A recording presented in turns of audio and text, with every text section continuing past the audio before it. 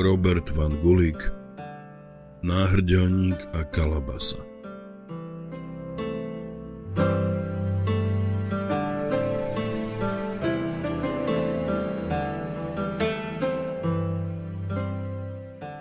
Prvá kapitola. Po ďalšej hodine jazdy cez tichý les, kde zo stromov padali kvapky vody, Sucaty zastavil koňa a vrhol znepokojený pohľad na husté lístie nad sebou. Uzrel fliači golovenej oblohy. Mrholenie sa každú chvíľu mohlo zmeniť na letný lejak. Čiernu čiapku a hnedé cestovné šaty s čiernym lemovaním mal mokré už teraz. Na dlhej brade a bokom bradách sa mu leskli kvapôčky vody. Keď napoludne odchádzal z dediny, povedali mu, že ak v lese odbočí na každom ráz cesti doprava, dostane sa bez náhlenia do riečného mesta práve na večernú ryžu. Zrejme niekde zle odbočil, lebo podľa odhadu cestoval už dobré 4 hodiny. No okolo boli len vysoké stromy a hustá húština a nestretol ani živú dušu. Vtáky v čiernych korunách zmlkli a mal pocit, že pach mokrého hníjúceho lístia mu preniká cez šaty. Utieral si bradu a bokom brady cípom šatky a skleslo uvažoval, že by bolo veľmi nepríjemné, keby naozaj zablúdil – lebo už padal súmrak a les sa rozprestieral do široka, do ďaleka, pozdĺž južného brehu rieky. Musel počítať s tým, že stráví noc pod holým nebom. S povzdychom odzadkoval veľkú hnedú kalabasu, priviazanú osedlo šnúrov s červenými strapcami a poriadne sa napil. Voda bola vlažná a bez chuti. Sklonil hlavu a utrel si oči. Štípal ho v nich pot, ktorý mu stekal z čela. Keď zdvihol zrak, stúhol a neveriacky hľadel na mohutnú postavu, ktorá sa k nemu blížila na koni, nehlučne našľapujúcom na meký mach.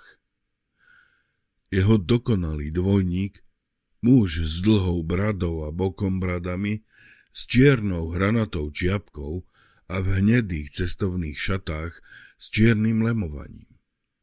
Zo sedla mu vysela veľká hnedá kalabasa, priviazaná šnúrou s červenými strapcami. Znova si pretrel oči. Keď sa zase pozrel, uľahčene si vydýchol. Meňavé svetlo a ubolené oči ho podviedli. Ten druhý mal bradu a bokom brady už postriebrené a niesol sa na starom oslovi s dlhými ušami. V tom sudca znova spozornil. Na oslovom zadku ležali dve krátke kopie. Siahol na rukoveď meča, ktorý mal zavesený na chrbte. Muž zastal pred koňom sudcu, tý zahľadil sa na ňo a vo veľkých očiach sa mu zračila obava. Širokú tvár mal zbrázdenú vrázkami a hoci sa v sedle držal pevne. Obnosené poplátané šaty mu na kostnatých pleciach vyseli. To, čo sudca považoval za kopie, boli v skutočnosti zahnuté barly. Pustil meč a zdvorilo sa opýtal. Ctihodný pane, vedie táto cesta do riečného mesta? Starec mu hneď neodpovedal. Pohľadom zablúdil ku kalabase vysiacej zo sudcovho sedla. Potom sa usmiel. Upral na sudcu zvláštne pohasnuté oči a povedal prekvapivo zvučným hlasom. Áno, táto cesta vás napokon zavedie do riečného mesta, doktor. Lenže okľukov. Starec ho považoval za lekára zrejme preto, lebo sudca cestoval úplne sám a mal vydlabanú tekvicu, v akej lekári zvyčajne nosievajú svoje medicíny. Kým mu stihol vysvetliť, že je to inak, starý muž pokračoval. Práve idem z mesta s kratkou. Kúsok ďalej je odbočka. Rád vám ukážem cestu, lebo odtiaľ ste tam už za štvrť hodinu. Keď sa zoslom obracal, zamrmlal. Mali by sme sa zrejme postarať o toho muža, čo ho našli v rieke. Bolo by dobre, keby ste sa na ňo pozreli, doktor. Sudca týmu chcel povedať, že je sudca z Pujangu, okresu v severnej časti provincie. No uvedomil si, že by potom musel svojmu náhodnému známemu zlhavo vysvetľovať, prečo cestuje v takom prostom odeve a bez oficiálneho sprievodu. Namiesto toho sa teda spýtal. Aké je vaše ctené zamestnanie, pane? Nemám nejaké. Som obyčajný potulný mních taoistickej viery. Rozumiem. Považoval som vás za svojho kolegu. A čo máte v tej kalabase? Prázdnotu, pane. Obyčajnú prázdnotu je oveľa cennejšia než akákoľvek medicína v tej vašej, doktor. Bez úražky, pravdaže? Prázdnota je oveľa dôležitejšia než plnosť. Môžete si vybrať najjemnejšiu hlinu a vymodelovať nádhernú nádobu, no bez prázdnoty v nej vám neprinesie nejaký užitok. A akokoľvek ozdobné dvere alebo okno urobíte, bez prázdnoty v nich vám budú na nič. Mľaskol jazykom, aby popohnal osla a dodal, lebo si uvedomil, že sa nepredstavil. Volajú ma, majster Tekvica. Skutočnosť, že starec je taoistický mních a teda povznesený nad bežné zdvorilosti, úplne oslobodzovala sudcu od povinnosti povedať mu svoje pravé meno a zamestnanie. Opýtal sa ho, čo ste vraveli o človeku, ktorého našli v rieke? Keď som odchádzal z mesta, počul som, že dvaja rybári vyťahli na breh nejakého muža. Tu je tá skratka. Pôjdem dopredu. Úzky lesný chodník viedol k obrobenému poľu, kde sklonený rolník v slamenom plášti do dažďa vykopával burinu. Po rozbahnenej ceste sa dostali na hradskú, ktorá sa vynula popri rieke. Prestalo mrholiť a nad širokou hladinou hnedej vody sa dvíhal jemný opar. V horúcom vlhkom vzduchu, ktorý vysel pod nízkou oblohou, sa nepohol ani lístok. Hradskú lemovali uhľadné domy a ľudia, ktorých míňali, boli slušne oblečení. Nikde nebolo vidieť jediného žobráka.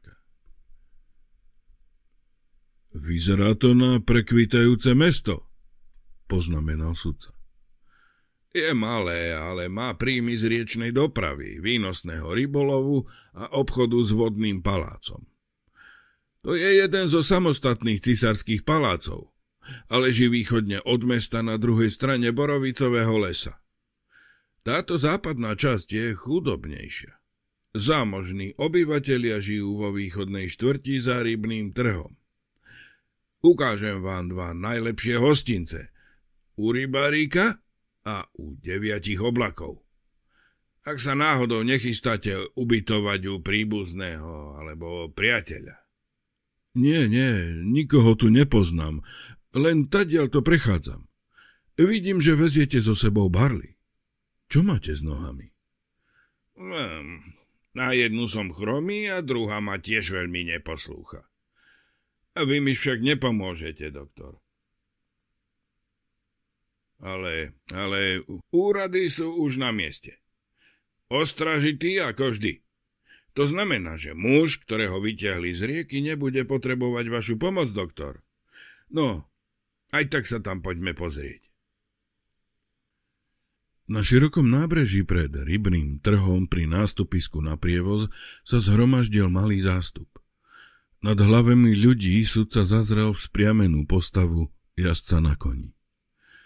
Pozlatená prilba s červeným chocholom a červená šatka na krku Prezrádzali, že je to kapitán cisárskej gardy.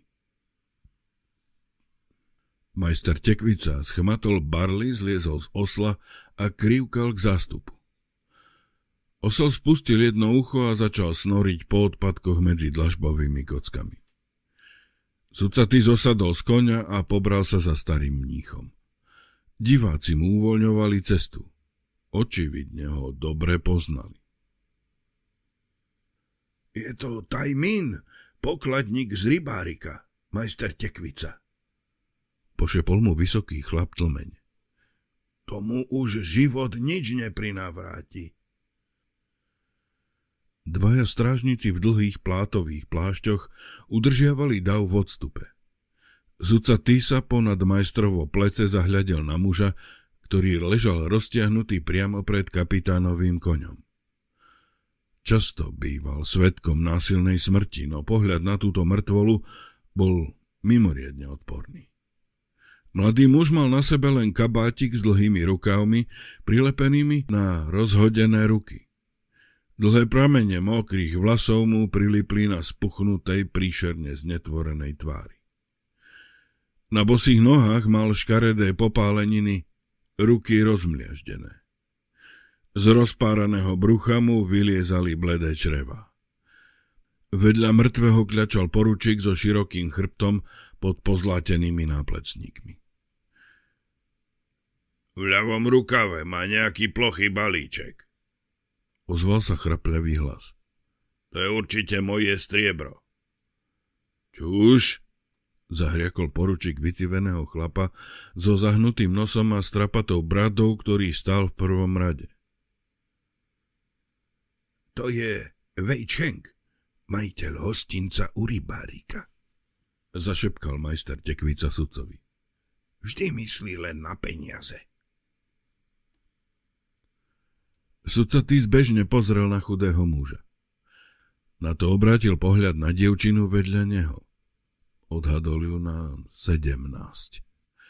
Bola drobná, štíhla a mala dlhé modré šaty prepásané červenou šerpou a lesklé čierne vlasy skrútené do dvoch prostých úzlov. Odvrátila hlavu od mŕtvého muža. Peknú tvár mala bielu ako krieda. Porúček sa vzpriamil. Úctivo povedal kapitánovi.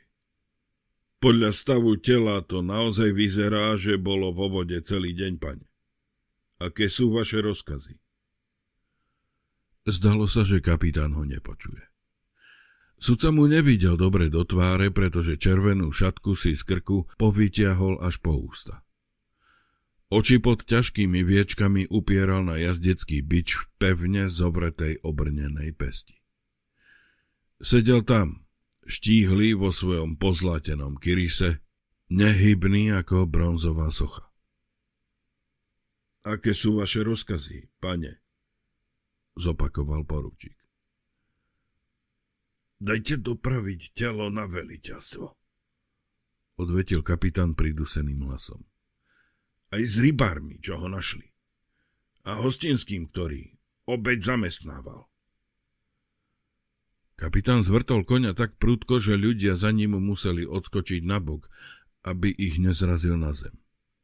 Zamieril k širokej ulici vedúcej od nábrežia, podkovy jeho koňa cvenžali na vlhkých dlažbových kockách. Ustúpte všetci! skríkol poručík.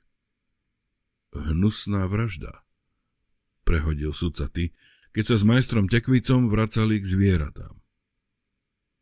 No ten muž bol civilista. Prečo prípad nerieši okresný sudca, ale vojenské orgány? Riečné mesto nespadá pod okresného sudcu. Je tu totiž vodný palác, rozumiete? Mesto a okolie tvorí tzv. Zvláštnu oblasť a spravuje ju cisárska garda. Majster Tekvica vyliezol na osla a položil mu barly krížom cez zadok. Tu sa s vami rozlúčim. Choďte rovno dolu ulicou, po ktorej odišiel kapitán. Je to hlavná trieda. Kúsok za veliteľstvom gardy nájdete obidva hostince. U rybárika a u deviatich oblakov. Stoja priamo oproti sebe. Obidva sú pohodlné, takže si môžete vybrať. Mlaskol na osla a odišiel skôr, než sa mu sudca stihol poďakovať. Sudca ty zaviedol koňa Kukováčovi na rohu rybného trhu. Zviera si potrebovalo poriadne oddychnúť. Sudca dal Kováčovi zahrť medenákov a požiadal ho, aby koňa vyčesal a nakrmil. Príde si poňho na druhý deň ráno. Potom sa pobral hlavnou triedou a zrazu si uvedomil, že má po dlhej jazde stuhnuté nohy a sucho v ústach. Vošiel teda do prvej čajovne, ktorú uvidel a objednal si kanvicu čaju. Okolo väčšieho stola pred oknom sa zhromaždilo zo šesť miestnych občanov. Živo rozprávali a lúskali pritom sušené melónové jadierka. Sudca ty popíjal čaj, keď si uvedomil, že je vo zvláštnej oblasti, ktorá sa riadi prísnymi bezpečnostnými predpismi, a preto sa musí hneď po príchode hlásiť na veliteľstve gardy. Môže to urobiť po ceste, lebo podľa starého mnícha bolo veliteľstvo kúsok pred oboma hostincami. Pokladníka z rybárika mučili a zavraždili neuveriteľne odporným spôsobom. Preto tam, pravda, že budú všetci zronení. Mal by sa radšej ubytovať v tom druhom hostinci u deviatich oblakov. Názov u rybárika však znel lákavo. Dva dni v riečnom meste chcel predsa stráviť čiastočne na rybačke. V Pujangu si na to nikdy nevedel nájsť čas. Natiahol si nohy a usúdil, že vojenské orgány zrejme aj tak rýchlo chytia vrahov pokladníka. Vojenská polícia býva zvyčajne veľmi výkonná. Hoci jej metódy sú v porovnaní s postupom civilných úradov oveľa drsnejšie. Prišli ďalší hostia. Sudca ty zachytil zo pár útržkov rozhovoru. Vej, Tára nezmyslí, povedal starší majiteľ čajovne. Taj mín nebol nejaký zlodej. Poznal som jeho otca, starého obchodníka s potravinami. Lupiči by ho určite neprepadli, keby nemal pri sebe kopu striebra. Namietol nejaký mladík. A vykradol sa z mesta uprostred noci. Vravel to kováč. Taj si u ňo totiž najal koňa. Povedal mu, že musí ísť za chorým príbuzným. Usadili sa vo vzdialenom kúte. Sudca si nalial ďalšiu šálku čaju. Uvažoval, akú minulosť má asi za sebou majster Tekvica. Starý mních pôsobil ako vzdelaný muž. Sudca vedel, že taoistickí mnísi nie sú viazaní nejakými rádovými predpismi. A preto mnohí starší učenci, ktorí sa cítili osamelí a rozčarení svetom, príjmali ich potulný spôsob života. Čajovňa sa medzi tým naplnila, naokolo sa ozývala hlasná vrava. Čašník začal zažíhať olejové lampy a ich čmud sa miešal s pachom vlhkých šiat. Sudca zaplatil a odišiel. Vonku mrholilo. V pouličnom stánku naproti si kúpil kus naolejovaného plátna Zakryl si ním hlavu a plecia a rýchlo vykročil po rúšnej ulici. O dva bloky ďalej sa hlavná trieda rozšírila do otvoreného námestia. Uprostred stála veľká trojposchodová budova pripomínajúca pevnosť. Zo špicatej strechy pokrytej modrými škrídlami vysela zmoknutá červeno-modrá zástava. Na striežke nad červeno nalakovanou bránou stálo veľkými čiernymi znakmi Cisárska garda, druhý pluk ľavého krídla. Hore na schodisku zo sivého kameňa stáli dvaja gardisti a rozprávali sa s urasteným poručíkom, ktorého sudca ty videl na nábreží. Práve keď sa sudca chystal výjsť hore, poručík zišiel k nemu a úsečne povedal. Kapitán chce s vami hovoriť, pane. Prosím, nasledujte ma. Skôr než sa ohromený sudca zmohol na slovo, poručík zmizol za rohom. Rýchlo odomkol úzke dvere strážnej veže a ukázal na strmé úzke schodisko. Sudca začal vystupovať po schodoch a začul ako poručík zatvára dvere na železnú závoru.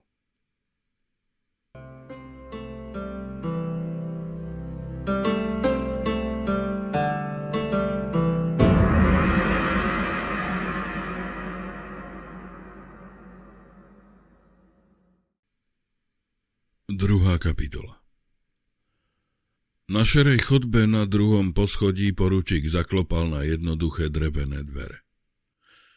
Uviedol sudcu do priestrannej prázdnej miestnosti, ktorú osvetľovala len vysoká svieca na písacom stole v úzadí. Mohutný mladý kapitán, ktorý sedel za ním, hneď vyskočil a vykročil sudcovi v ústrety. Vítajte v riečnom meste, sudca ty, povedal so širokým úsmevom. Som kapitán Siao. Prosím, sadnite si. Sudca ty na ňo ostro pozrel. Videl bucľatú, inteligentnú tvár skrášlenú čiernymi fúzikmi a nepodajnou briadkou čiernou ako žúžoľ. Vôbec si ho nevedel zaradiť. Kapitán ukázal na kreslo pri stole a pokračoval. Pred dvoma rokmi ste boli priveľmi zaneprázdnení, pane, aby ste si ma všimli. Stretli sme sa v Chan Yuane, kde ste riešili prípad čínskeho jazera. Viete, ja som slúžil v zbore cisárskeho vyšetrovateľa. Obrátil sa k poručíkovi. To je všetko, Liov, očaj sa postarám sám. Sudca, ty sa pousmial, keď si spomenul na ten vypetý deň, v Chan Yuane. Položil meč na stôl pri stene a sadol si na stoličku, ktorú mu kapitán ponúkol. Predpokladám, že ste ma spoznali na nábreží. Áno, pane. Stáli ste vedľa nášho šľachetného majstra Tekvicu. Radšej som vás tam neoslovil, lebo sa mi zdalo, že cestujete inkognito. Vedel som, pane, že sa aj tak zastavíte v mojej kancelárii, aby ste sa prihlásili. A tak som prikázal pobočníkovi, aby vás vyzeral. Predpokladám, že plníte tajnú misiu, pane. Cestujete úplne sám. Vetu nedokončil. Nalial do šalky čaj a sadol si za stôl. Ale nie. Pred desiatimi dňami ma predvolali na prefektúru, aby som pomohol prefektovi vyriešiť prípad pašeráctva, ktorý sa týka aj môjho okresu. Mali sme s tým dosť práce. Ja aj moji pomocníci, Mašunga Tiaotchaj. A preto mi prefekt dovolil, aby som si po návrate do Pujangu niekde odpočinul. Rozhodli sme sa stráviť pár dní v riečnom meste. Keď sme však dnes ráno dorazili do dediny Kuanti Miao, Starosta nás žiadol, aby sme urobili niečo s diviakmi, čo im ničia úrodu. Máš unga, tia odchaj sú vynikajúci lovci, preto som im povedal, aby sa tam zdržali a zapoľovali si na diviaky. Ja som pokračoval ďalej sám. Majú sa tu ku mne zajtra pripojiť. Chcem si odpočinúť, trochu si zarybárčiť a podobne. Pravda, že prísne inkognito. Výborný nápad, pane. Ozaj, odkiaľ máte tú tekvicu? Daroval mi ju na pamiatku starosta tej dediny. Nedalo sa odmietnúť. V Kuanti Miao pestujú obzvlášť veľké tekvice. Práve zásluhou nej si ma majster tekvica pomýlil s lekárom na cestách. Kapitán vrhol na hostia zamyslený pohľad. Áno, povedal pomaly. V tomto oblečení si vás ľudia ľahko môžu pomýliť s lekárom. Po krátkej chvíli pokračoval. Majster Tekvica musel byť sklamaný, keď sa dozvedel, že nie ste lekár. Veľmi dobre sa vyzná v liečivých rastlinách a rád o nich rozpráva. Priznám sa, ozval sa sudca tý trochu rozpačito, že som ho z omilu nevyviedol. Rozumiete, Musel by som mu to siahodlo vysvetľovať. A čo je to vlastne za človek? Hmm, svojím spôsobom filozof. Žije tu už 4 alebo 5 rokov.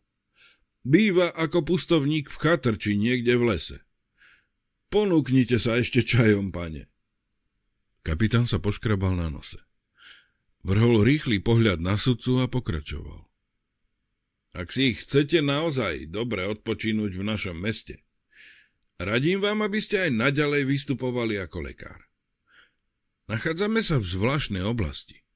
Preto je tu plno vládnych agentov všemožného druhu a vaše inkognito by sa mohlo, hm, tak povediac, zle vysvetľovať. Sám som kedysi pracoval vo zvláštnych službách a dobre poznám ich spôsob uvažovania. Ty sa potiahol za fúzy. Ako sudca na cestách by mal vykonať oficiálne návštevy v obradnom rúchu a čiapke s krídelkami. Všetko však zostalo v jeho ťažkej batožine v kuanti miao. Pravda, že mohol by si požičať súpravu a najať úradné nosidlá, no to bolo presne to, čo mu sa chcel na pár dní vyhnúť. Kapitán si všimol jeho váhanie a rýchlo pokračoval. Všetko pre vás zariadím, pane. Máte plné právo na pár dní nerušeného oddychu. Počul som podrobnosti o prípade buddhistického chrámu, ktorý ste vyriešili v Pujangu. Úžasný príklad vyšetrovania, pane. Počkajte, e, porozmýšľam. To je ono. Poznám v sídelnom meste lekára na odpočinku. Volá sa Liang Mu.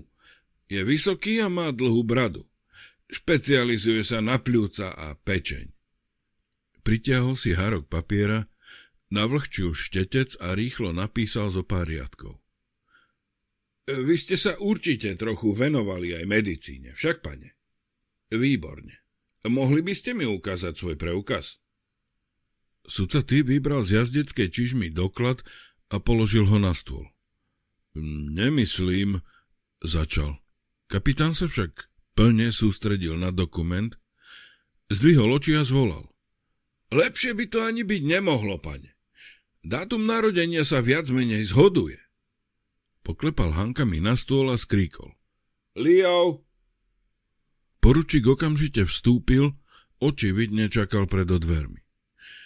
Kapitán mu podal svoje poznámky spolu s preukazom sudcuty. Urob nový na toto meno Liao ale nech nevyzerá ako nový, dobre? Poručík zasalutoval a odišiel.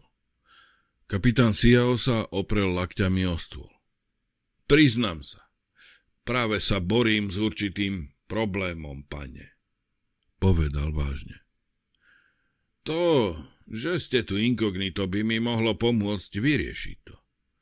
Nezabralo by vám to veľa času a preukázali by ste mi obrovskú láskavosť. Ste síce v oveľa vyššom postavení ako ja, to je pravda, ale naša práca je v mnohom podobná, takže nesmierne by ste mi tým pomohli, pani. Vždy vravím, že získať nestranný pohľad na vec... Radšej by ste mi mali vysvetliť, o čo vlastne ide. Sucho ho prerušil sudcatý. Kapitán vstal a pristúpil k veľkej mape na stene. Z miesta, kde sudca tý sedel, Videl, že zobrazuje oblasť južne od rieky spolu s podrobným plánom mesta. Na východe bol prázdny štvorec a v ňom nápis Vodný palác veľkými znakmi. Kapitán Siao opísal rukou oblúk a povedal. Celá zvláštna oblasť je pod priamou správou paláca, pane. Určite viete, pane, že už 4 roky je vodný palác letným sídlom tretej princeznej. Nie, o tom som nevedel.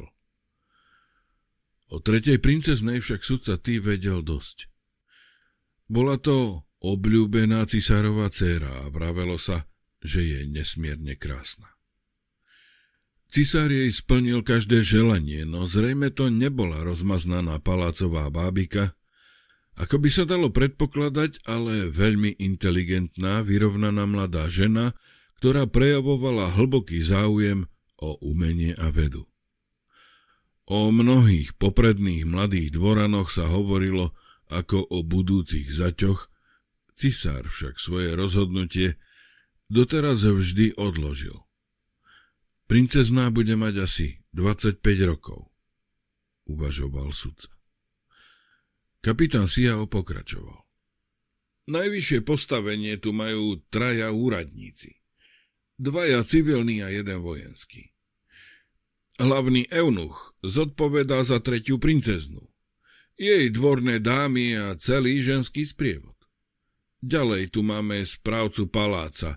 Ten je zodpovedný za ostatných zamestnancov. Dokopy ide asi o tisíc ľudí. Môj nadriadený, plukovník Kang, je veliteľom gardy. Má na starosti bezpečnosť paláca a celú zvláštnu oblasť. Pôsobí v paláci a práca tam ho naplno zamestnáva. Preto mi pridelil 200 gardistov a poveril ma správou mesta a vidieka. Je to tiché usporiadané mestečko, aby sa predišlo šíreniu epidémií do paláca. Nie sú tu povolené nejaké nevestince, nejaké ľahké ženy na ulici, nejaké divadlá ani žobráci. Zločiny sa vyskytujú zriedkavo lebo každý tu spáchaný priestupok môže byť označený za úrážku majestátu a, a ako taký sa trestce pomalou smrťou. Ani tomu najspúrnejšiemu zločincovi sa nechce riskovať, že ho budú pomaly rozrezávať na kusy. Bežnému katovi trvá poprava len dve až tri hodiny. Ale tí palácovi, ako som počul, vedia udržať odsúdeného pri živote aj niekoľko dní. Kapitán si zamyslene pošúchal nos a potom dodal. Sú to najlepší odborníci, pravdaže. Skrátka, preto sa všetci lupiči, zlodeji a potulní vagabundi vyhýbajú tejto oblasti ako moru. Máte teda jednoduchú prácu, Siao. Len bežnú administratívnu rutinu. Kapitán sa vystrel. Nie, pane, vyhlásil stiesnene. V tom sa mýlite, keďže v tejto oblasti nikoho neohrozujú drobní zločinci. Tí veľkí tu našli hotový raj. Povedzme, že by ste boli bohatý podvodník s mnohými osobnými nepriateľmi. Kde inde ako tu by ste si mohli bez oba oddychnúť? Nijaký nájomný vrah si vás tu nedovolí napadnúť. Alebo by ste boli šéfom vplyvnej pašeráckej bandy či tajného zločineckého spolku. Na vlastnom území by ste museli byť vodne v noci v strehu pred vrahmi vyslanými konkurenčnými organizáciami. Ale tu môžete ísť spokojne na prechádzku a nemusíte mať strach, že vás bude niekto obťažovať. Už chápete, o kom probléme som hovoril, pane? Nie úplne. Každý sa musí predsa po príchode hlásiť, tak prečo všetky podozrivé osoby nemôžete poslať tam, odkiaľ prišli? Kapitán pokrutil hlavou. Poprvé, stovky našich návštevníkov sú slušní ľudia a väčšina obchodníkov sem prichádza za úplne legálnym obchodom. Nie je v našich silách preverovať minulosť každého z nich. Po druhé, značná časť príjmu miestnych obyvateľov pochádza z cestovného ruchu. Keby sme zakročili proti všetkým cestujúcim, vyhýbali by sa tomuto miestu. My však máme prísny príkaz zo sídelného mesta, aby sme s miestnym obyvateľstvom vychádzali dobre. Ako viete, pane, jeho vznešenosť prijala pre svoje vladárske obdobie označenie humánna vláda. Je to haklivá situácia, lebo nikto nedokáže predvídať. Kedy môže vypuknúť konflikt medzi niektorými veľkými darebákmi, ktorí sem prišli načerpať sily. A ja som zodpovedný za udržanie mieru a poriadku v riečnom meste. Máte úplnú pravdu ale neviem, čo by som s tým ja mohol urobiť.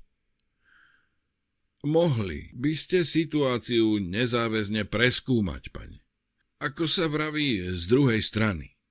Človek s dlhoročnými skúsenosťami a znamenitou povesťou vyšetrovateľa kriminálnych prípadov by... Sudca Ty zodvihol ruku, aby ho zarazil. Dobre, nemám nič proti tomu, aby som si osobne urobil predstavu o ťažkostiach, ktoré sa vyskytujú vo zvláštnej oblasti. Ja... Ozvalo sa zaklopanie a vstúpil poručík. Pred svojho nadriadeného položil dve listiny. Jedna z nich bol platný preukaz sudcu Ty. Kapitán sústredil pozornosť na druhý, trochu ušpinený kus papiera s ošuchanými okrajmi. Dobré, zvolal so širokým úsmevom. Skutočne výborné, Leo. Pozrite sa na to, pane. Prisunul druhý doklad k sudcovi. Bol to oficiálny preukaz totožnosti vydaný pred 4 rokmi úradom v sídelnom meste a vystavený na meno doktor Liang Mu. Dátum narodenia súhlasil so sudcovým, ale adresu uvádzal v známej vilovej štvrti sídelného mesta. Všimli ste si dátum, pane? Opýtal sa kapitán Siao a pošúchal si ruky.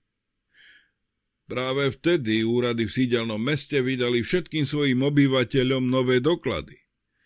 Dobrá práca, Liov. Vybral zo zásuvky pečať, otlačil ju do rohu listiny a potom cez ňu napísal. Držiteľ je na spiatočnej ceste do sídelného mesta. Povolenie na pobyt 3 dni. Dopísal dátum a ozdobnými iniciálami svojho mena doklad parafoval. Nech sa páči, pane. Všetko je, ako má byť. Váš doklad zatiaľ uložím pod zámku. Bolo by nepríjemné, keby u vás našli dva odlišné. Odporúčam vám, aby ste sa ubytovali u rybárika. Je to príjemný tichý hostinec a býva tam väčšina významných osobností. Vstal a rázne dodal. Pochopiteľne som vám úplne k službám. A to vodne v noci a jej sudcatý vstal. Priznám sa vám, Siao, keď ste spomínali ťažkosti. Myslel som si, že máte na mysli vraždu pokladníka z rybárika. Toho muža, ktorého telo ste obhliadali na nábreží. Škaredý prípad. Ale toho chlapca zavraždili mimo mojej oblasti, pane. Dal som si to hneď prešetriť. Nočná stráž ho zbadala, keď opúšťal mesto východným smerom asi hodinu po polnoci. A moje hliadky nenašli ani stopu po lupičoch či iných vagabundoch v tejto oblasti ani v jej blízkosti. Chlapca zabili niekde na ceste do hôr a jeho telo hodili do rieky pár kilometrov povyše prúdu. Tu sa zachytilo proti prievozu ovodné rastliny. Prípad odovzdám vášmu kolegovi, sudcovi susedného okresu východne od riečného mesta. Spolu so všetkým, čo sme našli v jeho rukávoch. Odviedol sudcu k stolu pri stene a ukázal mu poskladanú mapu, guľôčkové počítadlo Abakus, balíček navštíveniek a šnúru mincí. Sudca tým mechanicky rozložil mapu a chvíľu si ju prezeral. Je to podrobná mapa provincie, poznamenal. Cesta z riečného mesta do dediny Šli poza východný horský hrebeň je vyznačená červenou. Veď práve. Tam mal zrejme ten chlap namierené, keď okradol svojho zamestnávateľa o 20 strieborniakov. Viete, majiteľ hostinca je známy skupaň. Bol natoľko bezočivý, že odo mňa chcel, aby som mu nahradil škodu, Prosím vás, pane, zoberte abakus a vráte ho tomu starému žgrlošovi. Bol by schopný obviniť ma, že som ho ukradol. Sudca si vložil pomôcku na počítanie do rukáva. S radosťou. Ale mali by ste to radšej spomenúť v správe môjmu kolegovi. Mohlo by to s prípadom súvisieť. Mohlo by to napríklad znamenať, že pokladník sa chystal na nejakú zložitú finančnú transakciu v dedine, kam išiel. Kapitán pokrčil plecami. Každý pokladník má pri sebe abakus, pane, ale určite to spomeniem. Sudca ty si začal uvezovať na chrbát meč a pritom sa opýtal. Odkiaľ viete, že pokladník chcel striebor nejaký ukradnúť? Starý vej vyhlásil, že ich zobral z pokladnice. A na starého veja sa môžete spoľahnúť. Ten vie do posledného medenáka, koľko peňazí tam má. Hostinec vedie dobre, ale je to nevrlý starý čudák. Ľudia síce vravia, že jeho žena neurobila dobre, ale veľmi ju neodsudzujú. Pred niekoľkými týždňami totiž od neho ušla. Budem vám skutočne nesmierne vďačný, ak mi poviete svoj názor na situáciu v meste. Ale nevenujte sa tomu na svoj úkor a vyberte sa párkrát na rybačku na rieku. Sú tu krásne ostrieže a pstruhy. Obradne vypravadil sudcu dolu schodmi a statný poručík Liov mu otvoril dvere. Vonku lialo. Hnusné počasie, pane. Rybárik je našťastie len kúsok odtiaľto. Vpravo. Dobrú noc.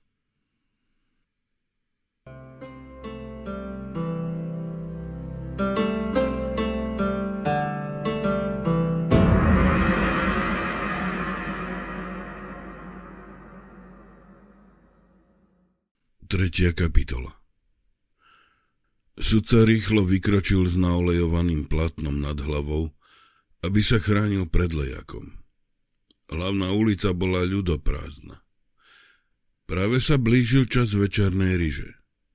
S ironickým úsmevom si pomyslel, že kapitán Siao bol až príveľmi utáraný. Jeho reči o ťažkostiach s neželanými návštevníkmi boli len zásterkou a nezaujíma sa ani o vraždu pokladníka. Musí tu byť nejaký iný dôvod, prečo kapitán Siao chce, aby ľudia nevedeli, kto je v skutočnosti. Zrejme veľmi naliehavý. Inak by kapitán nerobil také premyslené opatrenia, ako sú doklady na cudzie meno. Siao je prešibaný a aj všímavý chlapík. Na nábreží ho okamžite spoznal napriek neupravenému zovňajšku. Sudca ty náhle zastal a úplne zabudol na dážď. Na nábreží kapitán pôsobil ako dosť štíhly muž, kým Siao je silnejší. A na nábreží zazrel mužovú tvár len na okamih, aj to na poli zakrytú šatkou. Sudca zvraštil husté obočie. Poručík ho pohotovo a blesku rýchlo zaviedol hore do miestnosti bočným vchodom, takže jeho, sudcu, nikto nevidel do kapitánovej kancelárie vstupovať ani z nej odchádzať. Teraz je sám v neznámom meste a pri sebe má falošné doklady. Na chvíľku sa ho zmocnila pretucha nepríjemností. Potom pokrčil plecami. Ak je v tom nejaký úskok, čo skoro sa to dozvie. Z odkvapu nad krytým stĺporadím pred vchodom vysel rozhojdaný lampión s nápisom Hostinec u rybárika. Na druhej strane zbadal ešte väčší lampión s nápisom Hostinec u deviatich oblakov. Po chvíľke váhania pristúpil k vchodu prvého z nich. Otriasol mokré naolejované plátno a vošiel do priestrannej haly. Osvetľoval ju vysoký mosadzný svietnik, ktorý vrhal na omietnuté steny tajúplné tiene. Všetky veľké izby sú obsadené, pane, oznámil mu mladý recepčný za pultom. Máme však voľnú, peknú, malú izbu vzadu, na prvom poschodí. To mi stačí, povedal sudca ty. Keď zapisoval do knihy hosti svoje meno a adresu, dodal Skôr ako sa ubytujem, chcem sa okúpať a prezliecť. Keď mi ukážete kúpeľ, pošlete niekoho kukováčovi na nábreží po moje cestovné tašky. Posunul knihu cez pult a uvedomil si, že ho v rukáve niečo ťaží. Vybral abakus. Keď som sa hlásil na veliteľstve, požiadali ma, aby som vám vrátil túto pomôcku. Patrila tunajšiemu pokladníkovi, ktorého telo sa našlo v rieke. Recepčný mu poďakoval a vložil abakus do zasúky. Keď šéf zbadal chudáka Taja na nábreží, povedal s úštipačným úškrnom. Myslel si, že je to balíček s jeho dvaciatimi strieborňakmi. Tak tomu starému skupaňovi treba. Rýchlo sa obzrel ponad plece na vysokú mriežkovanú zástenu. Za ňou sedel nejaký muž sklonený nad písacím stolom. Poďte za mnou, doktor. Kúpeľ sa nachádzal v zadnej časti hostinca. Šatňa bola prázdna, ale pohodené šatstvo zviazané do úzlov a chrapľavé hlasy, doliehajúce spoza bambusových posovných dverí, svedčili o tom, že niektorí hostia sú v bazéne. Sudca ty si vyzulia z detské čižmy, a potom odložil meč, mokrú čiapku a kalabasu na policu. Z rukáva vybral brokatové púzdro s peniazmi a dokladmi a dal ho pod čiapku. Keď sa vyzliekol, odsunul dvere. Vykrikovali tam dvaja nahí muži, ktorí boxovali pred veľkým bazénom zabudovaným do dlažky. Navzájom sa povzbudzovali oplzlými poznámkami. Obaja mali vyšportované postavy a drsné tváre profesionálnych bitkárov. Keď zbadali sudcu, hneď zmlkli a ostro na ňo pozerali. Boxujte ďalej, ale zavrite tie špinavé papule, prikázal im suchý hlas. Patril tučnému mužovi v strednom veku, ktorý sedel na nízkej lavici vedľa bazénu. Za ním stal zriadenec kúpeľa a energicky mu masíroval ochabnuté plecia. Dvaja bitkári sa znova pustili do cvičenia. Sudca Ty si čupol na dlášku, vyloženú čiernymi kachličkami a vylial na seba vedro horúcej vody. Potom si sadol na lavicu a čakal, kým príde narad a zriadenec ho poriadne vydrene. Odkiaľ ste, pane? Opýtal sa zdvorilo starší muž sediaci vedľa neho. Zo sídelného mesta. Volám sa Liang a som lekár. Bolo by nezdvorilé, keby slušne neodpovedal človeku, s ktorým sa spoločne kúpal. Kúpeľ bolo jediné miesto v hostinci, kde sa hostia spoločensky stýkali. Druhý muž znalecky ohodnotil svalnaté ruky a širokú hruď sudcu ty. Ste živá reklama svojho lekárskeho umenia, doktor. Ja som Lang Liao a pochádzam z juhu. Tí dvaja mamnasi sú moji pomocníci. Som brr. Zmlkol, keď ho zriadenec oblial studenou vodou. Zhlboka sa nadýchol. Som obchodník s hodvábom a prišiel som si sem oddychnúť. Nerátal som s takým príšerným počasím. Kým zriadenec drhol sudcu dočista, vymenili si zo pár poznámok o počasí na juhu. Na to sudca vošiel do bazénu a vystrel sa v horúcej vode. Starší muž sa do sucha vyutieral a stroho prikázal pestiarom. Ponáhľajte sa. Obaja sa náhlivo utreli a pokorne nasledovali tučného muža do šatne.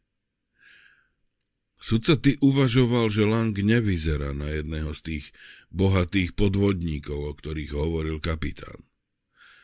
Mal pravidelnú povýšeneckú tvár a tú koziu briadku, čo dokonca pôsobilo vznešenie. Bohatí obchodníci často cestovali s telesnou strážou. Cítil, ako sa mu v horúcej vode uvoľňujú stuhnuté údy a zrazu si uvedomil, že je hladný. Vstal a zriadenec ho energicky vyšúchal do sucha. Obidve cestovné tašky už stáli pripravené v kúte šatne. Otvoril prvú, aby si vybral čisté šaty, no hneď sa zarazil. Pomocník, Mažung, ktorý ho zvyčajne balil, bol poriadku milovný človek. Teraz však šatstvo bolo poskladané nedbanlivo. Hneď otvoril aj druhú tašku. Nočný odev, plstené topánky a rezervné čiapky boli na mieste. Ale aj v tých sa očividne niekto prehrabával. Rýchlo pozrel pod svoju čiapku na policii. V brokatovom púzdre nič nechýbalo za to. Roštek nového preukazu bol vlhký. Ten pán Langliov je nejaký zvedavý, zamrmlal. Alebo možno len opatrný. Obliekol si šuchotavú čistú bielu bavlnenú bielizeň a na ňu tmavo sivý odev s dlhými rukávmi, na unavené nohy si natiahol plstené topánky a hneď pocítil úľavu. Mokré šatstvo a špinavé čižmy tam nechal presluhov, na hlavu si dal vysokú štvorcovú čiapku z čierneho flóru, zobral si meč a kalabasu a pobral sa do haly. Recepčný ho zaviedol do malej, čistej miestnosti na poschodí a zapálil sviece na stole. Sľúbil sudcovi, že večeru mu donesú čoskoro. Sudca ty otvoril okno. Dážď ustal. Jasný mesiac zalieval strieborným svitom trblietavé mokré strechy riečného mesta. Všimol si, že zadný dvor hostinca pôsobí zanedbane. Uprostred rástlo niekoľko tenkých stromov a hustých krovín. Za nimi pri zadnom múre stál nízky sklad. Bránka do úzkej temnej uličky bola do Korán. Na pravej strane dvora sa nachádzali stajne, čo mu pripomenulo, že na druhý deň musí povedať Paholkovi, aby mu od kováča priviedol koňa. Nezretelné hlasy a cengot riadu doliehajúceho z ľavého krídla mu prezrádzali, že je tam kuchyňa. Na tejto strane dvora bol nedbalo stlčený výbeh pre hydinu, zrejme výnosná záľuba niektorého z kuchárov. Na zaklopanie na dvere sa obrátil. Príjemne prekvapený hľadel na štihlu dievčinu, ktorá vstúpila do miestnosti. Mala dlhé modré šaty okolo útleho drieku prepásané červenou šerpou, ktorej konce so strapcami siahali až po zem. Keď kladla tácňu s večerou na stôl, vľudne sa jej prihovoril. Videl som vás na nábreží, slečna. Nemali ste tam chodiť, bol to hrozný pohľad. Placho na ňo pozrela veľkými žiarivými očami. Pán Vej ma zobral so sebou, pane. Kapitán povedal, že na úradnú identifikáciu obete musia prísť dvaja príbuzní. Áno, vidím, že nie ste slúžka. Som vzdialená neter pána Veja, pane. Pred pol rokom, keď mi zomreli obaja rodičia, zobral ma k sebe na výpomoc do domácnosti. A pretože slúžky sú dnes úplne roztrasené z toho, čo sa stalo pokladníkovi. Naliala mu šálku čaju a prírodzeným gracióznym pohybom ľavej ruky si pritom pridržiavala dlhý pravý rukav. Teraz, keď ju jasne videl vo svetle sviečok, si uvedomil, že za príťažlivosť nevďačí len kráse. Vyžaroval z nej jemný, ťažko opísateľný pôvab. Sadol si za stôl a nenútene poznamenal. Dolu je krásny tradičný kúpeľ. Zoznámil som sa tam s jedným hosťom. Istým pánom Langom. Býva tu už dlho? Len dva týždne, pane. Ale chodieva sem pravidelne. Je to pochopiteľné, veď v centre mesta má obchod s hodvábom. Je to veľký bohač. Vždy cestuje najmenej s 8 úradníkmi a pomocníkmi. Obývajú naše najlepšie krídlo na prízemí. Porozkladala taniere a misy po stole a sudca si zobral paličky. Na nábreží som počul, ako pán Vej hovorí, že ten úbohý pokladník mu ukradol 20 strieborniakov. Ohrnula nos. Tých 20 strieborniakov jestvovalo hádam len v predstavách môjho ujapane. Robil si nádeje, že mu úrady peniaze nahradia. Tajmin určite nebol zlodej. Bol to jednoduchý, milý chlapec. Nechápem, prečo ho lupiči tak hrozne týrali. Taj nikdy nemal pri sebe veľa peňazí. Obávam sa, že zo zlosti. Predpokladali, že ako pokladník bude mať dosť peňazí. Poznali ste ho dobre? Ale áno. Často sme spolu chodili na rieku chytať ryby. Žil tu od narodenia a poznal na brehu každý kút. Mali ste s ním mm, veľmi priateľský vzťah? Ticho sa zasmiala a pokrutila hlavou. Tajmín sa so mnou kamaráti len preto, lebo viem obstojne ovládať čln. Nebyť toho, asi by ani nevnímal, že existujem, lebo hlavu mal plnú Náhle zmlkla a zahryzla si do pery. Potom pokrčila plecami a pokračovala. Chudák Tajmin je mŕtvy.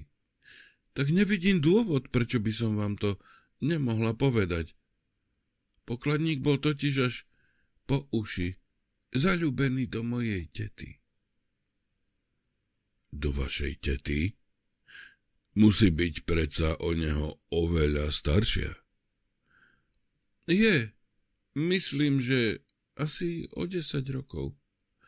Ale nikdy medzi nimi k ničomu nedošlo, pane. On ju zbožňoval na diaľku. A ona o ňo nestála, lebo ušla s iným mužom, čo ste už možno počuli. Máte nejakú predstavu, kto by to mohol byť? Rozhodne potriasla hlavkou. Teta ten vzťah skrývala veľmi šikovne. Nikdy mi ani vo sne nenapadlo, že by mohla byť Ujovi neverná. Keď nám povedal, že ho opustila pre iného muža, nemohla som uveriť vlastným ušiam. Vždy mi pripadala ako veľmi vyrovnaná, milá žena. Oveľa lepšia ako Ujovej. Vrhla na sudcu krátky, hodnotiaci pohľad s náznakom úsmevu dodala. S vami sa tak dobre rozpráva, pane. Asi preto, že ste lekár. Posledná poznámka sudcu nepochopiteľne podráždila. Položil jej prvú otázku, čo mu zišla na um. Keď pokladník tak veľmi obdivoval vašu tetu, jej útek s iným mužom ho zrejme poriadne zarmútil, však? Nie, Vôbec nebol smutný. Zamyslene si uhladila vlasy. To je dosť zvláštne, keď tak nad tým uvažujem. Sudca ty nadvihol obočie. Ste si istá? Také dlhé a hlboké citové vzťahy zasiahnu muža často oveľa viac ako krátky vášnivý pomer. Pravda, že? Raz som dokonca začula, ako si nad tými svojimi účtami pospevuje popod nos nejakú pesničku. Sudca si vložil do úst kúsok solenej zeleniny a pomaly prežúval. Pani Vejovej sa podarilo mladú neter dokonale oklamať. Pokladník bol určite jej milencom. Odišla do dediny za horami označenej červenou farbou na mape, ktorú mal mŕtvý Tajmin pri sebe. Dohodli sa, že pokladník tam za ňou o pár týždňov príde. Po ceste ho však prepadli lupiči a zavraždili ho. A Milenka teraz na ňo márne čaká v dedine Šeli. Oznámi tieto fakty kapitánovi Siaovi, aby to ohlásil sudcovi v susednom okrese. Každý predpokladá, že Taja zabili lupiči, ale mohlo to byť oveľa zložitejšie. E, čo ste to hovorili? Pýtala som sa, či ste sem prišli za nejakým pacientom, pane. Nie, som tu na dovolenke. Chcel som si trochu zarybárčiť. Musíte mi niekedy povedať, kam mám ísť. Navrhnem vám niečo lepšie. Môžem vás zobrať na rieku v našom čone. Dnes musím pomáhať slúžkam, ale zajtra ráno mám voľno. To je od vás veľmi milé. Uvidíme, aké bude počasie. Ozaj, ako sa voláte? Papradina, pane. Dobre, slečna Papradina. Ale už vás nesmiem zdržiavať. Máte veľa práce. Veľmi pekne vám ďakujem. S chuťou sa pustil do večere. Keď dojedol, pomaly vypil šálku silného čaju a potom sa v dobrej, uvoľnenej nálade oprel v kresle. V izbe pod ním niekto hral na lutnu. Rytmická melódia, ktorá k nemu slabo doliehala, zvýrazňovala ticho, ktoré vládlo v ostatných častiach hostinca. Sudca chvíľu počúval melódiu, ktorá mu pripadala hmlisto povedoma. Keď doznela, vystrel sa. Usúdil, že svoje obavy z kapitána Siao a jeho pohnútok by mal pripísať skutočnosti, že bol po dlhej jazde lesom unavený. Prečo by sa napokon kapitán nemohol zaujímať o názor cudzieho človeka na miestnu situáciu. A čo sa týka vystavenia falošného dokladu, predsa vie, že ľudia z tajnej služby sa vždy vyžívajú v takých detailoch. Sám by bol určite rovnako dôkladný. S úsmevom vstal a podišiel k stolu pri stene. Otvoril lakovanú skrinku s písacími potrebami Vybral hárok kvalitného červeného papiera, poskladal ho a roztrhal na šesť obdlžníkových kusov. Navlhčil štetec a na každú z týchto improvizovaných návštíveniek napísal veľkými znakmi svoje nové meno. Doktor Liang Mu. Dal si ich do rukáva, zobral meč a kalabasu a pobral sa dolu. Dostal chuť prezrieť si mesto. V hale pri pulte stál pán Vej a ticho sa zhovaral s recepčným. Keď zbadal sudcu, rýchlo ho šiel privítať. Hlboko sa mu uklonil a chrapľavým hlasom povedal. Som Vej Cheng, majiteľ hostinca, doktor. Práve teraz prišiel za vami posol. Keďže nepovedal svoje meno, požiadal som ho, aby počkal vonku. Už som chcel poslať recepčného, aby vám to oznámil. Sudca ty v duchu usmiel. To bude odkaz od kapitána Siao. Svoje čižmy našiel pri dverách medzi ostatnou obuvou, natiahol si ich a vyšiel von. O stĺp sa tam s prekríženými rukami opieral vysoký muž v čiernej kazajke a širokých čiernych nohaviciach. Na kazajke a okrúhlej čiapke mal červené lemovanie. Som doktor Liang. Čo si želáte? Jedna chorá osoba sa chce s vami poradiť, doktor. Odvetil muž úsečne. Čaká na vás palankín. Sudca nasledoval muža k veľkému palankinu s čiernymi záclonkami, ktorý stal kúsok poniže na ulici a hovoril si, že kapitánova správa musí byť skutočne prísne tajná. Šiesti nosiči, ktorí čupeli opretí o stenu, hneď vstali. Na sebe mali rovnaký odev ako ich vodca. Sudca ty odhrnul záväz na dverách. Zmeravel od úžasu, keď sa ocitol z oči voči mladej žene. Oblečený mala dlhý čierny plášť s kapucňou, ktorá zvýrazňovala bledosť jej povýšeneckej peknej tváre.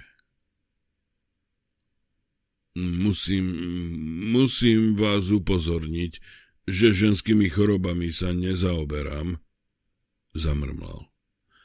Preto vám odporúčam, aby ste sa obrátili. Nastupte, všetko vám vysvetlím, prerušila ho stroho.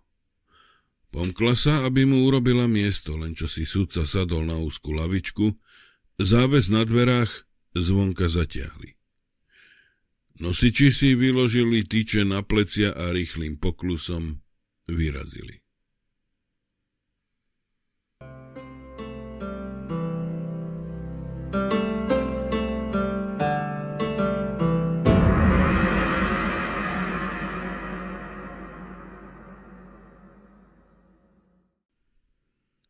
Štvrtá kapitola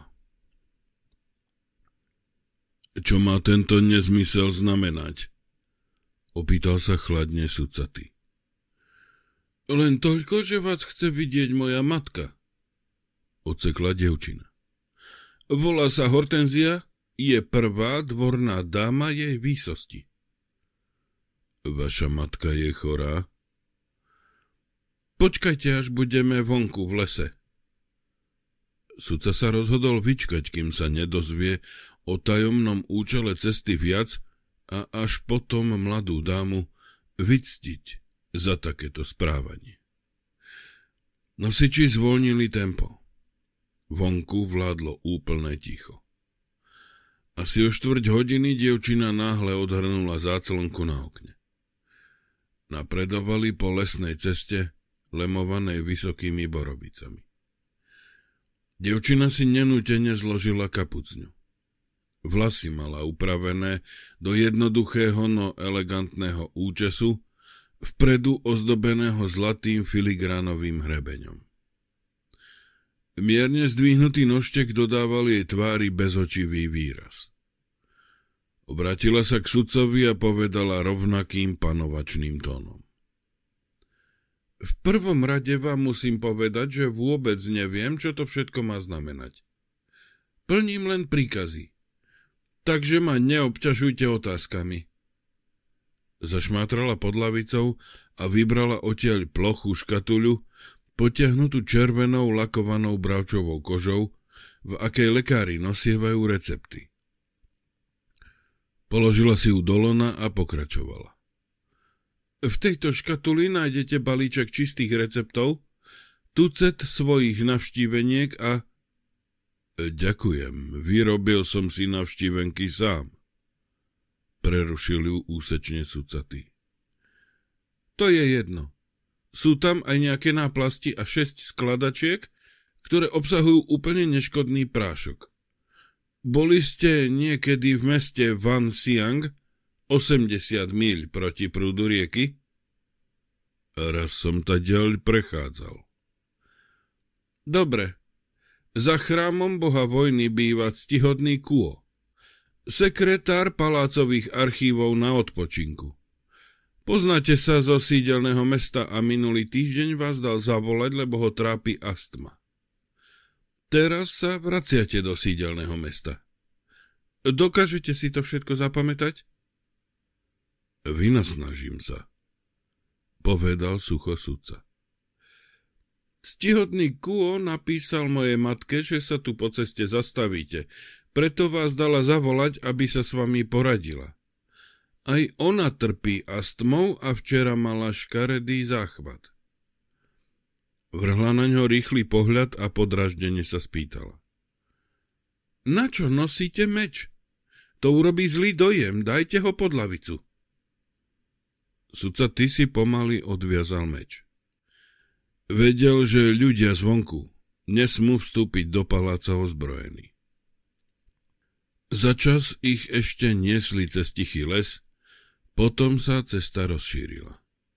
Prešli popod dvojitý oblúk kamenného portálu mohutnej budovy a potom ich preniesli cez široký mramorový most s umelecky vypracovaným zábradlím.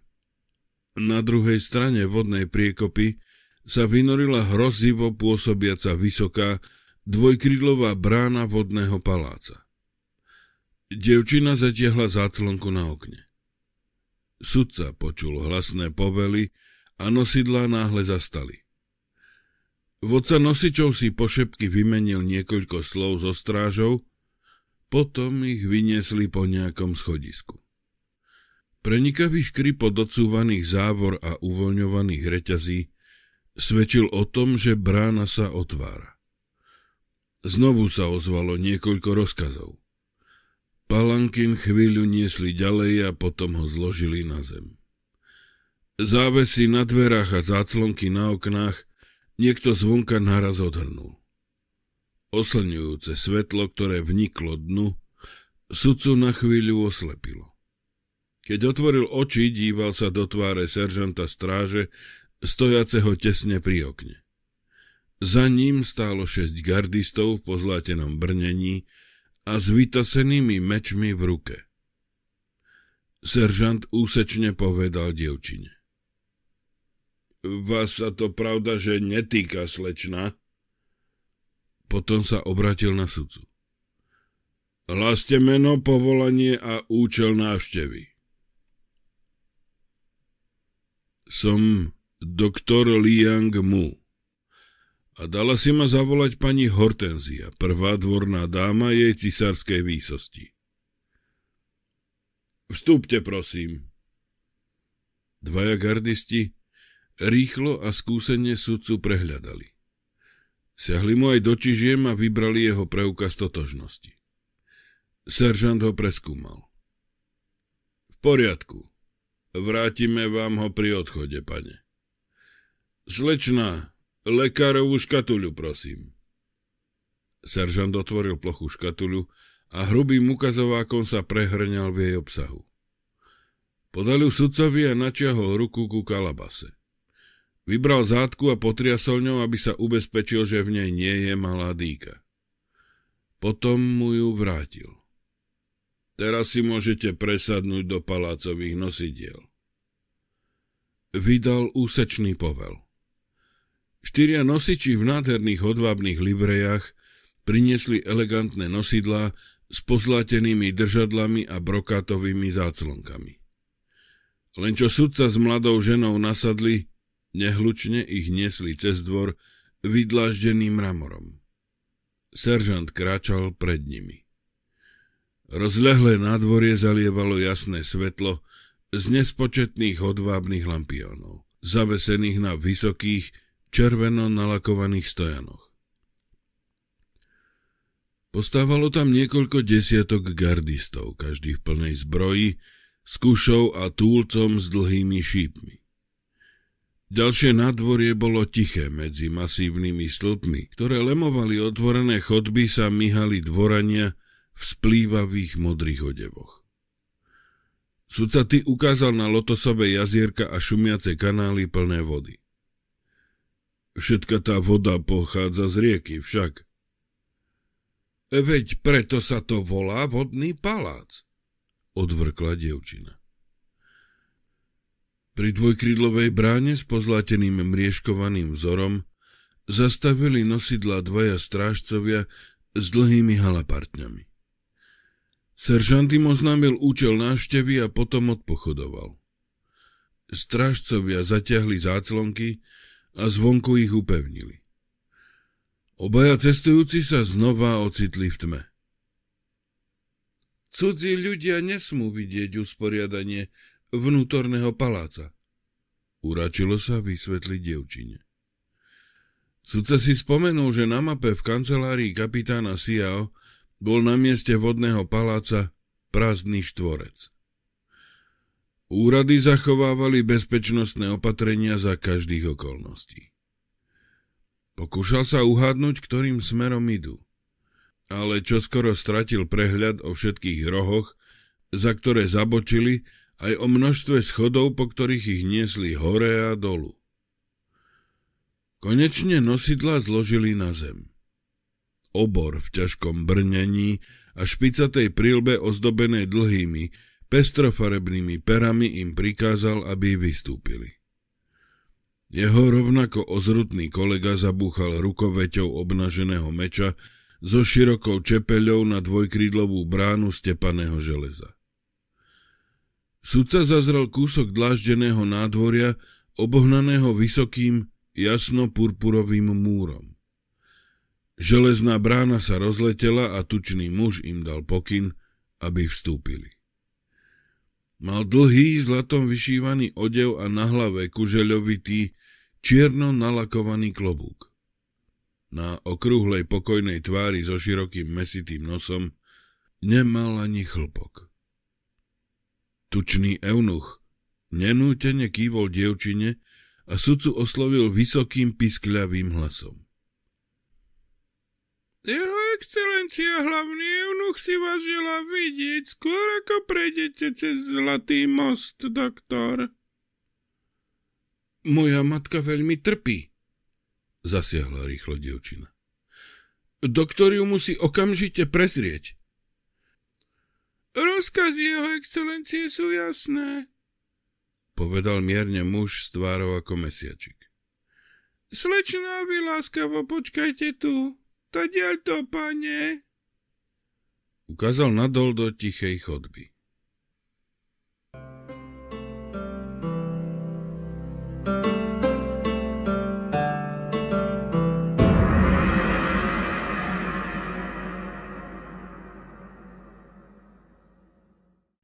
Piatá kapitola Sudca ty si zdesene uvedomil, že na rozhodovanie má sotva pol minúty. Len toľko potrvá, kým sa dostanú k zlato nalakovaným dverám na konci chodby. Až doteraz ho mimoriadnosť situácie neznepokojovala. Pretože osoba, ktorá si ho dala zavolať takýmto nezvyčajným spôsobom, má bez pochyby významné postavenie a navyše dobre pozná jeho pravú totožnosť, o čom ju musel informovať prefíkaný kapitán Siao. Tá osoba si želala zachovať pravý dôvod návštevy v tajnosti a prebrala plnú zodpovednosť za to, že vstúpil do paláca pod falošnou zámienkou. Jeho neznáma ochrankyňa však očividne nepočítala so zásahom hlavného eunucha. V priebehu nadchádzajúceho rozhovoru bude sudca musieť klamať jednému z najvyšších predstaviteľov cisárskeho dvora, čo je v príkrom rozpore s jeho presvedčením o povinnostiach voči štátu, alebo bude musieť povedať pravdu, pričom si vôbec nevie predstaviť, aké následky by mohol mať tento krok. Pravda by mohla uškodiť dobrej veci, ale nedalo sa vylúčiť, že by aj mohla prekaziť zákulisné intrigy. Sudca ty pozbieral všetku silu. Ak ho chce nejaký skorumpovaný dvoran alebo nemorálny úradník zneužiť na zločinecké ciele, znamená to, že on, sudca, sa niekedy previnil proti ideálom poctivosti a spravodlivosti, hoci sa nimi vždy chcel riadiť a preto si plne zasluhuje potupnú smrť, ktorá ho neminie, ak sa odhalí jeho pravá totožnosť. Táto úvaha mu vrátila vnútornú istotu. Keď tučný eunuch zaklopal na dvere, sudca ty siahol do rukáva po jednu z červených navštíveniek, ktoré si napísal v hostinci u rybárika. Vo dverách si hneď kľakol a nad sklodenou hlavou úctivo držal oboma rukami navštívenku. Niekto mu ju zobral a sudca začul krátky šepot. Na to tenký hlas netrpezlivo vyprskol. Áno, áno, to všetko viem. Ukážte mi svoju tvár, doktor Liang. Keď sudca dvihol hlavu, s prekvapením zistil, že nie je v prepichovo zariadenej pracovni, ako očakával, ale skôr v elegantnej študovni učenca s vyberaným vkusom. Napravo aj naľavo stáli vysoké knižnice plné zväzkov viazaných v brokáte a rukopisných zvítkov. Široké okno vzadu hľadelo do rozkošnej záhrady, kde na malebne náranžovanej skalke kvitla záplava kvetov. Na širokej podokenici vo farebných miskách z nádherného porcelánu stál rad orchideí. Ich jemná vôňa naplňala tichú miestnosť.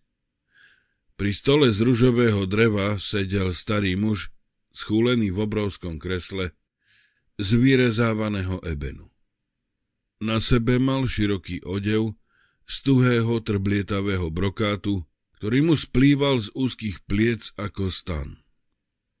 Žltkastá tvár s tenkými sivými fúzmi a chumáčom briadky vyzerala pod vysokou tiarou, bohato zdobenou zlatým filigránom a jagavými drahokamami, malá a stvrknutá.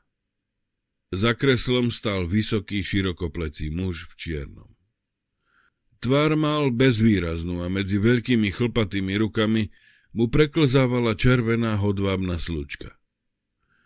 Starec chvíľu pozeral na sudcu mŕtvými očami, spod ťažkých viečok a napokon povedal. Vstaňte a pristúpte bližšie. Sudca rýchlo vstal a urobil tri kroky dopredu. Hlboko sa uklonil, pritom dvihol ruky v nazberaných rukávoch a čakal, kým ho hlavný eunuch neosloví. Ťažký dých mu prezradil, že tučný eunuch stojí tesne za ním. Na čo vás dala pani Hortenzia zavolať? Opýtal sa starec škriepným hlasom. Zamestnávame tu štyroch vynikajúcich lekárov. Táto osoba, odvetil úctivo sucaty, by sa nikdy neopovážila súťažiť s veľkými lekármi, ktorí pôsobia na dvore. Stalo sa však to, že čisto šťastnou hrou osudu sa mi podarilo zmierniť podobné symptómy, ktorými trpel ctihodný pán Kuo a on z nesmiernej láskavosti zrejme podal Hortenzii značne prehnanú správu o úbových schopnostiach mojej osoby. Chápem. Hlavný eunuch si pomaly šúchal kostnatú bradu a mrzuto pritom pozoroval sudcu. Zrazu zdvihol zrak a rázne prikázal. Nechajte nás o samote, Muž v čiernom sa pobral k dverám a tučný eunuch za ním.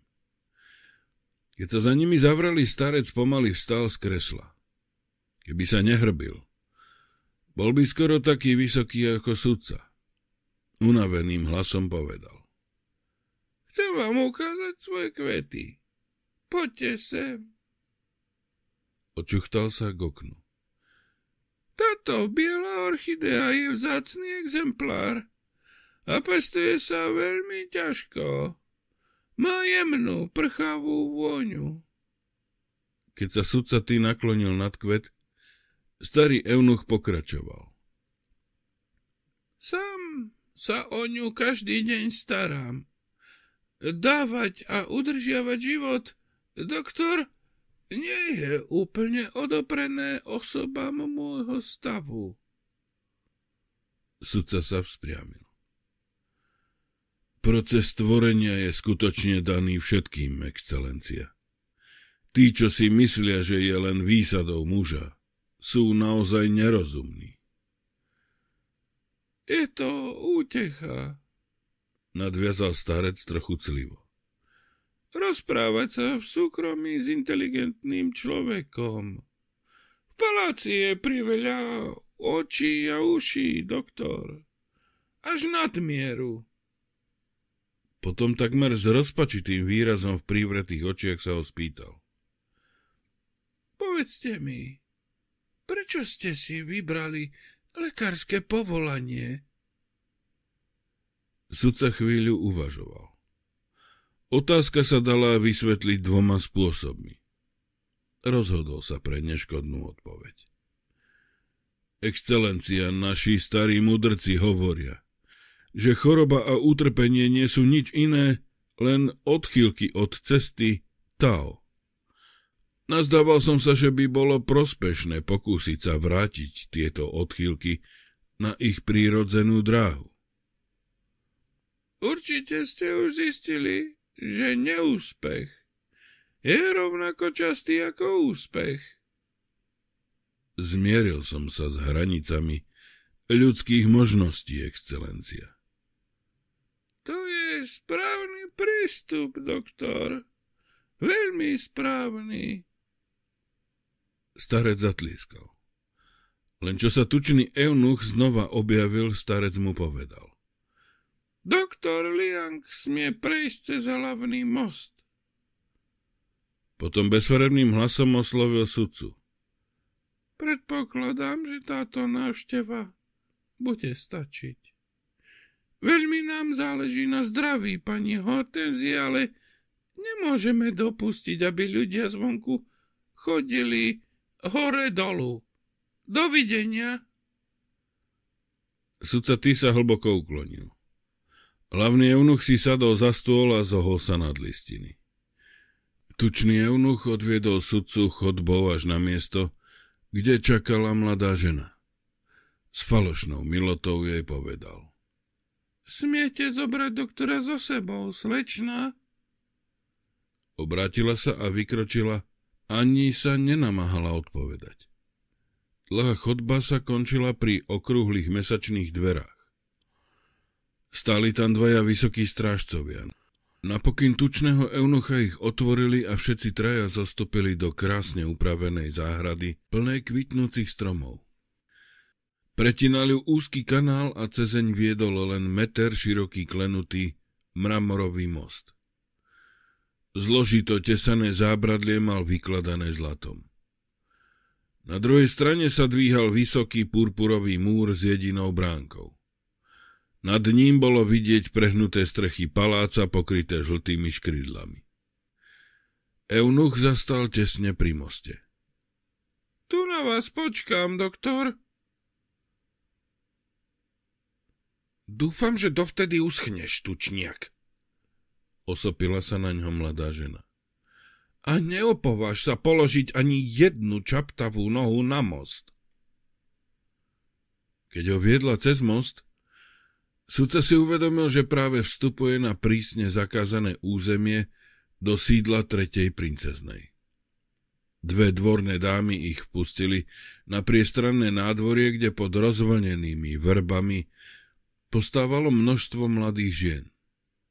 Len čo zhromaždené krásavice zbadali, prichádzajúcich vzrušene si začali šepkať. V mesačnom svetle bolo vidieť ich pohybujúce sa hlavy, s vysokými účesmi, v ktorých sa ligotali drahokami. Sprievodkyňa zaviedla sudcu ty cez bočné dvierka do bambusovej záhrady a odtiaľ na otvorenú zadnú verandu. Rozvážna staršia žena tam pri stolíku pri stene pripravovala čaj. Uklonila sa a pošepkala devčine. Práve teraz mala pani škaredý záchvat kašľa. Mladá žena prikývla a zaviedla sudcu do prepichovo zariadenej spálne. Kým zamykala dvere, sudca ty uprel zvedavý pohľad na obrovskú posteľ, ktorá zaberala väčšiu časť zadnej steny. Pred ňou, tesne pri zatiahnutých brokátových závesoch, stal vysoký taburet s vankúšikom na okrúhlej doske. Mama, prišiel doktor Liang, oznámila mladá žena. Záväz na posteli sa poodhrnul a vynorila sa vrázkavá ruka. Tenké zápestie obopínal náramok z číreho lesklého nefritu v podobe skrúteného draka. Dievčina položila ruku na vankúš a potom sa šla postaviť k zamknutým dverám. Sudca ty položil škatuľu na taburet a brúškom ukazováka nahmatal puls. Pri vyšetrovaní vznešených dám lekári nesmú vidieť viac než ruku. Chorobu musia určiť podľa pulzu. Žena za závesom zrazu nástojčivo zašepkala. Prejdite tajnými dverami naľavo od postele. Rýchlo! Ohromený sudca jej pustil zápestie a obišiel posteľ. Tmavá stena bola obložená tromi vysokými doskami, len čo zatlačil na tú, čo bola najbližšie pri posteli, nehlučne sa otvorila dovnútra. Vošiel do siene osvetlenej vysokou stojacou lampou s tienidlom z bieleho hodvábu. Pod lampou v rohu masívnej ebenovej pohovky sedela nejaká dáma a čítala knihu. V tej chvíli sudca padol na kolena, lebo zbadal kabátik s dlhými rukávmi zo žltého cisárskeho brokátu. V tichej miestnosti boli úplne sami. Ozýval sa len slabý praskot santalových polien v starožitnom bronzovom ohrievadle pred pohovkou. Modravý dym naplňal miestnosť prchavou sviežou vôňou. Dáma dvihla oči od knihy a jasným melodickým hlasom povedala. Vstaňte ty. Nemáme veľa času, preto vám dovolujem vynechať všetky bezobsažné formality. Položila ohybný zväzok na pohovku a uprela veľké utrápené oči na návštevníka. Sudca Tisa zhlboka nadýchol. Bola to skutočne jedna z najkrajších žien, aké kedy videl. Mala dokonalú oválnu bledú tvár, orámovanú lesklou záplavou vlasov, starostlivo upravených do vysokého účesu, ktorí spevňovali dve dlhé ihlice s guľôčkami z priesvitného zeleného nefritu. Vysoké hladké čelo jej pretínali dve dlhé krivky tenkého obočia, pod jemne tvarovaným nosom sa ako čerešne červenali ústočka. Vyžarovala z nej vznešená dôstojnosť. Zároveň však aj prírodzenosť srdečnej, bezprostrednej osobnosti. Pomaly pokračovala. Dala som si vás zavolať, ty? Lebo som počula, že ste vynikajúci vyšetrovateľ a náš oddaný služobník. Urobila som to takýmto nezvyčajným spôsobom, pretože pátranie, ktorým vás chcem poveriť, musí zostať v tajnosti. Pred dvoma dňami schyľovalo sa k polnoci. Som bola v pavilóne na vonkajšom múre paláca nad riekou. Bola som sama. Vrhla zúfalý pohľad na hodvábny papier vo vysokom mriežkovanom okne. Na oblohe žiaril jasný mesiac, takisto ako dnes. A ja som sa postavila k oknu, aby som sa pokochala výhľadom. Najprv som si však zložila náhrdelník a položila ho na čajový stolík naľavo od vchodu. Ten náhrdelník, ty, je cisársky klenot. Tvorí ho 84 nezvyčajne veľkých, dokonale zladených perál. Otec ho daroval mojej matke a po jej smrti pripadol mne. Tretia princezna sa odmlčala. So sklopenými očami sa zahľadela na svoje štíhle biele ruky zopnuté v lone a znovu sa rozhovorila. Náhrdelník som si zložila preto, lebo raz som stratila náušnicu, keď som sa vykláňala z toho istého okna. Neviem, ako dlho som tam stála zahlbená do čarovného výhľadu na rieku. Keď som sa napokon obrátila a chcela sa vrátiť dnu, náhrdelník bol preč. Dvihla oči s dlhými riasami a uprela pohľad na sudcu. Okamžite som nariadila správe paláca, aby začali dôkladné pátranie. A to tak vnútri, ako mimo môjho paláca. Doteraz nenašli najmenšiu stopu. Pozajtra sa však potrebujem vrátiť do sídelného mesta. Dovtedy musím dostať ten náhrdelník späť, lebo otec, keď som s ním, si želá, aby som ho stále nosila. Myslím, nie, som presvedčená ty, že krádež spáchal niekto zvonku. Musel priplávať na člne, vyliesť po hradbovom múre a zobrať náhrdelník, keď som k nemu stála obrátená chrbtom. Pohyb každej osoby v tejto časti môjho paláca dôkladne preverili. Zlodejom teda musí byť niekto mimo paláca a preto vás ty poverujem vyšetrovaním. Po náhrdelníku budete pátrať v úplnom utajení. Nikto, ani tu, ani mimo paláca nesmie vedieť, že som touto úlohou poverila vás. Vo chvíli, keď ho nájdete, však odhalíte svoju totožnosť. Dostavíte sa sem oficiálne a verejne mi náhrdelník odovzdáte. Rozpárajte si švík na golieri, ty. Kým sudca paral švík na pravej chlopni svojho odevu, princezna vybrala z rukáva tuho poskladaný kus žltého papiera. Vstala a zasunula ho po podšívku sudcovho odevu. Bola vysoká, vlasmi sa mu obtrela o tvár a on zacítil jemnú vôňu. Znova si sadla a pokračovala. Listina, čo som vám dala, vás oprávni vstúpiť do paláca verejne. Nikto sa vám v tom neopováži zabrániť. Vrátite mi ju spolu s náhrdelníkom. Dokonale krojené pery. Zvonil jemný úsmev, keď dodala. Svoje šťastie vkladám do vašich rúk. Ty. Kývla na znak, že ho prepúšťa a znova chytila do ruky knihu.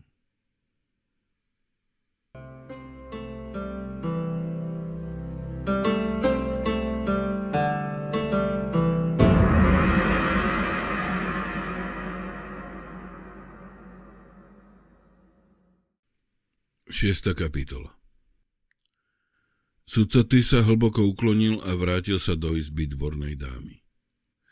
Doska v stene za ním sa nehlučne zasunula. Biela ruka pani Hortenzie ešte vždy ležala na vankúšiku. Keď je znova nahmatal puls, niekto zaklopal na dvere. Jej dcéra ticho odsunula zástrčku a vpustila dnu dve dvorné dámy. Prvá niesla tácňu s písacími potrebami a druhá bambusový košík s čistým nočným odevom. Sudca pustil štihle zápestie, otvoril plochu škatuľu a vybral prázdny recept. Kývol na prvú dvornú dámu, vybral si štetec z jej tácne a rýchlo načarbal predpis efedrín a sedatívum v malých dávkach. Dajte hneď pripraviť tento liek, povedal Hortenzínej cére. Verím, že po jeho užití sa pacientke značne uľaví. Zatvoril veko na škatuli a pobral sa k dverám. Mladá žena ho mlčky vyprevadila cez nádvorie až k mostu a tam ho bez slova a bez rozlúčky opustila. Na druhej strane na ňo čakal tučný eunuch. Boli ste tam krátko, doktor, povedal spokojne. Odviedol sudcu mnohými chodbami sídla hlavného eunucha až k hlavnému vchodu, kde už stáli pripravené nosidlá. Sudca tý sa oprelo meké čalúnenie a v duchu sa vrátil k ohromujúcemu rozhovoru. Princezna mu poskytla holé fakty. Nič viac. Pozadie neuveriteľnej krádeže zrejme súviselo s chulostivými záležitosťami, ktoré mu nechcela alebo nemohla dopodrobná vysvetľovať. Nadobudol však neodbitný pocit, že to, čo zostalo nevypovedané, je oveľa dôležitejšie ako samotné fakty. Princezná bola presvedčená, že krádež spáchal niekto zvonku. No zlodej jednoznačne musel mať v paláci komplica. Musel predsa vopred vedieť, že princezná bude práve v tom čase v pavilóne a navyše sa nejako musel dozvedieť, že si dala dolu perlový náhrdelník a položila ho na bočný stolík. Len človek, ktorý ju pozoroval z výhodne umiestneného tajného ukrytu, v tejto časti paláca to mohol vidieť a dať znamenie zlodejovi, ktorý čakal v člne pod pavilónom. Sudca sa zamračil. Na prvý pohľad to vyzeralo na veľmi riskantný a zbytočne komplikovaný plán. Ak sa aj princezna skutočne často okolo polnoci zdržiavala pri okne pavilónu, určite by jej väčšinou robila spoločnosť jedna alebo viac dvorných dám. A organizátori krádeže ťažko mohli mať pod pavilónom priviazaný čln vždy, keď bol spln. Každý predsa musel vedieť, že hradby paláca sú vodne v noci strážené. A hliadky by určite zbadali každý člen, čo by sa tam ukázal. Čím viac nad tým rozmýšľal, tým menej sa mu to pozdávalo. Celé to vyzeralo veľmi pritiahnuté za vlasy. Jasné bolo len to, prečo si privolala na pomoc práve jeho. Podozrievala určitú osobu zo svojho najbližšieho okolia, že je zapletená do krádeže a tak potrebovala vyšetrovateľa, ktorý nemá v paláci nejaké styky a o ktorom tam nikto nevie, že sa zúčastňuje na pátraní po náhrdelníku. Preto trvala na úplnom utajení. Škoda, že mu nepomohla vytvoriť si aspoň hrubú predstavu o pôdorise jej časti paláca. Najprv si teda bude musieť obzrieť severné hradby nad riekou a preskúmať polohu pavilónu a najbližšie okolie. Vzdychol. Aspoň si už nemusí robiť starosti, že vstúpil do paláca pod falošnou zámienkou, ani že oklamal hlavného eunucha. Listina, ukrytá pod podšívkou jeho goliera, bez najmenších pochybností jasne dokazuje, že konal na výslovný príkaz tretej princeznej. Konečne sa môže prestať znepokojovať aj motívmi konania kapitána Siao. Ten prefikaný chlapík určite o krádeži vie.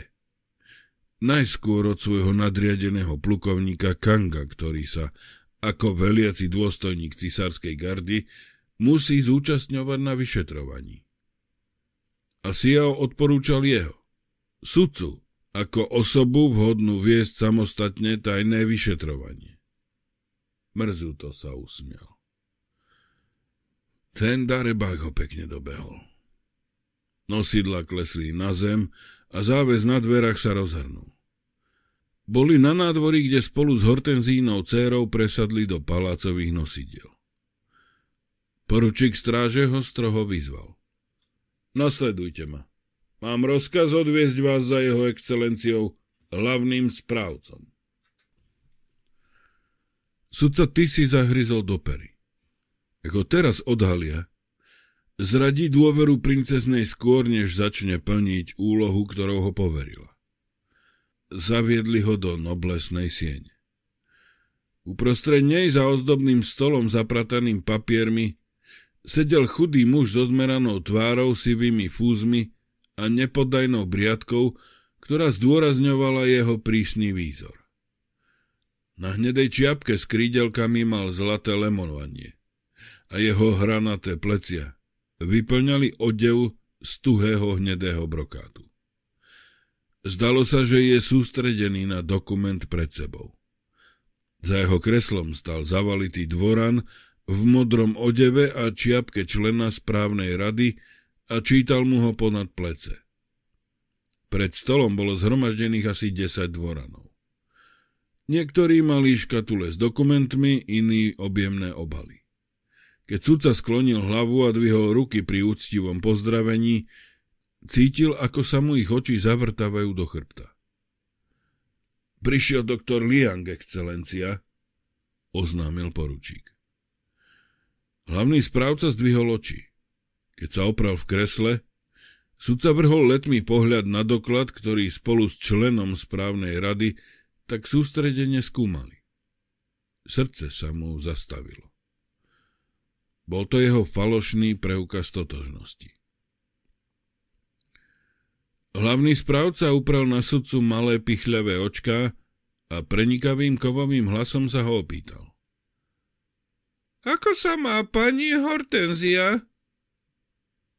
Predpísal som jej liek, excelencia. Predpokladám, že pani sa po ňom rýchlo zotaví. Kde sa konala konzultácia? Myslím, že ma zaviedli do jej spálne, excelencia. Bola tam aj jej dcera a dve dvorné dámy. Rozumiem. Dúfam, doktor, že liek, ktorý ste jej predpísali, bude účinný. Predovšetkým jej záujme pravda, že ale aj vo vašom. Keďže ste prevzali jej liečbu, doktor, odteraz za ňu preberáte zodpovednosť. Posunul preukaz k sudcovi. Riečné mesto neopustíte, kým odo mňa nedostanete povolenie. Môžete odísť. Poručík odviedol sudcu von.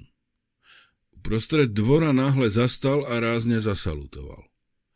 Okolo nich prešiel nápadne vysoký dôstojník v brnení zo zlatých plátov a prilbe gardového plukovníka s chocholom. Železom okované čižmy mu rinčali na mramorovej dlažbe. Sudca na okamih zazrel peknú bledú tvár s fúzmi čiernymi ako žúžoľ a pristrihnutou briadkou. To bol plukovník Kang? Opýtal sa poručíka. Áno, pane.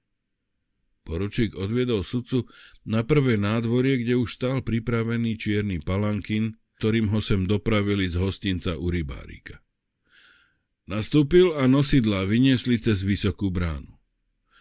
Len čo prešli cez široký mramorový most nad vodnou priekopou, sudca ty odhrnul záslonku na okne, aby mu večerný vzduch ochladil rozhorúčenú tvár.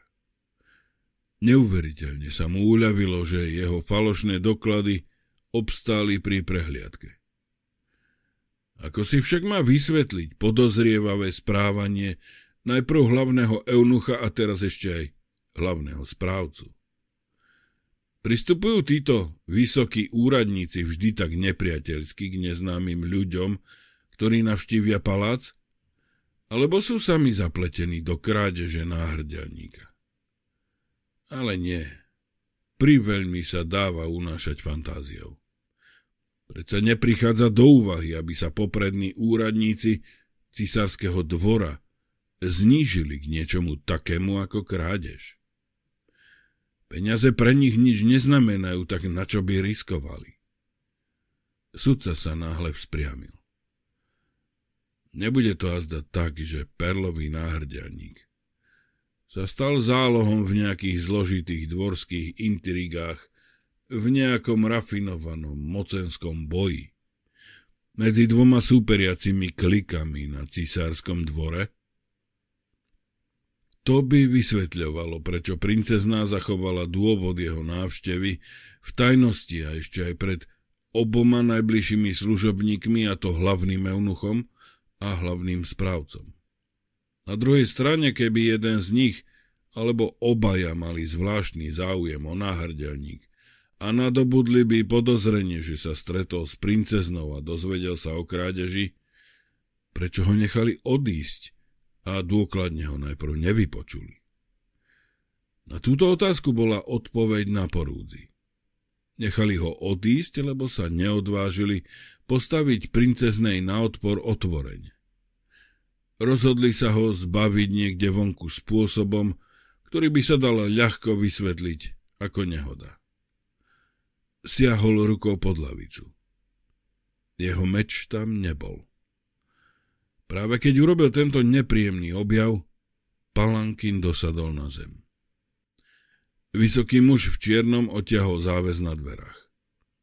Prosím, vystúpte tu, pane, Pokračujte ďalej po tejto ceste a o pár minút ste v meste. Nebol to ten istý vodca nosičov, ktorý prišiel po ňo. Sudca ty vystúpil a rýchlo sa poobzeral okolo seba. Zdalo sa, že je uprostred borovicového lesa. Civili na ňo ľahostajné tváre nosičov. Ak je mesto tak blízko, povedal stroho vodcovi. Odneste ma radšej až do hostinca. Som unavený. Znova chcel nastúpiť do nosidel, ale vodca mu zastal cestu. Je mi naozaj ľúto, pane, ale mám svoje rozkazy. Nosiči si vyložili palanky na plecia, rýchlo sa s ním obrátili a odklusali naspäť cestou, ktorou prišli. Ich vodca klusal za nimi posledný. Sudca osamel medzi vysokými, mlkvými borovicami.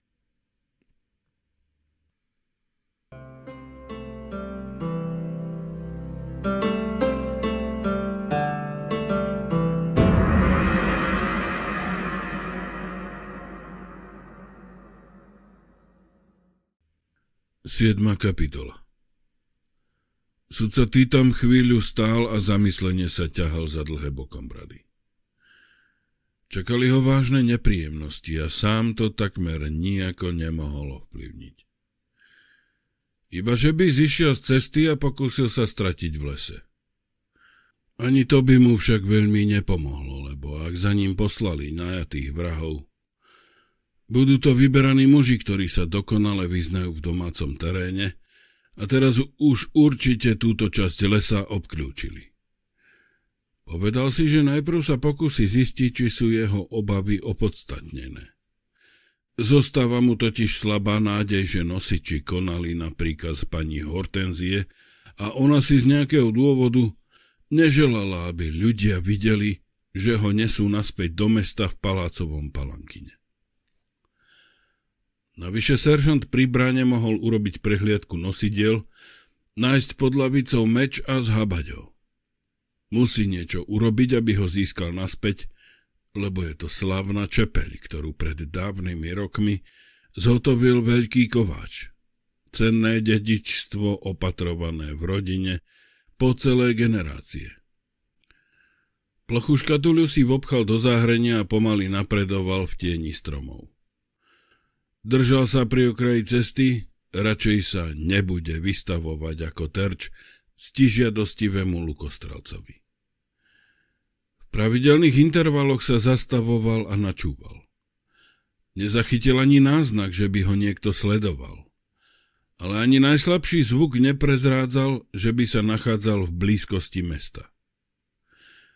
Práve keď sa chystal vojsť do zákruty, začul pred sebou čudné zafrkanie. Rýchlo skočil do húštiny a znova sa započúval. Kúsok od neho zapraskala halúska. Opatrne rozhrňal konáre a predieral sa húštinou, až zbadal medzi borovicami veľkú tmavú siluetu. Bol to starý osol. Spásal tam nejakú burinu. Keď sa k nemu sudca priblížil, uvidel barly opretého hrčavý kameň obrovského stromu na kraji cesty. Pod ním na balvane obrastenom machom sedel zhrbený majster Tekvica. Ešte vždy bol v zaplatanom hnedom odeve, ale sivú hlavu mal obnaženú. Len uzol na temene mu podľa tradície taoistických pustovníkov zakrýval kúsok čiernej látky. Pri nohách mu stála kalabasa. Starec zdvihol oči. Túlate sa vonku, aj v takú neskorú hodinu, doktor? Šiel som na prechádzku, aby som sa občerstvil na chladnom vzduchu. Zrejme som zablúdil. Kde máte meč? Povedali mi, že je tu tak bezpečne, že netreba so sebou nosiť zbraň. Majster Tekvica zafučal. Myslel som si, že ste sa už naučili neveriť všetkému, čo vám ľudia povedia. Ste predsa lekár. Siahol za seba popadli. Dobre, zase vám budem robiť sprievodcu. Poďte so mnou, s touto starou mršinou ľahko udržíte krok. Priviazal si kalabasu k opasku a vyliezol na osla. Sudca ty pocítil úľavu. Keď má za svetka takú známu osobu ako majster Tekvica, Nepriateľ určite nebude chcieť riskovať otvorený útok. Vydali sa na cestu a po chvíli sudca s miernym úsmevom povedal. Priznám sa vám, že keď som vás dnes popoludní stretol v lese, na druhej strane mesta, dosť ste ma vyľakali. Boleli ma oči a zošerilo sa. Na okamih som mal dojem, že vidím svojho dvojníka – Majster Tekvica zadržal osla. Nehovorte tak ľahkomyselne o vážnych veciach, pokarhal ho. Nikto nie je jediný. Každý z nás sa skladá z množstva iných. My však ľahko zabudáme na svoje menej uspokojujúce jednotlivé časti. Keby sa z jednej z nich podarilo od vás odpútať, a vy by ste ju stretli, doktor. Považovali by ste ju za ducha. A to za veľmi odpudivého ducha. Zmlkol a načúval. Keď spomíname duchov, nezdá sa vám, že nás niekto sleduje? Teraz už aj sudca ty počul, ako sa čosi hýbe v húštine. Rýchlo schmatol barlu a zašepkal. Ak nás napadnú, zmiznite. Dokážem sa o seba postarať. Viem bojovať s palicami. Nemusíte si o mňa robiť starosti. Ja si starosti nerobím. Mne nemôže nikto ublížiť. Som iba prázdna nádoba, doktor. A to už dlhé roky. Na cestu vyskočili traja muži. Mali plátené kazajky, aj nohavice a vlasy zviazané červenými handrami. Všetci traja mali meče a dvaja sa oháňali krátkými pikami. Jeden schmatol osla za úzdu, druhý dvihol piku a zrúkol na sudcu. Nie, aby si vymýšľal, ty sviniar. Sudca ty chcel zautočiť barlov, keď náhle pocítil ostrú bolesť v krížoch. Nenamáhaj sa, ty lump, zavrčal hlas za ním. Vráťte mi barlu, doktor, ozval sa majster Tekvica. Potrebujem ju. Čo urobíme s tým starým chmuľom, šéfko? Opýtal sa muž s pikou. Chlap za sudcom zaklial. Zoberieme zo sebou aj jeho. Má jednoducho smolu. Sudca znova zacítil hrot meča na chrbte. Pohyb, ideme! Sudca usúdil, že v tejto chvíli nemôže nič robiť. Lotry boli skôr najatí vrahovia ako obyčajní lupiči a bol si istý, že si s nimi poradí. Vykročil a prehodil. Dúfam, že nestretneme hliadku. V obášom zaujme, pravda, že... Chlap za ním sa rozrehotal. Vojaci majú práve teraz iné starosti, ty hlupák. Násilníci hnali zajadcov po úzkom lesnom chodníčku. Jeden viedol za úzdu osla majstra Tekvicu, za ním šiel druhý s pikou a ďalší dvaja kráčali za sudcom ty. Chodníček vyústil na čistinu. Medzi stromami stal nízky tehlový dom. Prešli k druhej budove, ktorá vyzerala ako opustený sklad. Muž vpredu pustil úzdu osla, kopnutím otvoril dvere a vošiel dnu. Čoskoro sa zjavil kužeľ svetla. Poďme! Hnal dnu sudcu jeden z mužov, pričom ho bodal mečom do chrbta. Sklad bol prázdny okrem niekoľkých balíkov, nakopených v kúte a drevené lavice pred akými si stĺpmi vpravo. Miestnosť osvetľovala sviečka vo výklenku v stene. Sudca sa obrátil a konečne uvidel vodcu násilníkov. Bol to ťarbák, vysoký asi ako on, so surovou tvárou oramovanou zježenou bradou. Mal opásaný dlhý meč. Zvyšní dvaja boli mocní chlapi s potlým výrazom tváre, jeden mal v ruke piku a druhý meč. Sudca pomaly kráčal do stredu miestnosti a striehol na vhodný okamih, aby mohol vytrhnúť zbraň niektorému z únoscov. Boli však zrejme skúsení, lebo sa držali v bezpečnej vzdialenosti od neho a zbrane mali pripravené na útok. Majster Tekvica dokrýval dnu pred ďalším mužom ozbrojeným pikou. Starec zamieril priamo k lavici a sadol si. Postavil si barly medzi kolena a povedal sudcovi. Sadnite si aj vy, doktor. Prečo by ste si nemohli trochu spríjemniť život. Sudca Ty sa posadil.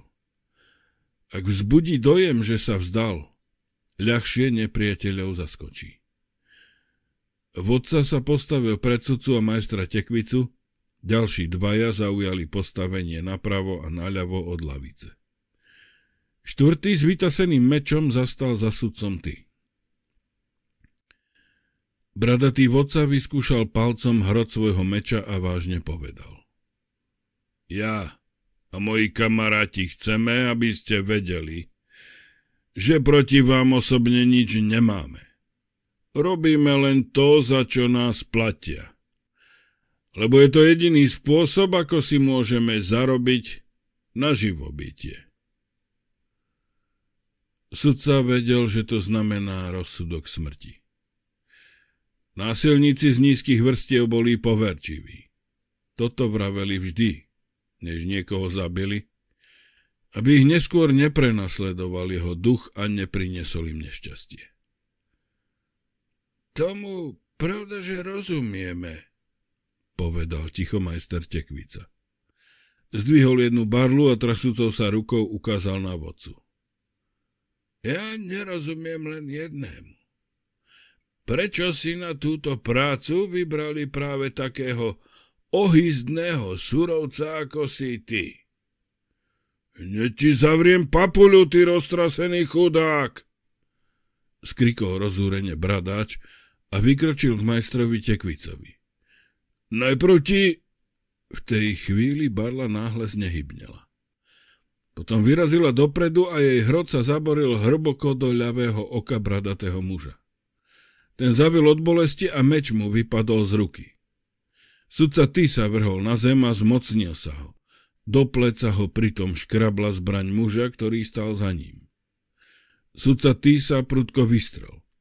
Obrátil sa a vrazil mužovi meč do hrude vo chvíli, keď sa zozadu chystal prebodnúť majstra tekvicu. Keď vyťahoval meč spadajúceho tela, zbadal, ako sa šťavnato nadávajúci bradatý vodca rúti na majstra tekvicu. Sudca ty stihol zazrieť, ako majstrova barla znova vystreľuje rýchlosťou blesku dopredu a zasahuje obra priamo do bránice. No v tom musel sám uskočiť, aby odrazil útok druhého muža, ktorý mu mieril mečom priamo na hlavu. Zostával ešte muž s pikou. Ten dvihol zbraň, aby ju zabodol do sudcu, no v tej chvíli mu majster Tekvica zakvačil zahnutý koniec barly o členok. Muž sa skydol na zem a pika mu vypadla z ruky. Starec si ju obratným pohybom barly hneď pritiahol k sebe. Bradatý obor sa zvíjal na zemi, držal sa za brucho a vydával pritom priškrtené pazvuky. Sudca ty zistil, že jeho protivník je skúsený šermiar. Musel vynaložiť všetky sily, aby odrazil jeho sebaistý útok.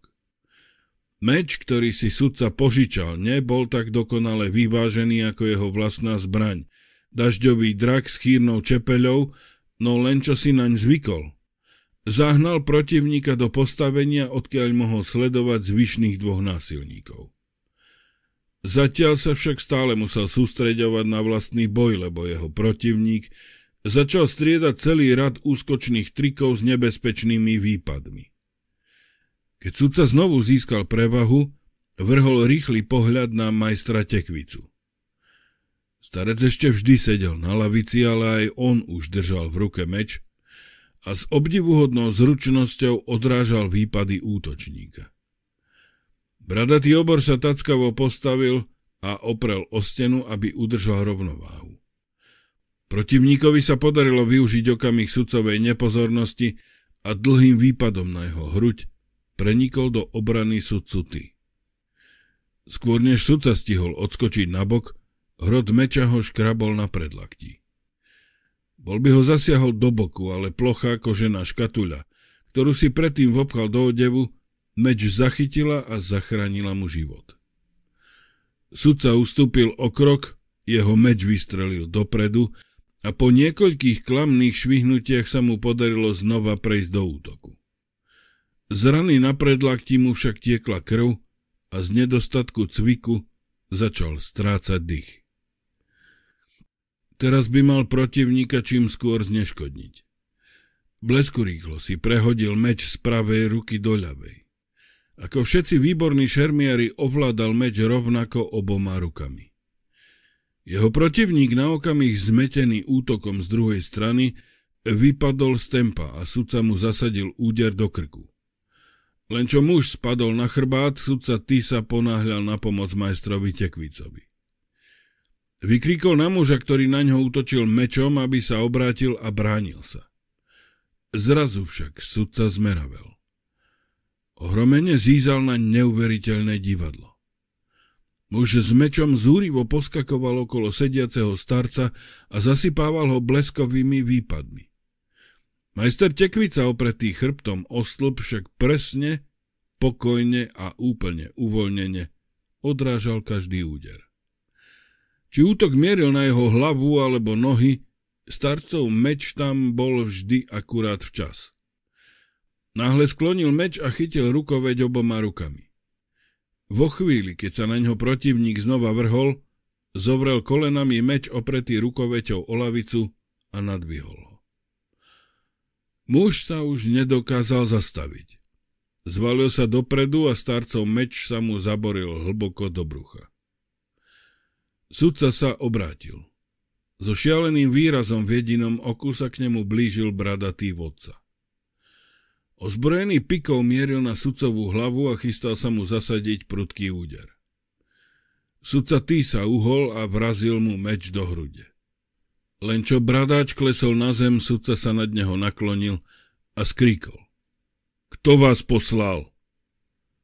Obor na ňo uprel jediné vyvalené oko. Hrubými perami mu zašklbalo. Cha! Začal no v zápetí mu z úst, vystrekol prúd krvi mohutným telom. Otriasla krčovitá triežka a zostal nehybne ležať. Sudca tý sa vystrel. Utrel si spotenú tvár, obrátil sa k majstrovi Tekvicovi a zadýchčane povedal. Veľmi pekne vám ďakujem. Váš skvelý prvý zásah. Vyradil ich vodcu a zachránil nám život. Majster Tekvica odhodil meč do kúta. Nenávidím zbrane. Na rabate však nimi neuveriteľne obratne. Odrážali ste výpady svojho protivníka tak presne, až sa zdalo, ako by hroty vašich mečov spájala neviditeľná retiaska. Vravel som vám, že som len prázdna nádoba. Odvetil starec trochu nevrlo. A keď som prázdny, Plnosť môjho protivníka automaticky preteká do mňa.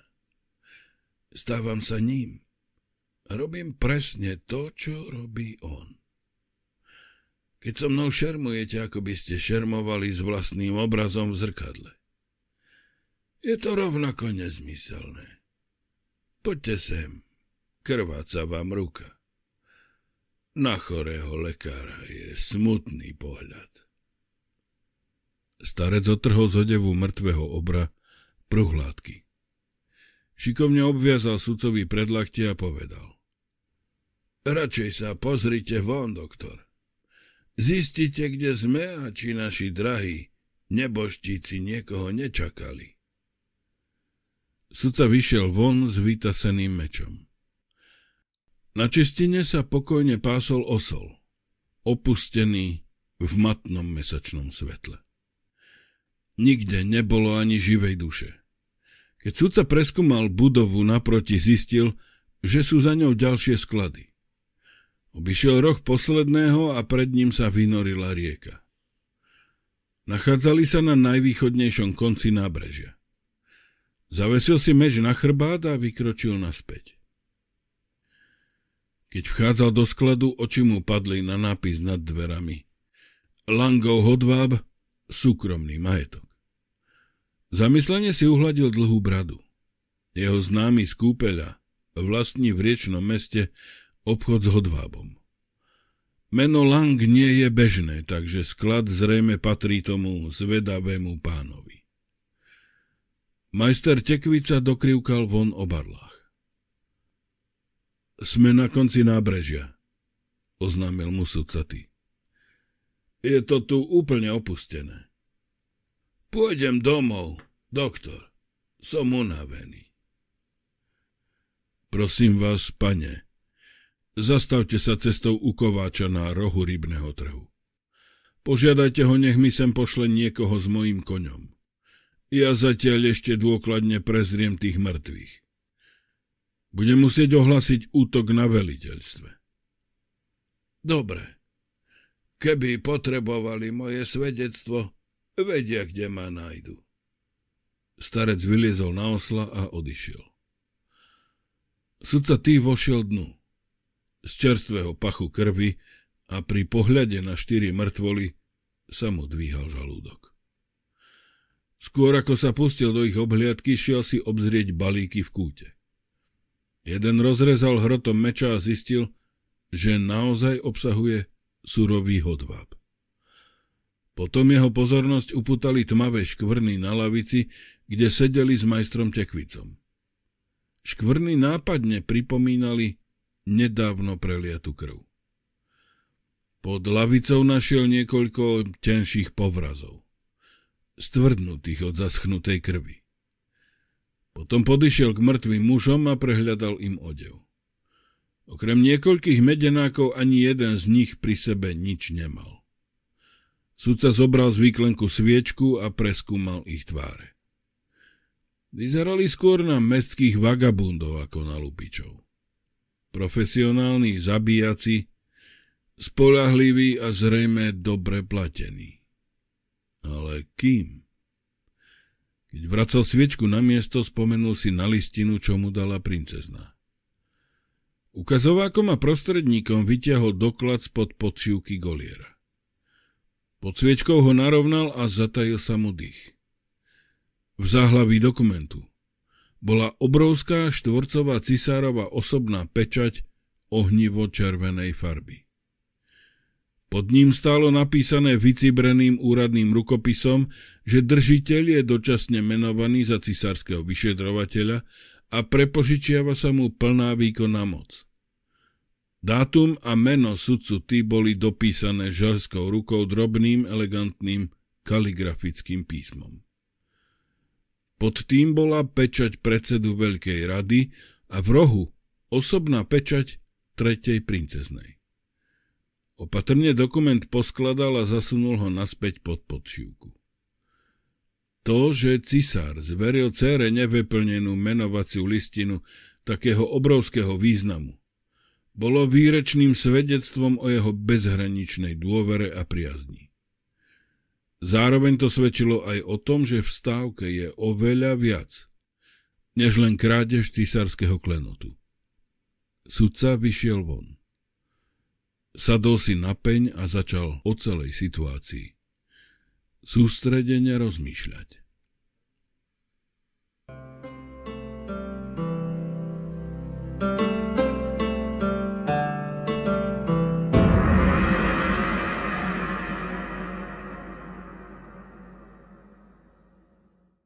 Osma kapitola Erdžanie konia vytrhlo sudcu tý zo zamyslenia. Zoskočil z neho paholok a sudca mu dal prepitné. Potom sa vyšvihol do sedla a odsválal na nábrežie. Na rybnom trhu videl davy ľudí tlačiacich sa okolo pouličných stánkov. Keď ich míňal, zachytil útržky rozhovorov o akomsi požiari. Pred veliteľstvom gardy sa zhromaždilo zo 10 gardistov na koňoch. Každý mal lampáš pokrytý sadzami. Sudca ty odovzdal svojho koňa strážnikovi a oznámil mu, že by chcel navštíviť poručíka Liov. Vojak ho zaviedol po hlavnom schodisku do kapitánovej kancelárie. Kapitán Siao sedel za stolom a rozprával sa so statným poručíkom. Keď zbadal sudcu, vyskočil a na radostene zvolal. Som rád, že ste sa tu zastavili, pane. Máme za sebou rušnú noc. Chytila sa strecha mestskej sípky a nikto nevie od čoho. Moji muži však oheň rýchlo uhasili. Sadnite si, pane. Môžete ísť, Liov. Sudca ty ťažka dosadol na stoličku. Potrebujem informácie o jednom z hostí, ktorý tiež býva v rybáriku povedal stroho. Ten chlap sa volá Langliov. Tak vy ste sa hneď pustili do práce.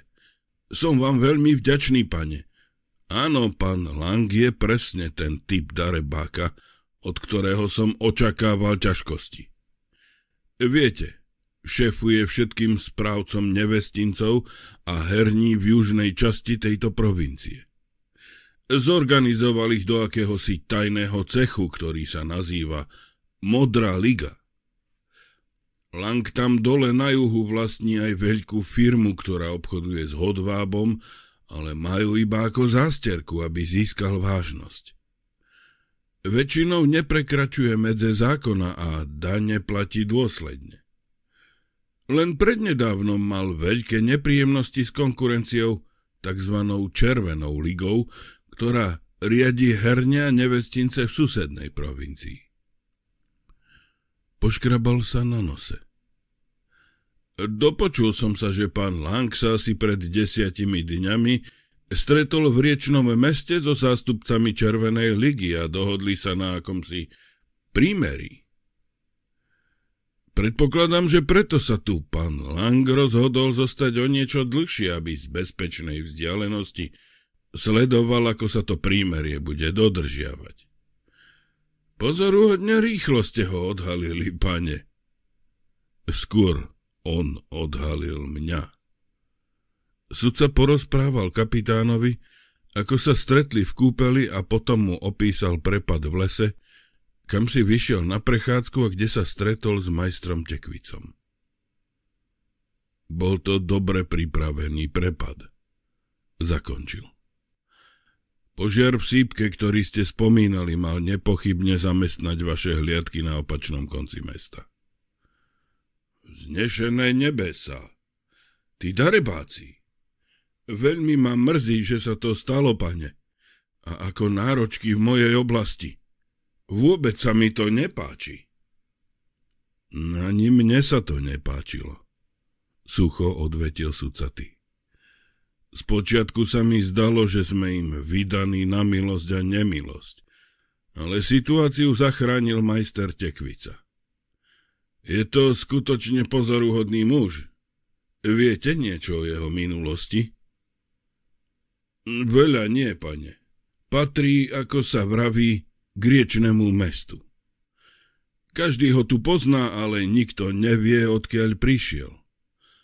Na pospol sa predpokladá, že za mladí patril k bratstvu zeleného lesa, k tým galantným lupičom, ktorí bohatým berú a chudobným dávajú. Vraví sa, že raz kde si v horách stretol taoistického pustovníka a chcel sa stať jeho žiakom. Keď starec odmietol, majster Tekvica si sadol so skríženými nohami pod strom pred jeho pustovňu a zostal tam mnoho dní, až mu nohy odumreli. Iba potom ho starý pustovník zasvetil do všetkých tajomstiev života a smrti. Odmlčal sa a zamyslene si pošúchal bradu. Áno, tí štyria chlapí, čo vás prepadli, Museli byť langovi hrdlorezi z juhu. Miestni muži by majstra Tekvicu nikdy neprepadli. Po prvé veľmi si ho vážia pre jeho účenosť. A po druhé, veria, že má moc nad čarovnými silami a mohol by z človeka vytiahnuť dušu a zavrieť ju do svojej kalabasy. Ale, pane, ako mohli vedieť, že tam pôjdete na prechádzku? Kým vám na to odpoviem, Siao, chcem vám položiť jednu priamu otázku. Keď sme sa tu dnes popoludní rozprávali, jasne som vycítil, že okrem záujmu Olanga a ďalších nevítaných návštevníkov, vám ide o mnoho dôležitejšie záležitosti.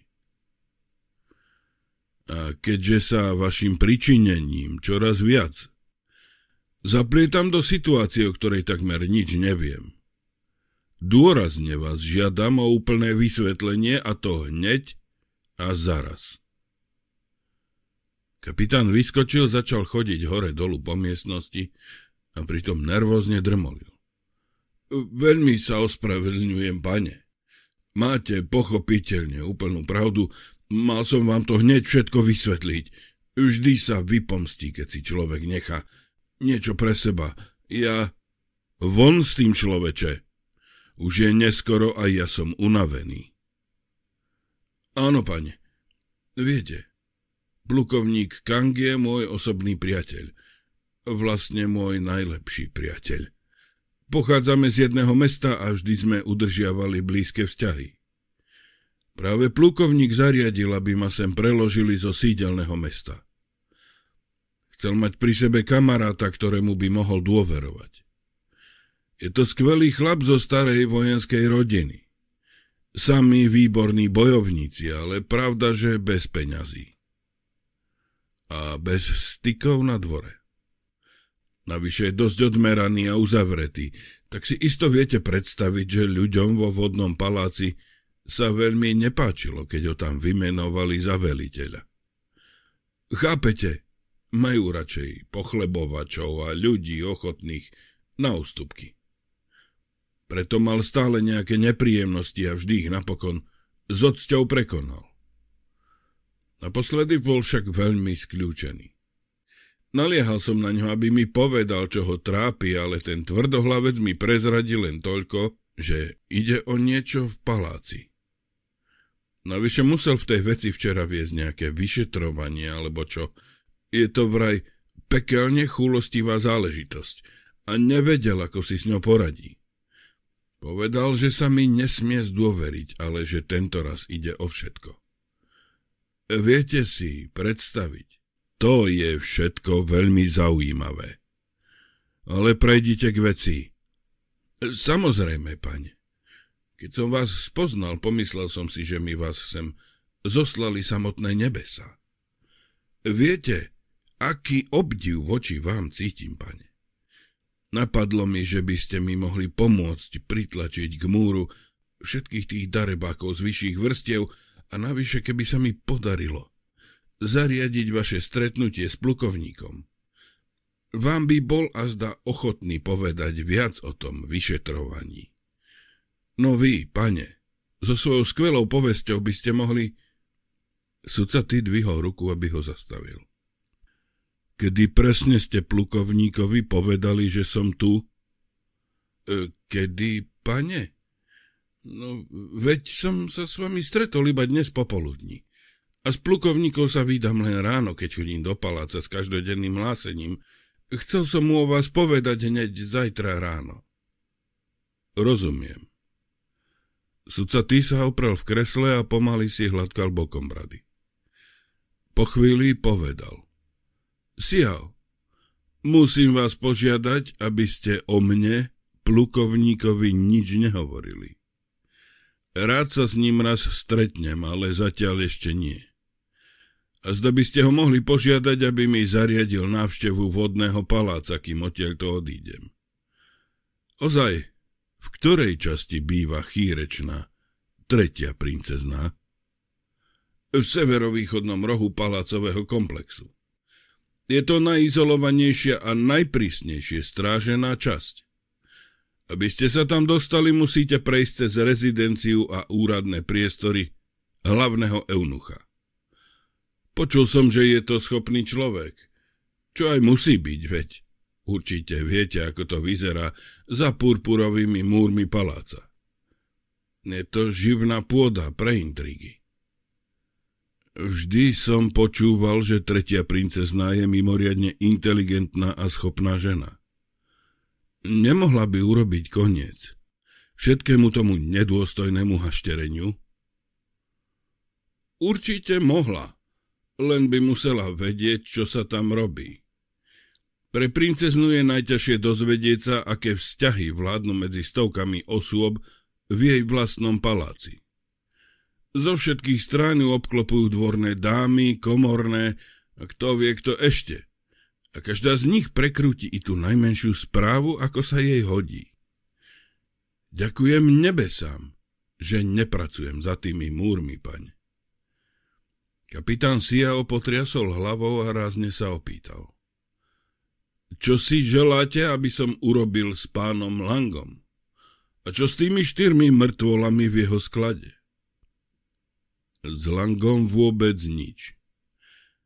Vybavím si to s ním osobne, až usúdim, že je na to vhodný čas. Mŕtvoly dajte odniesť do márnice a poverte tým niekoľkých svojich dôveryhodných ľudí. Môžu vyhlásiť, že sú to lupiči, ktorých zabila hliadka, keď prepadli cestujúceho. Ozaj, keď hovoríme o lupičoch. Dozvedel som sa zo pár zaujímavých podrobností o vražde pokladníka. Ten mladík bol zalúbený do ženy hostinského a je pravdepodobné, že odišla do dediny Šli. To je tá dedina za vrchmi, ktorú si Tajmin označil na mape. Zrejme sa dohodli, že Tajmin tam za ňou príde. Po ceste ho však prepadli a zabili. To je veľmi zaujímavé, povedal pomalý kapitán. Ak by bola pani Vejová z takejto fajty, mohla mať aj iného milenca. Žiarlivosť býva často silným motívom vraždy. Náhodou sa dvoja moji agenti práve dnes v noci chystajú odísť do tej oblasti. Prikážem im, aby sa tam na pani Vejovú povypytovali. Možno je v dedine Šeli stajovým vrahom. Ani to sa nedá vylúčiť. Ďakujem vám za informácie, pane. Sudca vstal a kapitán dodal. Vaše prepadnutie, pane, ma úprimne vydesilo. Nechcete, aby som vám pridelil dvoch alebo troch tajných agentov, aby vás chránili? Nie, ďakujem. Iba by mi prekážali. Dovidenia, Siao. Dám vám vedieť, keď sa dozviem niečo nové. Skľúčený kapitán osobne vypravadil sudcu dolu schodmi. Na hlavnej triede bolo veľmi málo ľudí, lebo sa už blížila polnoc. Sudca tý priviazal konia k stĺpu pred vchodom do hostinca u rybárika a vošiel dnu. V hale nikto nebol. Ale za mriežkovanou zástenou sa črtal chrbát pána Veja. Hostinský stal zohnutý nad veľkým koženým kufrom na zemi. Sudca obišiel pult a zaklopal hankami na zástenu. Ostinský sa vystrel a obzrel. Čo si želáte, doktor? Opýtal sa bezvýrazným hlasom. Pán Vej, povedzte Paholkovi, aby odviedol môjho konia do stajne. Po návšteve u pacienta som zašiel do lesa a zablúdil som. Vej zamrmlal čosi o neskorých príchodoch a odčuchtal sa k dverám do kancelárie. Sudca ty si zrazu uvedomil, že je na smrť unavený. Sadol si do kresla pri pulte a vystrel stuhnuté nohy. Nevidomými očami hľadel na zložitý vzor mirieškovanej zásteny a znova si premietal neuveriteľné udalosti dnešného večera. Pochopiteľne predpokladal, že do paláca ho predvolali, lebo kapitán Siao podal správu o jeho príchode.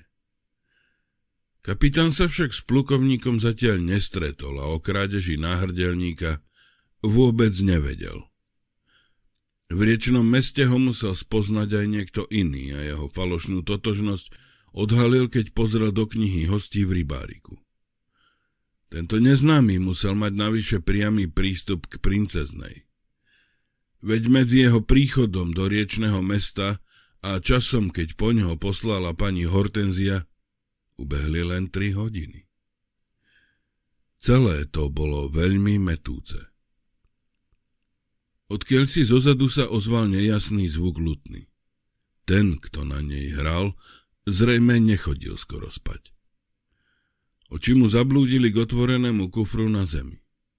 Bol napchatý ženským šatstvom. Ďalšie kusy odevu boli prehodené cez operadlo kresla pána Veja. Na vrchu ležal kabátik z červeného brokátu s dlhými rukavmi a pôvabným kvetinovým vzorom, vyšitým zlatou niťou. Hostinský sa vrátil a oznámil mu, že paholok sa o koňa postará. Prepačte, že vás obťažujem v takú neskorú hodinu, pán Vej. Sudcovitý sa nechcelo vstávať a tak nenútene dodal. Všimol som si veľkú tehlovú prístavbu oproti stajniam. Máte tam zrejme sklad, ak sa nemýlim. Hostinský na ňo rýchlo zaškulil a v prešibaných očkách sa mu nepríjemne zablislo. Nie je tam nič cenné, len nejaký polamaný nábytok, doktor. Mám čo robiť, aby som zo zárobku vyšiel. Keby ste vedeli, aké mám výdavky. Zobral z kresla červený kabátik a šaty, hodil ich do kufra a sadol si. V posledných dňoch som mal toľko práce, že som si až doteraz Nevedel nájsť čas, aby som vytriedil šatstvo svojej drahej ženy. Potom zamrmlal na poli pre seba. Dúfam, že mi zaň majiteľ záložne ponúkne slušnú sumu. Dožičil som jej život prepichu. Veru tak. Skôr mutilo ma, keď som sa dozvedel o vašom rodinnom trápení, pán Vej. Netušíte, kto mohol zviesť vašu ženu? Neprekvapilo by ma, keby to bol ten vysoký darebák. Viac raz sem prišiel za mnou a chcel miesto vrátnika.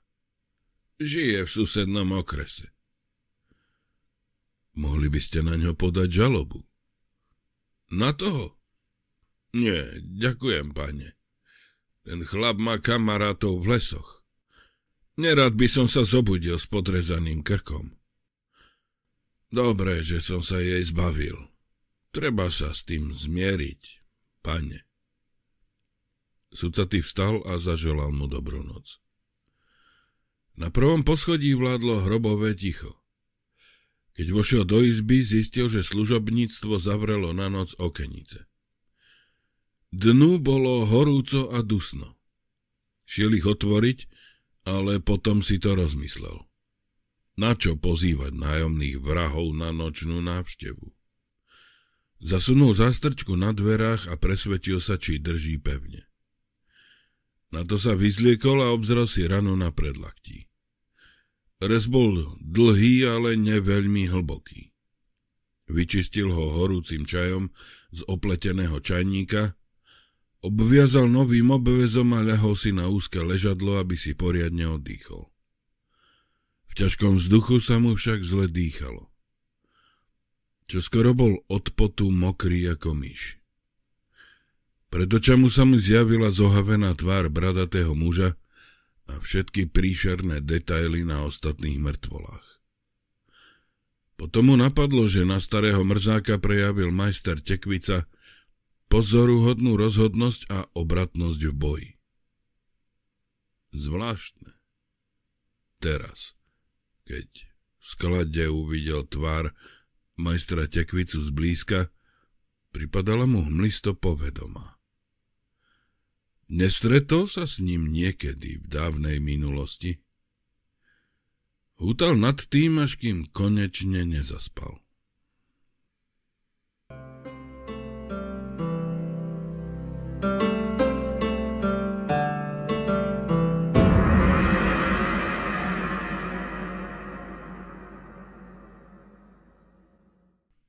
9. kapitola Sudca sa po nepokojnom spánku zobudil zavčasu. Vstal a roztvoril okenice. Jasná obloha sľubovala pekný, slnečný deň. Oplachol si tvár, učesal bradu a s rukami za chrbtom sa začal prechádzať hore dolu po miestnosti. Zrazu si uvedomil, že tu otáľa len preto, lebo tajne dúfa, že mu papradina donesie ranný čaj. Namrzený sám na seba si povedal, že sa naraňajkuje v hostinci u deviatich oblakov oproti. Najlepšie bude, keď sa pokusí zohnať o meste všeobecné informácie a zistí, odkiaľ by mal dobrý výhľad na hradby vodného paláca. Dolu v hale zýval pri pulte mladý recepčný. Sudca tým mechanicky zamrmlal odpoveď na jeho dobré ráno a prešiel cez cestu. Na rozdiel od rybárika mali v deviatich oblakoch vlastnú reštauráciu hneď za vstupnou halou. V tejto skorej hodine len kde tu za malými stolíkmi sedelo zo pár hostí a mľaskavo hltalo rannú ryžu. Pri pulte stal nízky guľatučký muž a čistil žalúdok namrzenému časníkovi. Zmlkol. Očkami ako trnky si ostro zmeral sudcu a knísavým krokom sa mu pobral v ústrety. Je pre mňa cťou, pane, že môžem u nás privítať slávneho lekára zo sídelného mesta. Prosím, sadnite si k tomuto stolu v kúte.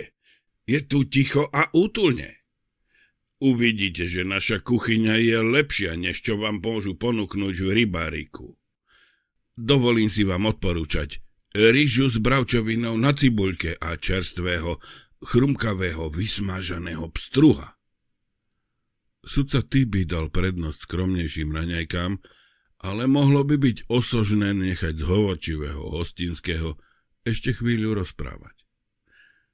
Prikývol a tučniak zakričal objednávku čašníkovi. Izby v rybáriku sú celkom pohodlné, poznamenal sudca, ale nechcem, aby ma obsluhovali, lebo tá hrozná vražda pokladníka. Tam prevrátila zabehaný poriadok hore nohami. Veru, pane, Tajmin sa vyznal vo svojej práci. A bol to tichý, príjemný mladík. Celý podnik však viedla pani Vejová. Milá, schopná žena, ale ako s ňou ten jej skupanský muž zaobchádzal. Viete, stražil každý medenák, ktorý minul. Keď sa tu občas zastavila, vždy som jej dal zo pár taštičiek plnených sladkými bôbmi. To je totiž naša specialita. Mala ich veľmi rada. Vlastne zo 3-4 som jej dal aj ten večer, keď utiekla. Neschváľujem, keď vydaté ženy robia veci, ktoré by robiť nemali, pane. Veru, nie. Ale Vej ju k tomu dohnal. To je fakt. Dal znamenie čašníkovi a pokračoval. Za to ona vždy myslela v prvom rade na obchod. Najprv zaučila neter, ako si so všetkým poradiť. A až potom utiekla. Tá mladá devčina je krásavica, ale trochu namyslená. Ak vás zaujíma môj názor, pani Vejová bola presne to, čomu sa hovorí svedomitá gazdina. Škoda, že to nemôžem povedať o svojej polovičke. Čašník priniesol bambusovú tácňu, vrchovatu naplnenú taštičkami. Už sa nesú, doktor, povedal hostinský a radostne sa rozžiaril. Zoberte si, koľko chcete. Na náš účet. Sudca ty si odrizol z taštičky, ale zistil, že je na jeho vkus prisladka. Vynikajúca, zvolal. Všetky sú vaše, pane. Tučný muž sa nahol nad stôl a dôverne pokračoval. Mám niečo, čo by vás mohlo zaujímať.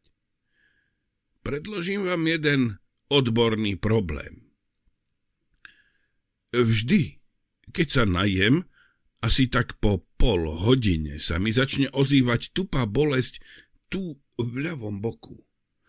Na to pocítim pálenie hneď nad pupkom, no a pocit kyslosti v celom dolu v... Za konzultáciu berem jeden strieborniak. Upozornil ho slušne sudca. Platí sa vopred. Celý strieborniak? Ale veď ma nemusíte vyšetrovať. Chcel som počuť len váš názor a trpím aj na zápchu. Teraz práve... Navštívte svojho lekára, povedal stroho sudca a zdvihol jedáce paličky. Tučko na ňo urazene pozrel a odknísal sa naspäť k pultu, tácňu s taštičkami zobral so sebou. Sudca jedol s chuťou. Musel uznať, že vysmažaný pstruh je skutočne výborný. Keď vyšiel z deviatich oblakov, uvidel papradinu, ako stojí pod krytým vchodom naproti.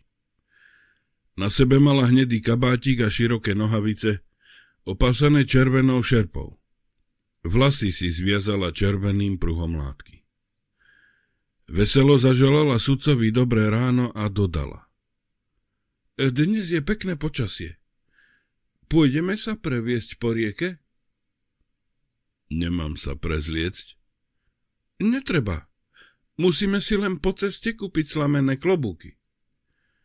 Niekoľkými úzkými uličkami ho za pár minút doviedla na východný koniec nábrežia. Sudca kúpil dva slamené klobúky. Kým si papradina uvezovala stuhy pod bradou, sudca vrhol pohľad na sklad. Dvaja kuliovia práve vynášali na čistinu veľký balík. Dozeral na nich chudý muž s veľkou guľatou hlavou. Papradina zišla po kamenných schodoch k vode a ukázala na úzky čln s plochým dnom zakotvený medzi väčšími plavidlami. Pridržala ho, sudca nastúpil a sadol si na provu. Zručne odstrčila čln bydlom od brehu spomedzi ostatných plavidiel a potom bydlo vymenila za obojručné veslo. Keď začala veslovať doprostred prúdu, sudca sa ozval. Viete, celkom rád by som si obzrel ten slávny vodný palác. To je jednoduché. Poplavíme sa pozdĺž tohto brehu a minieme ho skôr, ako sa preplavíme na druhú stranu.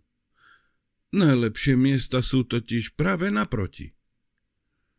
Nad pokojnou hnedou hladinou povieval mierny Vánok. Ranné lúče slnka však hriali sudcu na tvári. Čiapku si vopchal do rukáva a na hlavu si dal okrúhly slamený klobúk. Papradina si vyzliekla kabátik. Okolo pekne tvarovaného poprsia mala pevne ovinutú červenú šatku. Sudca ty sa oprel opravu a pozoroval ju, ako stojí na korme člna a s pôvabnou ľahkosťou zaberá dlhým veslom. Plecia a ruky mala do zlatista opálené. Uvažoval, trochu so smutkom, že mladosti sa nič nevyrovná. Potom obratil pozornosť na breh rieky. Vysoké borovice, ktoré vyrastali z nepreniknutelnej húštiny, siahali až k rieke. Kde tu zazrel ústia potokov a zátočiny. Tam by sme nič poriadne nechytili, ozvala sa. Len zo pár rakov na úhorí je ešte priskoro. Ako napredovali proti prúdu, les hustol. Medzi konármi vysiacimi nízko nad vodou sa prepletali liany pokryté machom. Asi po štvrť hodine papradina zamierila do stredu rieky. Nemôžeme ešte chvíľu plávať po príbrehu? Opýtal sa rýchlo sudca. Už sa zrejme blížime k palácu a rád by som si ho obzrel zblízka. Aby nás oboch zabili? Nevidíte tie farebné boje henta vpredu? Hore na nábreží je výstraha napísaná znakmi veľkými ako ľudská hlava, aby sa všetky plavidlá držali za bojami. Na brehu z druhej strany paláca je také isté zdvorilé oznámenie. Kto prekročí stanovenú hranicu, stane sa cvičným terčom pre kuše lukostrelcov za cimburím. Budete musieť obdivovať palác z vymedzenej vzdialenosti. Širokým oblúkom viedla čln okolo bojí. Po chvíli sudca uvidel trojposchodovú strážnu väžu v severozápadnom rohu palácového komplexu. Pri úzkej zátoke sa les náhle skončil. Bolo to zrejme ústie vodnej priekopy, ktorá obkolesovala palác. Priamo z riečného brehu sa v miernom sklone dvíhalo severné opevnenie. Hradby so strielňami v pravidelných vzdialenostiach prerušovali nižšie strážne veže. Za cimburím sa na slnku leskli špicaté prilby hliadkujúcich lukostrelcov. Je obrovský však, zavolala na ňo papradina z kormy. Máte pravdu, Poďme ešte kúsok ďalej, aby sme si mohli obzrieť severovýchodnú väžu spredu. Chcel by som to vidieť celé. Okolo nich sa šinula veľká nákladná džunka, veslári zaberali dlhými veslami do rytmu kvílivej piesne. Papradina sa k ním pridala jasným mladým hlasom a prispôsobila sa rýchlejšiemu tempu veslovania. Sudcovi pripadalo opevnenie veľmi vysoké a hrozivé. Tesne nad vodou napočítal 8 zamrežovaných klenutých chodieb. Tadiaľ zrejme privádzali vodu do kanálov a do vodovodnej siete paláca.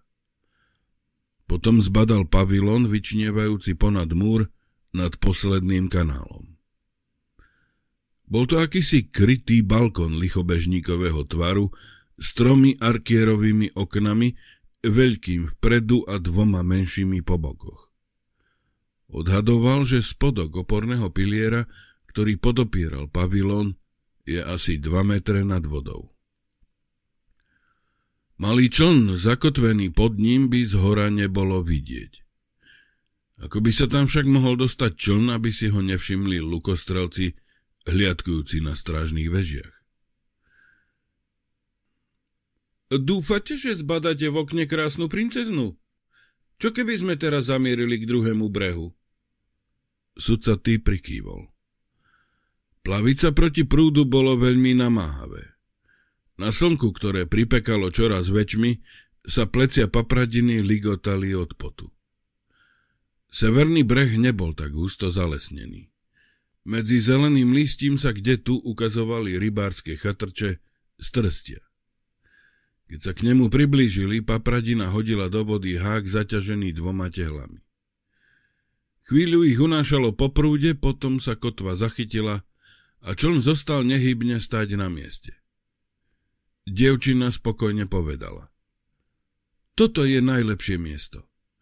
Keď som tu nedávno bola s Tajminom, chytili sme zo pár pekných ostriežov.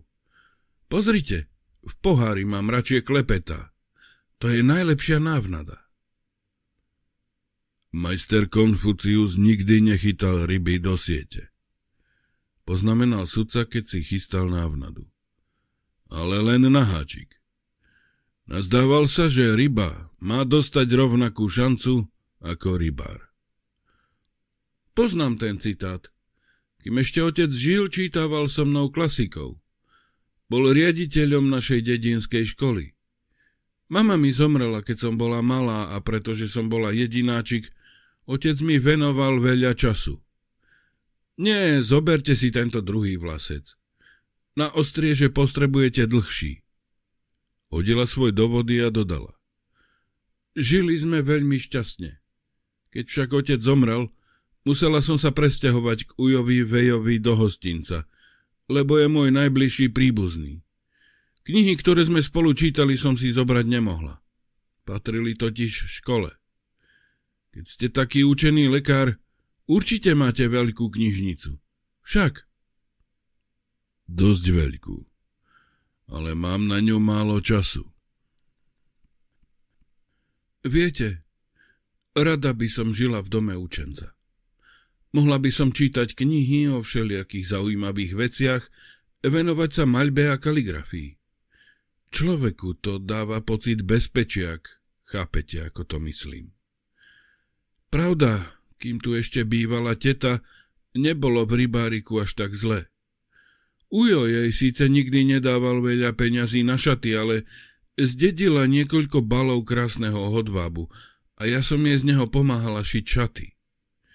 Najradšej nosila kabátik z červeného hodvabu s kvetinovým vzorom vyšitým zlatou niťou. Myslela si, že jej veľmi pristane a mala pravdu. Sudca hodil vlasec do hnedej vody. Pohodlne sa oprel na prvé a povedal. Áno, počul som, že vaša teta bola pekná žena. Viem celkom dobre pochopiť, že vnímavý mladík ako Tajmin k nej zahorel prudkou láskou nevinnej mladosti. Bol do nej úplne zbláznený. Som si istá, že hazardné hry začal hrať len preto, aby jej občas mohol kúpiť nejaký darček. Pri hazardných hrách človek určite nezbohatne. Skôr o peniaze príde, poznamenal sudca ty neprítomne. Zdalo sa mu, že zacítil slabé trhnutie vlasca. Tajmín vyhrával. Ale ja si myslím, že pán Lang ho nechal vyhrať zámerne, aby ho neskôr mohol obrať. Z toho Langa mi naskakujú zimomriavky. Z Langa? A kde hrali? Och, Tajmín šiel zo pár raz k nemu do izby.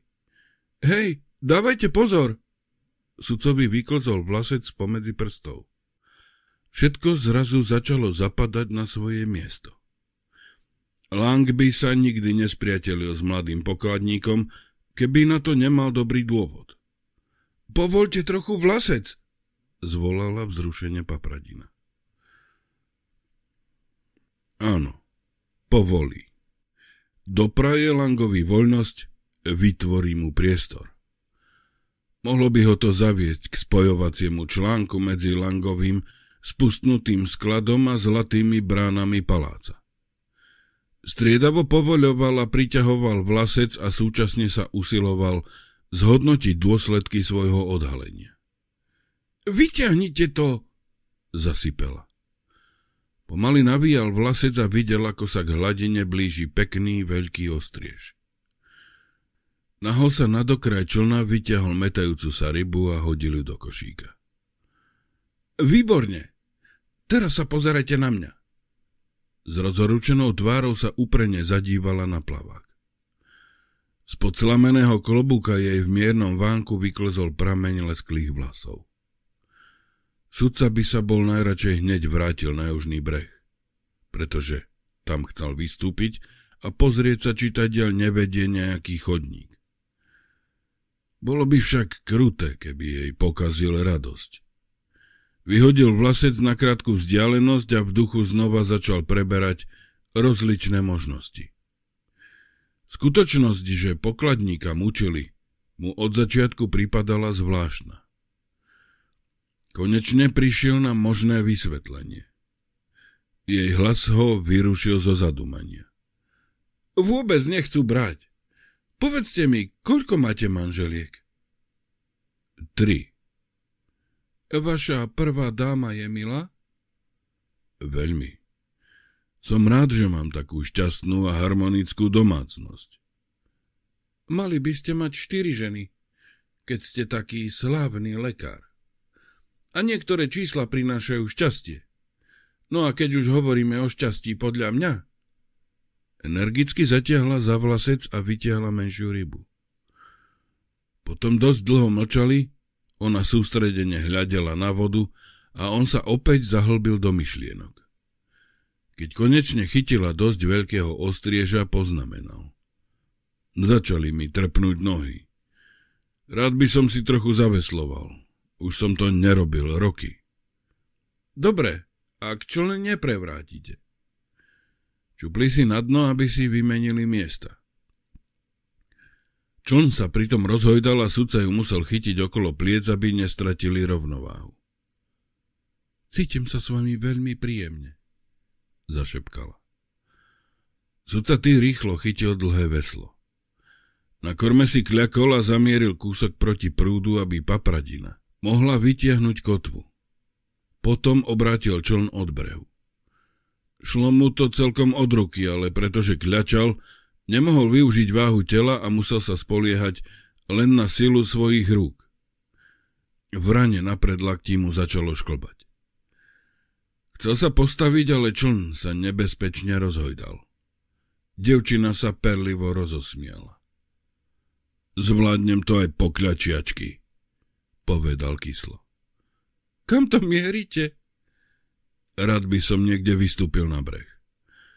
Mohol by som tam v húštine nájsť nejaké liečivé bylinky. Neprekáža vám to? Vôbec nie. Ale ďaleko sa nedostanete. Chodiť sa dá len kúsok okolo tých malých zátok. Nie je tam nejaký chodník. V tom prípade sa vrátime na nábrežie. Zvládnem to hravo, prúd nás ponesie.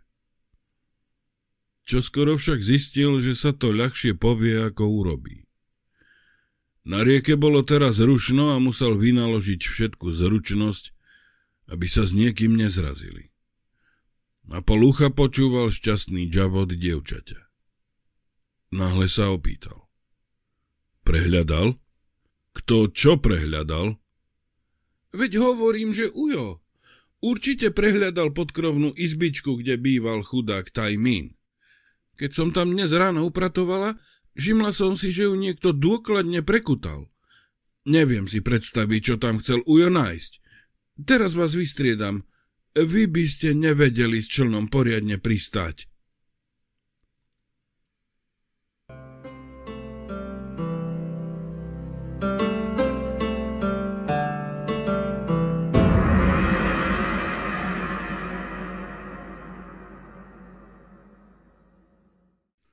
Desiata kapitola Na prístavnom mole sa rozišli. Papradina sa pobrala hlavnou triedou, Niesla košik s rybami a pohumkávala si nejakú melódiu. Sudca obišiel rybný trh a vošiel do prvej malej jedálne, ktorú zazrel. Objednal si veľkú misu rezancov s bambusovými výhonkami. Náhlivo ich zapil čajom a vydal sa do rybaríka, alebo sa túžil okúpať. Ako očakával, v kúpeli nikoho nenašiel. Pretože bol práve čas obeda ešte, aj kúpeľný zriadenec mal voľno. Spokojne ležal v bazéne a starostlivo zvažoval krok, ktorý sa chystal podniknúť. Bude to riskantný pokus. Veľmi riskantný. Jeho teória vychádzala z dvoch faktov. Poprvé, že úbohého mladíka, pokladníka Tajmina kruto mučili pred tým, ako ho zabili, a po druhé, že jeho izbu prehľadali. Všetko ostatné boli obyčajné dohady založené na jeho znalosti podľa chamtivej povahy ľudí ako Liang Liu. Áno, riskne to. Ak sa potvrdí, že jeho teória je správna, úspešne uzavrie prvú časť vyšetrovania. Ak sa míli, aspoň niekoľkým ľuďom naženie strach. A vystrašení ľudia sa zvyknú dopúšťať hrubých chýb. Kúpeľný zriadenec prišiel práve keď si súdca dával nový obvez na predlaktie. Požiadal ho, aby mu priniesol čisté šaty z izby a špinavé dal vyprať ženám v práčovni.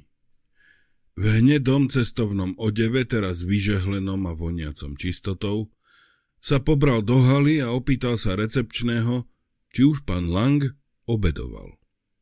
Recepčný prikývol. Sudca mu dal svoju navštívenku a požiadal ho, aby zistil, či ho pán Lang môže na chvíľu prijať. Doktor, pán Lang nemá rád, keď ho hneď po jedle vyrušujú. Aj tak ho to požiadajte. Recepčný odišiel po chodbe s pochybovačným výrazom na tvári, no vrátil sa so širokým úsmevom. Pán Lang odkazuje, že ste vítaní, pane. Sú to štvrté dvere napravo.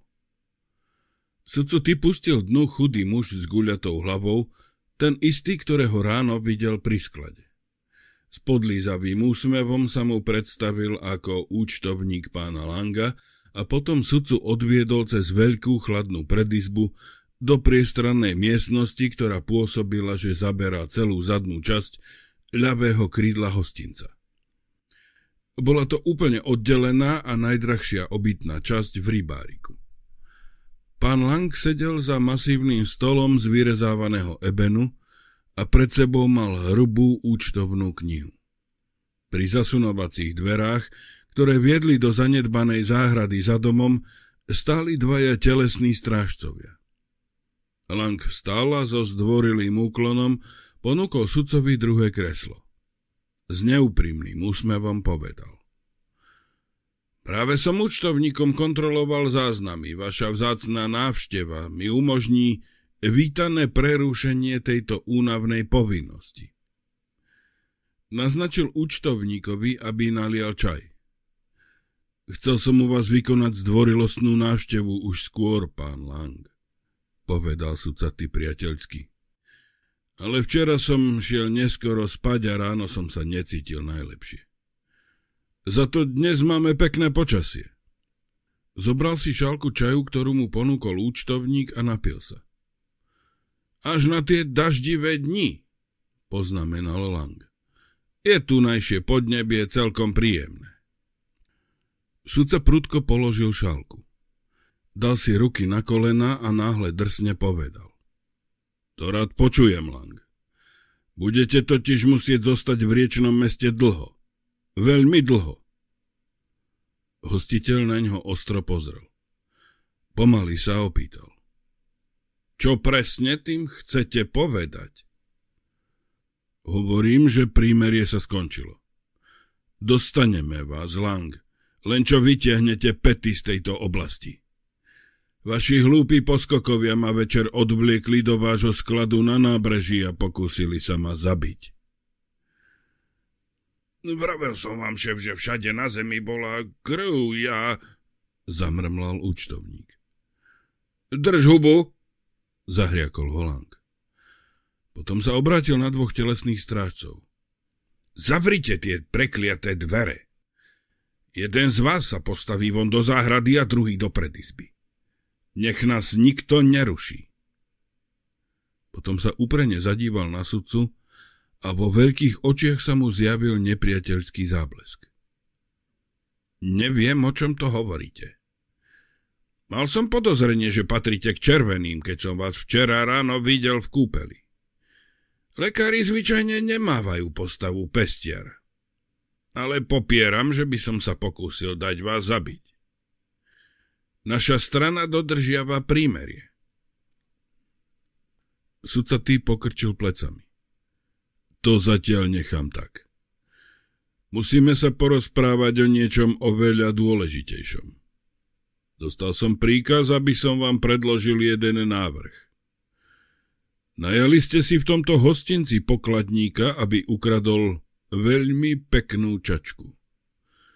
Vaša liga musí byť na tom finančne dosť mizerne, Lang, keď riskujete, že vás tu rozrežú na kusy. Pomaly a odborne. Lang sa naďalej tvaril nezúčastnene. No sudca si všimol, že účtovník mŕtvolne zbledol. Pokračoval. Lang, bolo by mi potešením udať vás úradom.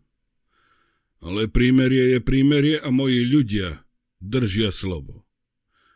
Pravda za predpokladu, že sa podelíme. Polovica z 84 je 42.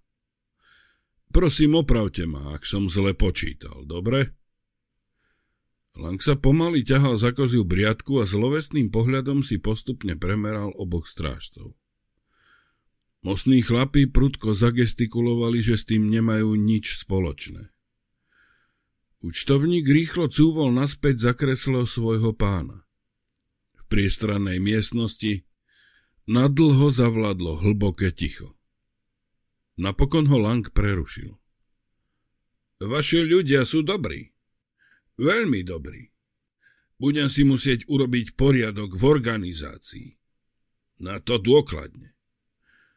Áno, počítali ste správne. Dohodli sme sa, že na neutrálnom území sa budeme deliť na polovičku. S vašim šéfom som sa však nespojil, lebo tá záležitosť nevyšla. Perly som nedostal. Sudca tý náhle vstal. Včera večer ste sa ma pokúsili zabiť, Lang. A to vás usvedčuje z klamstva. Dostal som príkaz, aby som vás informoval, že ak odmietnete našu opodstatnenú požiadavku s prímerím je koniec. Tým vec považujem za vybavenú. Dovidenia. Pobral sa k dverám. Vo chvíli, keď položil ruku na kľučku, Lang naňho zrazu zvolal. Vráťte sa a sadnite si. Vysvetlím vám celú situáciu. Sudca sa vrátil k stolu, no neprijal ponuku, aby si sadol. Mrzu to povedal. V prvom rade žiadam, aby ste sa mi ospravedlnili, Lang, že ste ma chceli dať zabiť. Ospravedlňujem sa vám za skutočnosť, že ste mali ťažkosti v sklade, ktorý mi patrí. Celú záležitosť okamžite prešetrím. Stačí vám to?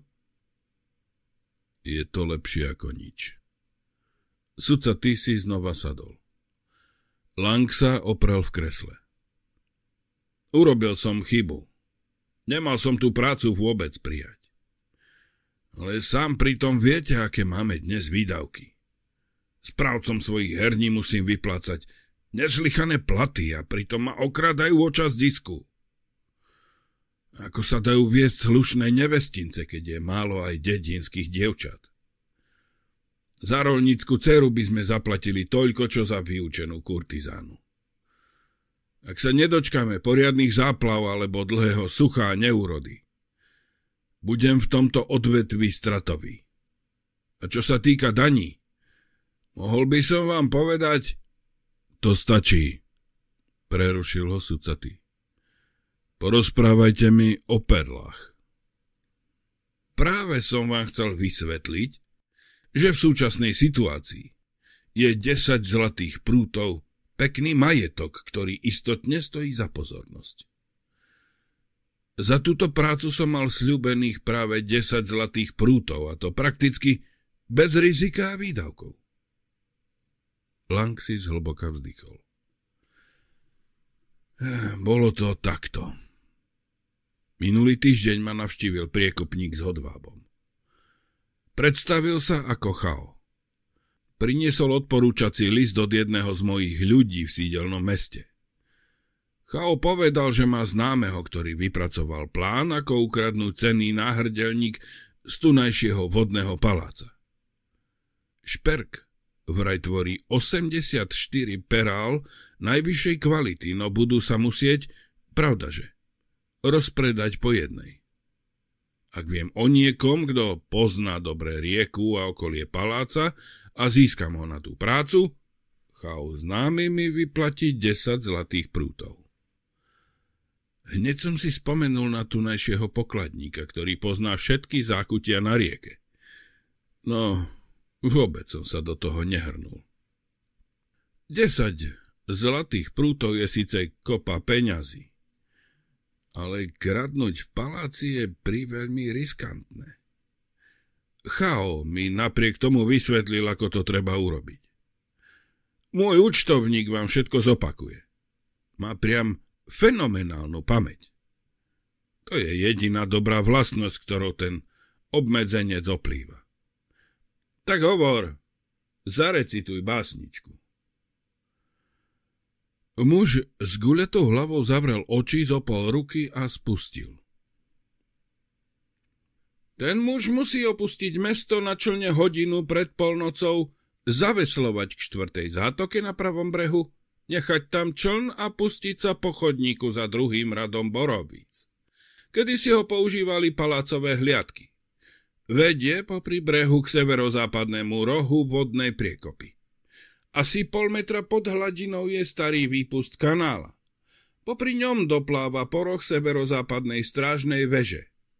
Pozdĺž celého severného múru vedie tesne nad hladinou rímca široká asi štvrť metra. Vyberie sa po nej, až kým sa nedostane k poslednému kanálu. Nad ním je pilier, ktorý podopiera krytý balkón. Medzi tehlami je plno štrbín. Po múre sa dá ľahko vyliesť. Do pavilónu vojde bočným oknom. Pavilón je spojený so spálňou otvorenými dverami v tvare mesiaca. Náhrdelník bude ležať buď na toaletnom stolíku hneď za mesačnými dverami, alebo na čajovom stolíku naproti. Zastane pred dverami a presvedčí sa, či všetci spia. Potom vojde dnu. Vezme náhrdelník a vráti sa dolu rovnakou cestou. Lukostrovcov na hradbách sa nemusí báť. Budú zamestnaní inde. Chudý muž otvoril oči a samoľúbo sa usmiel. Lang pokračoval. Cháho známy bol očividne človek, ktorý vedel, o čom hovorí. A tak som si pomyslel, že by som sa mohol pokúsiť presvedčiť pokladníka, aby sa na to dal. Vedel som, že potrebuje peniaze. Pozval som ho totiž na priateľskú partiu. Najprv som ho nechal vyhrať a potom poriadne prehrať. Keď som mu povedal o zamýšľanej krádeži a ponúkol, aby sa na nej zúčastnil, okamžite súhlasil. Tak som Chaovi povedal, že to beriem. Keby taj mina chytili, bol by som, pravda, že poprel, že o tom pláne niečo viem a upozornil by som na to, že mládenec sa dostal do pokušenia, lebo prehral v hazardnej hre a nepríjemne sa zadlžil. Verím všetkému, čo hovoríte, pán Lang, ozval sa znudene sudca. Ale stále čakám, kedy sa dozviem, prečo ste ten náhrdelník nezískali. To ostatné už nie je také zaujímavé. Chcel som, aby ste vedeli o všetkom, odvetil podraždene Lang. Takže taj Min v stanovenom čase vyrazil z môjho skladu. Sľúbil, že sa vráti Rovno tam odovzdá mi náhrdelník a dostane svojich 20 strieborniakov. Pravda, že bez sumy, ktorú mi dlhoval. Priznávam síce, že občas robím chyby, ale bežnú rutinu určite ovládam. Na cestách, vedúcich z mesta na západ, východ a juh, som rozostavil zo pár svojich mužov. Len pre prípad, že by Tajmín nedopatrením zabudol na našu schôdzku v sklade a bolo by mu treba ju pripomenúť. Môj účtovník čakal na Tajmína v sklade niekoľko hodín, ale márne. Potom ho sem priviedli dvaja moji muži, ktorí strážili východnú cestu. Chytili ho, keď okolo nich bezstarostne uháňal. Stihol sa aj preobliec do parádneho. Chápete? Najprv sa vrátil do rybárika. Sudca ty potlačil zývnutie. Lang, zrejme trávite veľa času na trhovisku a počúvate ľudových rozprávačov. Na to ostro dodal. Ako to dopadlo s náhrdelníkom? Ten sviniar povedal, že ho nenašiel. Všetko vraj šlo podľa plánu až do chvíle, keď vyliezol po múre a dostal sa do pavilónu. Ani tam, ani v spálni však nikto nebol.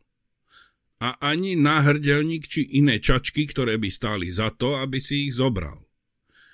Tak sa vrátil, ale neodvážil sa prísť na dohovorenú schôdzku. Vraj sa bál, aby sme si nemysleli, že nás podviedol a niekde ten náhrdelník skryl. Z hodou okolností si to moji muži naozaj mysleli. Za každú cenu mu chceli rozviazať jazyk, ale Trochu to prehnali a umrali im pod rukami. Neviem, ako si vaša liga zháňa členov, ale čo sa týka mňa, zdá sa mi, že už ako si nie som schopný získať skutočne kvalitných ľudí. Smutne potriasol hlavou a pokračoval. Nie len, zbabrali výsluh toho zlodejského pokladníka, ale navyše vybrali aj zlé miesto, kde hodili jeho telo do vody. Malo sa nájsť až hodný kus dolu po prúde. Aby som nič nezanedbal, dal som prehľadať Tajminovú podkrovnú izbičku tu v hostinci. Nenašlo sa nič, čo sa aj dalo čakať. A ja, pochopiteľne, nemôžem teraz začať prehľadávať každý butľavý strom, či každú dieru, či štrbinu v tomto prekliatom borovicovom lese. Tak som ten náhrdelník odpísal a to je všetko, čo o tom môžem povedať. Sudca ty si zhlboka vzdychol. Pekný príbeh, Lang. Rovnako pekný ako ten, čo porozprával Tajmin vašim mužom. Je tu však istý rozdiel. On vlastné tvrdenie nemohol nejako dokázať. Zatiaľ čo vy môžete. Stačí, ak ma predstavíte svojmu dobrému priateľovi, pánu Chaovi. Lang sa nepokojne pohniezdil v kresle. Chao sem mal prísť včera ráno, aj s desiatimi zlatými prútmi. Ale neukázal sa. A ja neviem, kde ho mám hľadať. Nastalo dlhé ticho. Potom sudca ty odsunul kreslo a vstal. Veľmi ma to mrzí, Lang. Ale s takouto historkou sa nemôžem vrátiť domov. Aby bolo jasné. Netvrdím, že ste klamár. Ja len hovorím, že potrebujem dôkaz. Ešte tu nejaký čas zostanem, aby som, tak povediac, pozoroval situáciu. Prirodzene, zdržiava sa tu aj zo pár mojich priateľov. Tak by som vám neradil, aby ste zopakovali chybu z včerajšieho večera. A keby ste náhodou dostali chuť na ďalší priateľský rozhovor, viete, kde bývam. Dovidenia. Účtovník s guľatou hlavou ho úctivo vypravadil k dverám.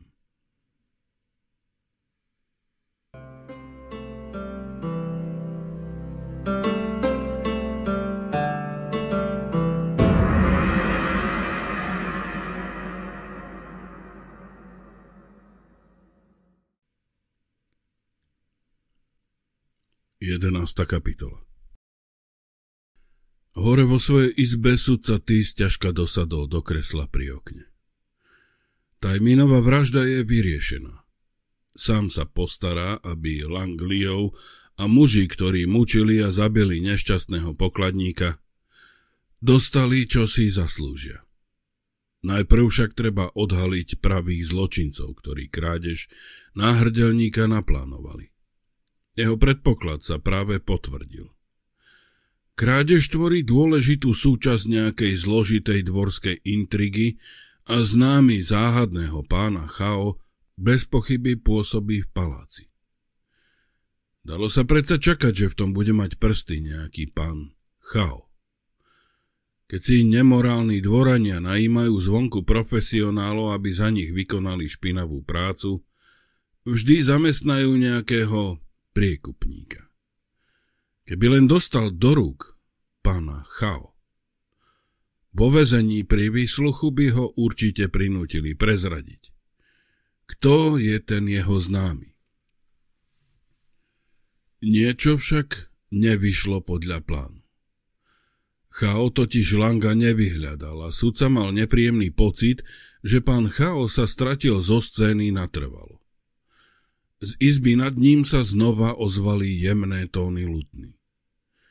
Tento raz to bola rýchla melódia a hrala ju skúsená ruka. Sudca ju síce nepoznal, ale celkom sa mu páčila. Skončila sa výrazným akordom a zaznel ženský smiech. V riečnom meste neboli nejaké kurtizány. Niektorí hostia si však zrejme vodili so sebou priateľky. Sudca ty sa zamyslene ťahal za fúzy čo asi urobil Tajmin s náhrdelníkom.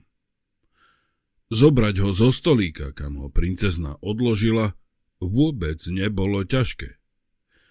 Pokladník naň mohol dočiahnuť aj zvonka, ani nemusel vojsť do pavilónu. Že by niektorý zo sprísahancov čakal na Tajmina pod oporným pilierom za mrežami vodného kanála, boli to nízke klenuté chodby, tri štvrte metra až meter vysoké, o čom sa sudca presvedčil pri pohľade z rieky.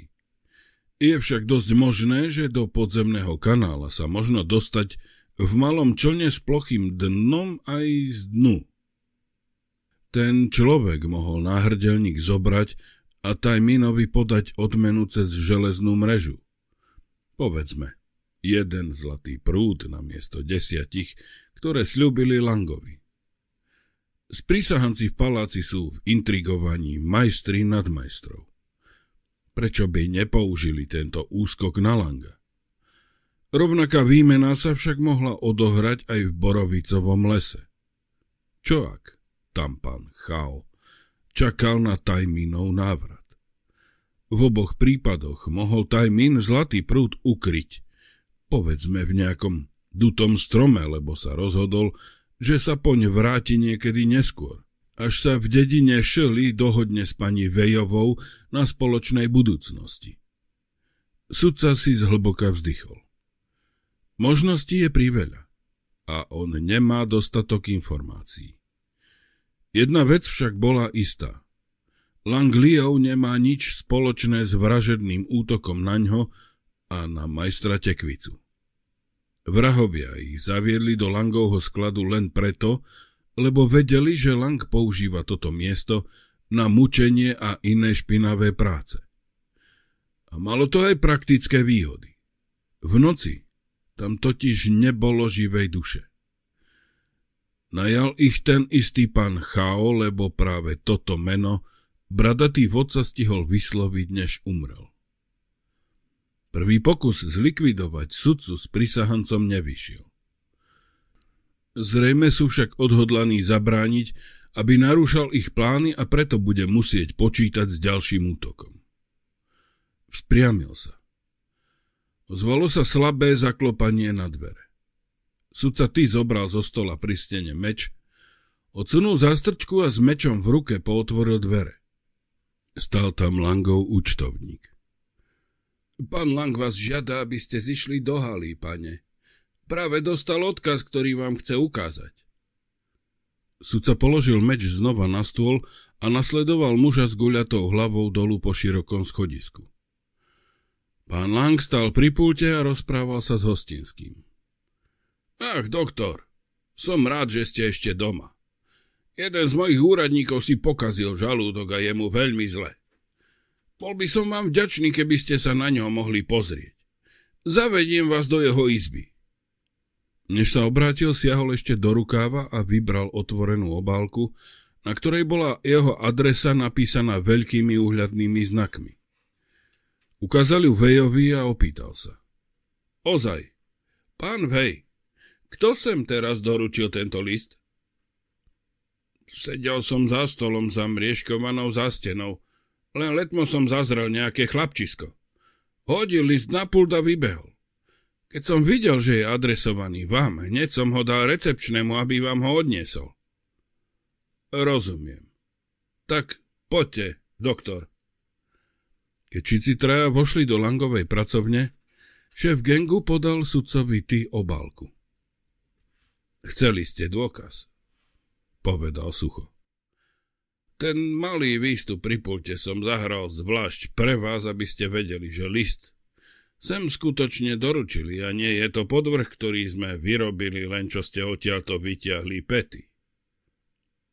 Sudca rozložil list. Písalo sa v ňom, že podpísaný ľutuje, ale neodkladné záležitosti mu zabránili, aby navštívil Langa v deň, keď sa mali dohodnúť na kúpe surového hodvábu. Dnes sa však o šiestej dostaví do Langovho skladu.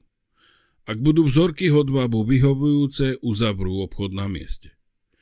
List bol podpísaný menom Chao. Štýl textu bol dokonalý a ťahy pravidelného vypísaného rukopisu prezradzali ruku úradníka. List bol nepochybne pravý, lebo Langovi by trvalo najmenej deň, kým by v riečnom meste našiel učenca, ktorý by vedel naformulovať takýto text. Sudca vrátil list Langovi a povedal. Dobre, Lang. To je skutočne dôkaz, o aký som žiadal. Naše prímerie trvá ďalej, ako sme sa dohodli. O šiestej prídem do skladu. Pán Lang nadvihol úzke obočie. Do skladu? Hádam si, nemyslíte, že tam pôjdeme? Celá záležitosť je predsa bezpredmetná. Chao tam nikoho nenájde a dvere budú zamknuté. Sudca tý na ňo ľútostivo pozrel. Už sa nečudujem, že si neviete získať dobrých pracovníkov, Lang. Veď nie ste schopní triezvo uvažovať. Nebesa, človeče, tu sa vám len tak ponúka 10 zlatých prútov a vy zatvoríte dvere na kľúč a zavesíte na ne ceduľu, že nie ste doma. Počúvajte ma, kamarát. Ja vám presne poviem, ako to urobíme. Príjmeme pána Chao veľmi zdvorilo a zistíme, či má zlato pri sebe. Ak áno, vďačne ho príjmeme. Súčasne mu oznámime, že náhrdelník síce nemáme, ale kvôli nemu sme sa dostali do nepríjemných ťažkostí a mali sme veľké výdavky. Preto sme ochotní považovať tých 10 prútov za priateľské vyrovnanie. Lang potriasol hlavou. Ten pes Chao určite zastupuje mocných ľudí. Zavaňa to vysokými úradníkmi. Alebo priateľmi úradníkov v paláci, keď tak dopodrobna poznajú rozvrhnutie komplexu. Ja som mieromilovný človek, braček. Nemám rád ťažkosti. Nevidíte, Lang, že ich máme v rukách, aj keby to boli vysokí úradníci? Ak sa pánu Chao nebude páčiť náš poctivý návrh, povieme mu, že ako občania, ktorí si ctia zákony, sme ochotní bez zábran ísť aj s ním na veliteľstvo gardy, nech úrady rozsúdia náš spor. Tam budeme, pravda, že musieť vysvetliť, že len preto sme sa dali nahovoriť na zločinecký plán a zúčastnili sme sa na krádeži cisárskeho klenotu aby sme získali nezvratný dôkaz o ťažkom previnení a mohli sme následne všetko oznámiť úradom. A požiadame o vládnu odmenu. Lang buchol pesťou do stola.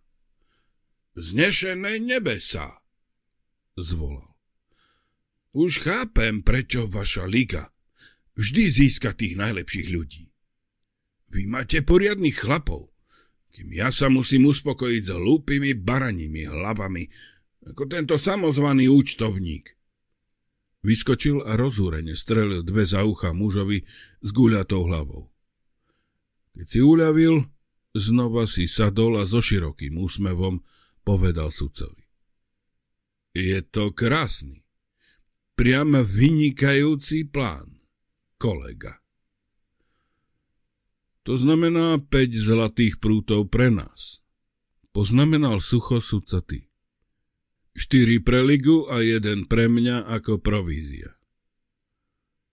Šefovia by vám mali dať dva, povedal Lang veľkoryso. Na to zrúkol na účtovníka. Máš poslednú príležitosť, aby si sa polepšil, ty trkvas. Pôjdeš do skladu tu s našim kolegom. Potom sa obrátil k sudcovi. Ja si tam pravda, že nemôžem dovoliť ísť osobne. Musím brať ohľad na svoje dobré meno. Ale vy dvaja nebudete sami vo vlastnom záujme, pošlem do skladu zo 10 poriadných chlapov. Vrhol rýchly pohľad na sudcu a náhlivo dodal. Pre prípad, chápete, že by si pán Chao priviedol so sebou niekoľko ľudí. Áno, Úplne vám rozumiem, odvetil chladne sudca. Prídem do skladu niečo pred šiestou. Láskavo povedzte svojim chlapom, aby ma tam pustili. Pobral sa k dverám a pán Lang ho osobne vyprevadil až na chodbu. Tam mu žoviálne povedal. Veľmi ma teší, že som sa s vami zoznámil, kolega. Potom si spolu vypijeme na priateľskú spoluprácu modrých a červených.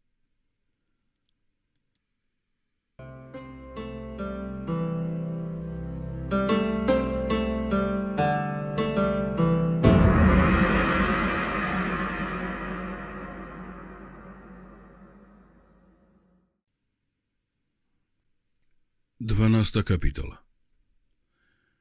Sudca, ty si zašiel do izby po kalabasu a meč. Musí ísť okamžite za kapitánom Siao, aby mu povedal o schôdzke v sklade. Potom spolu urobia opatrenia na zatknutie záhadného pána Chao a langových násilníkov. Pred chodom do rybárika stála papradina a dohadovala sa s nejakou starenou, ktorá predávala toaletné potreby. Chcel okolo nej prejsť a len jej priateľsky kývnuť, no položila mu ruku na plece a ukázala hrebeň zo slonoviny vykladaný lacnými kamienkami. Čo myslíte, prístane mi? Opýtala sa koketne. Keď sa sklonila, aby si ho obzrel, rýchlo mu zašepkala. Dajte si pozor. Tí dvaja muži vonku sa na vás pýtali. Určite vám veľmi pristane, povedal a vyšiel pred vchod. Predstieral, že sa pozera na oblohu a kútikom oka pozoroval dvoch pánov stojacich pri bráne deviatich oblakov. Ich solidné oblečenie, sivé odevy s čiernymi šerpami a čiapkami im dodávalo nedefinovateľný charakter. Mohli patriť do Langovej ligy, ale mohli to byť aj agenti z paláca. A odteraz Musí rátať aj s agentmi Červenej ligy, ktorá mohla zistiť, že sa vydáva za jedného z nich. Nech je to akokoľvek. Nesmú sa dozvedieť, že ide navštíviť kapitána Siao. Prechádzal sa po hlavnej ulici a občas sa zastavil, aby si obzeral tovar vystavený pred obchodmi. Áno, obaja muži v sivom ho sledovali. Darmo sa pokúšal uplatniť zo pár osvedčených trikov. Nenáhlivo zašiel za roh, tam zrazu pridal do kroku a chcel sa stratiť v dave. No oboch mužov mal stále za petami a očividne ich to nestalo nejakú námahu. Boli to ostrieľaní chlapíci. Sudca stratil náladu a tak vošiel do veľkej jedálne a vybral si stôl vzadu. Keď sa ho čašník prišiel opýtať, čo si želá, povedal mu, že na niečo zabudol a kuchynskými dverami vybehol von. Na rohu zadnej uličky však stál pán v sivom. Sudca sa radšej vrátil na hlavnú ulicu. Keby dobre poznal mesto, mohol by sa pokúsiť uniknúť prenasledovateľom ešte raz. No teraz sa zrejme bude nútený uchýliť k úskoku, ktorým ich donúti, aby priznali, čo sú zač. A súčasne sa dostane na veliteľstvo. Kráčal ďalej s prúdom ľudí, až kým nezazrel pred sebou špicatú prilbu gardistu. V tej chvíli náhle pridal do kroku. Prudko sa zastavil a obrátil. Vrazil do vyššieho z oboch prenasledovateľov a z plnej sily skríkol. Zlodeji! Chyte ich! Okamžite sa okolo nich zhrčil malý dav a ľudia sa ho vzrušene pýtali, čo sa stalo. Som lekár, vykríkol sudcatý. Tento vysoký darebák do mňa vrazil a ten druhý sa mi pritom pokusil strčiť ruku do rukáva. Statný kulís chmatol vysokého muža za kolier. Aká hamba, okradnúť lekára. Ja, čo sa tu robí? Razil si k ním cestu územčistý seržant. Muži v sivom sa ani nepohli. Vôbec sa nepokúsili ujsť. Starší z nich ticho povedal seržantovi. Tento muž nás krivo obvinil. Zabete nás ku kapitánovi. Seržant si rýchlo obzrel sudcu a jeho dvoch protivníkov. Prudko si vytiahol opasok s mečom a povedal Kulimu. Pustite tohto muža. Podľa mňa ide o nejaké nedorozumenie. Ale nech rozhodne kapitán. Poďte páni, úrad je kúsok odtiaľto. Cestou na veliteľstvo obaja muži v sivom povýšene mlčali. Poručík Liov ich zaviedol do kapitánovej kancelárie. Kapitán Sia odvihol zrak od papierov pred sebou. Sudcu ty si nevšímal a stroho prikázal seržantovi, aby podal hlásenie. Potom vystrel ruku. Vaše doklady, prosím. Muži v sivom položili na stôl takmer rovnaké doklady. Oba mali červené okraje a bolo na nich množstvo pečiatok. Starší z nich povedal kapitánovi. Tento tzv. lekár je podvodník. Máme rozkaz priviesť ho do paláca. Žiadame, aby ste nám okamžite dali vojenský sprievod. Kapitán Siao si posunul prilbu do tyla. Pani, viete, že to nemôžem urobiť. Najprv musím mať zatýkač vydaný mojim veliteľom. Doklad doktora Lianga je úplne v poriadku. Ako vidím, je riadne zaregistrovaný a to mojou vlastnou kanceláriou. Poškrabal sa na nose. Ale poviem vám, čo urobím. Zoberiete odo mňa lístok pre plukovníka Kanga a potom sa sem vrátite po tohto pána. Z kopy na stole vybral čistý papier a namočil štetec. Máme sa sem vrátiť, aby sme zistili, že tento pán je už preč? Zaškeril sa starší muž. Kapitán, máme jasné rozkazy. Prepačte, pane, ale aj ja mám svoje rozkazy. Siao rýchlo vyplnil formulár a posunul ho cez stôl. Nech sa páči. Druhý muž si ho obchal do rukáva a úsečne povedal. Tohto muža dáte zavrieť, kým sa nevrátime. Len ak s tým doktor bude súhlasiť, pane. Bez zatýkača nemôžem dať zavrieť riadne prihláseného občana. Veď viete, máme obdobie humánnej vlády. No na druhej strane, ak je doktor ochotný spolupracovať. E, pravda, že? Pritakal sudca rýchlo. Neželám si, aby darebák, s ktorým si ma títo páni pomýlili, utiekol. Nedorozumenie sa musí vysvetliť čo najrýchlejšie. Tak je všetko v poriadku.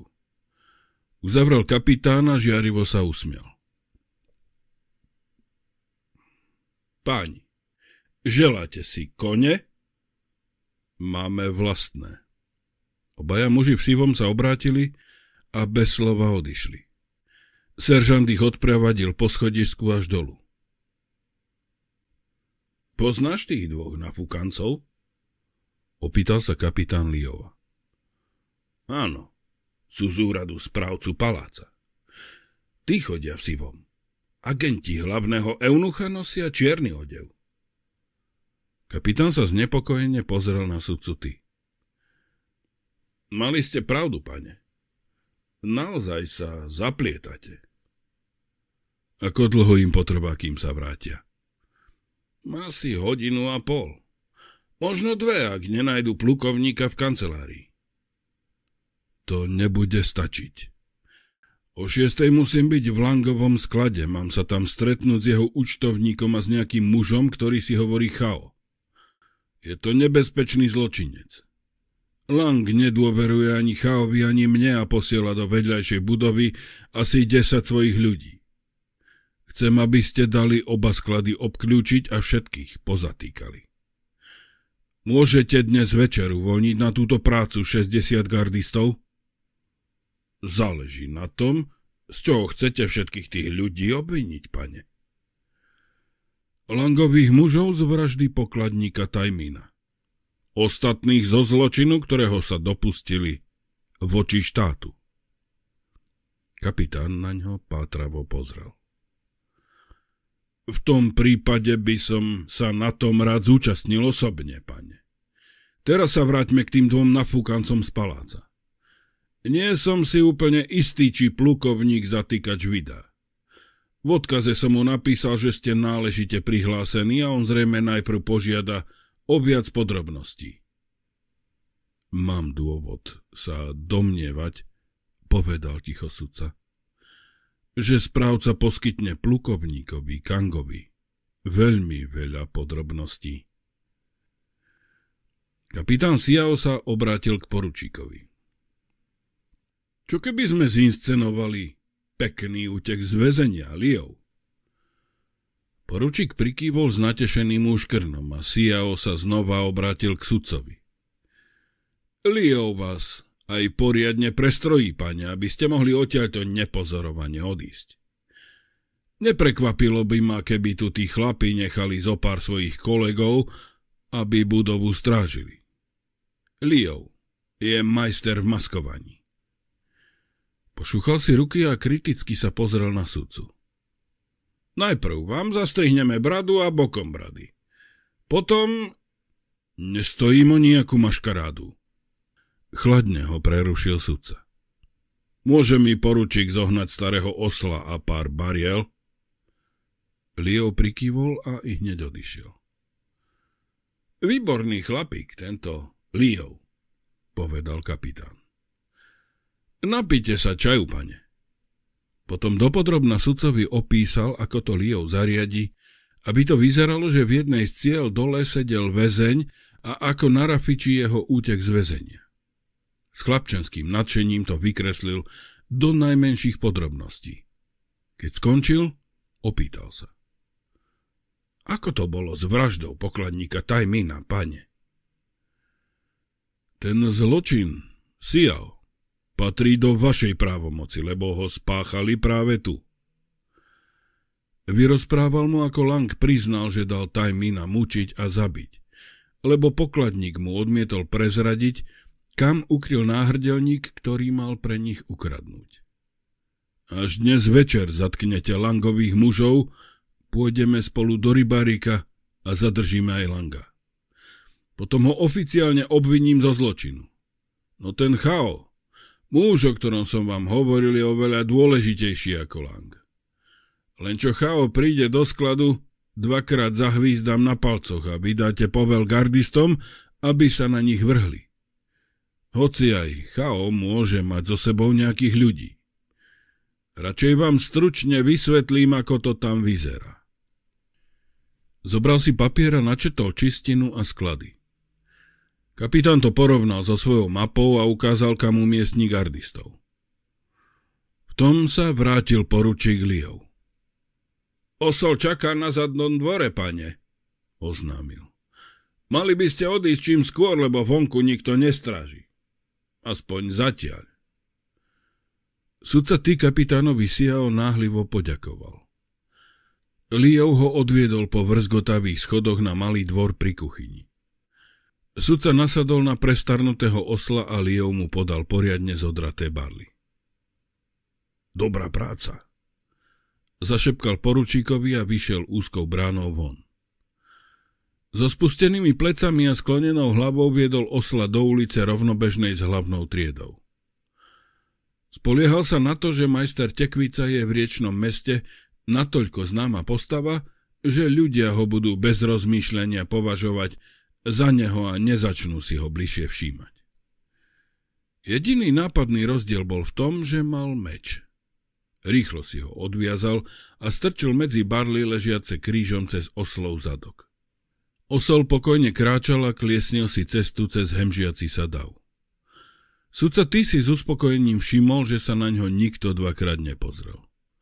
Občas ho niekto pozdravil, na čo odpovedal zdvihnutím ruky. Viedol zviera smerom k rybáriku, lebo nechcel pridlho pokúšať prozreteľnosť a jeho hostinec bol posledným miestom, o ktorom by si agenti z paláca mysleli, že by sa tam mohol ukryť. Úzka ulička vzadu za rybárikom bola úplne prázdna. Ruch okolo poludňajšieho jedla práve ustal. Služobníctvo odpočívalo a predavači neprídu skôr ako hodinu pred večerou. Pri zadnom vchode sudca z osla zosadol a nazrel do neupravenej záhrady. Zasúvacie dvere na Langovom apartmáne boli zatvorené a ani z kuchyne nedoliehali nejaké zvuky. Okenice na svojej izbe na prvom poschodí mal zatvorené, ale pod ním bolo okno pootvorené.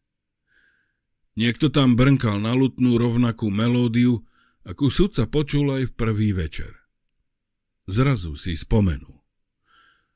Nápev bol v sídelnom meste pred mnohými rokmi veľmi populárny. Chvíľu záhradu pozoroval a potom sa rozhodol, že jeho účelu najlepšie poslúži starý sklad. Dvere boli potvorené a tak vklzol dnu. Barley a meč si niesol pod pazuchou. Kôľňa nepôsobila veľmi pohostinne. Z rozpadávajúcich sa trámov vyseli pavučiny a razilo tam nepríjemnou zatuchlinou. Pri zadnej stene sa vršili polamané stoličky a stoly. Dláška však bola vyzametaná. Keď si lepšie obzrel starý nábytok, objavil za ním pri stene kopu konopných vriec. Odsunul z cesty vratký stôl a hrotom meča pichol do vriec. Obsahovali ryžové plevy. Usúdil, že mu na pár hodín poslúžia ako posteľ. Osol sa nepochybne počase vráti, odkiaľ prišiel. Oprel Barley o stenu vedľa jednoduchého zamrežovaného okna, vrecia poukladal a ľahol si na ne tesne pri stene. S rukami založenými za hlavou si v duchu znovu prebral posledné udalosti. List Langovi od pána Chao ho skutočne potešil. Dokazoval, že s prísahancom v paláci sa náhrdelník doposiaľ nedostal do rúk. Tak to mohol vylúčiť aspoň jednu možnosť, o ktorej uvažoval. Že totiž oni sami alebo pán Chao zastavili pokladníka hneď po krádeži a kúpili náhrdelník priamo od zlodeja. Táto teória sa zakladala na skutočnosti, že tajomný pán Chao sa na druhý deň u Langa neukázal. Teraz bolo jasné, že pán Chao sa skutočne niekde zdržal, ako napísal v liste, a očakával, že obchod uzavrú dnes večer v Langovom sklade. Vyvíjalo sa to výborne. Chaovo zatknutie s prísahancov v paláci zastaví a donúti ich nad všetkým chvíľu rozmýšľať. A to jemu, sudcovi, poskytne čas si vydýchnuť a sústrediť sa na pátranie po náhrdelníku. Po dlhom predpoludní na rieke sa cítil ospalý a tak zavrel oči. Spánok mu prerušovalo mnoho snov. Znovu sa pred ním vynorila zohavená tvár bradatého nájomného vraha. Vznášala sa vo vzduchu a vyvaľovala na ňo jediné gúľajúce sa oko. Nie, bol to mŕtvý pokladník, kto nad ním stál, so zelenou a spuchnutou tvárou, upieral na ňo vytreštené oči a rozdrvenými rukami sa mu načahoval za hrdlom. Sudca chcel vstať, no telo mal ako zolova. Nevládal sa ani pohnúť. Zúfalo lapal po dychu keď si myslel, že sa už už zadusí. Pokladník sa zmenil na vysokú ženu v špinavých modrých šatách. Do tváre jej vyseli dlhé roztrapatené vlasy, zlepené blatom a pod nimi bolo vidieť synavé rozďavené ústa, z ktorých trčal spuchnutý jazyk. Sudca sa s vydeseným výkrikom prebudil. Premočený potom zliezol z dočasného lôžka a chvíľu si prezeral starý nábytok, aby sa zbavil tej strašnej nočnej mory. Tlmene zanadával, keď zakopol o niekoľko zaprášených vriec. Zdalo sa, že je v nich múka. Oprašil si kolena a potom sa znovu vystrel na konopné vrecia. Čo skoro upadol do bezsenného spánku.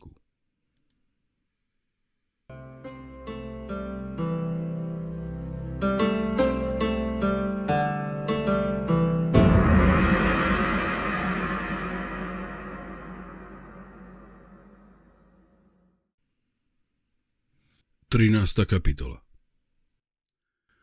Sudca Ty sa zobudil na neznesiteľné, neodbitné svrbenie na krku. Zúľakom si všimol, že za zamrežovaným oknom je už tma. Zoskočil na zem a rozbehol sa k oknu. Uľavilo sa mu, keď počul, ako kuchári sekajú meso a veselo si pritom pospevujú. Keďže nikto nevykrikoval objednávky do večernej ríže, zostávalo ešte dosť času. Ako si šúchal svrbiaci krk, objavil pod golierom množstvo drobných mravcov. Ďalšie mu liezli po brade a bokom bradách a tiež vpredu po šatách. Podráždene sa ich snažil čo najlepšie striasť. Za oknom Langovho apartmánu sa teraz svietilo a časť dverí bola odsunutá, no z dnu nebolo počuť nejaké hlasy. Dvaja predavači zeleniny vošli do záhrady a zamierili rovno do kuchyne. Sudca ty vyčkal, kým s prázdnymi košmi neodišli, potom vyklzol von a pobral sa k bránke v záhradnom múre. Na jeho prekvapenie tam osol ešte vždy bol. Stal tesne pri múre a pískom sa prehrňal v kope odpadkov z kuchyne. Sudca sa rýchlo vrátil do skladu a schytil barly. V tomto prestrojení sa cítil bezpečne a tak zamieril na nábrežie. Pri stankoch s jedlom pred rybným trhom sa pod čmudiacimi olejovými lampami hemžil pestrý dav a ozývala sa zmes prenikavých hlasov. Keď sa predoslom prevratila kára plná melónov, musel sudca ty zastať. Okolo stojaci ľudia pribehli predavačovi pomôcť pozbierať tovar. Otrhaný muž chytil sudcovho osla za úzdu. Vyvediem vás odtiaľto, majster Tekvica. Zvolal ochotne. Kým Kuli odstrkoval ľudí na bok, sudca zrazu za sebou začal zašepkať vetu. Idu po ňom, ale niekde zmizol. Sudca sa rýchlo obratil v sedle. V nejasnom svetle videl len rozosmiaté tváre niekoľkých mládencov, ktorí zozadu postrkovali osla. V nasledujúcej chvíli bol z davu vonku.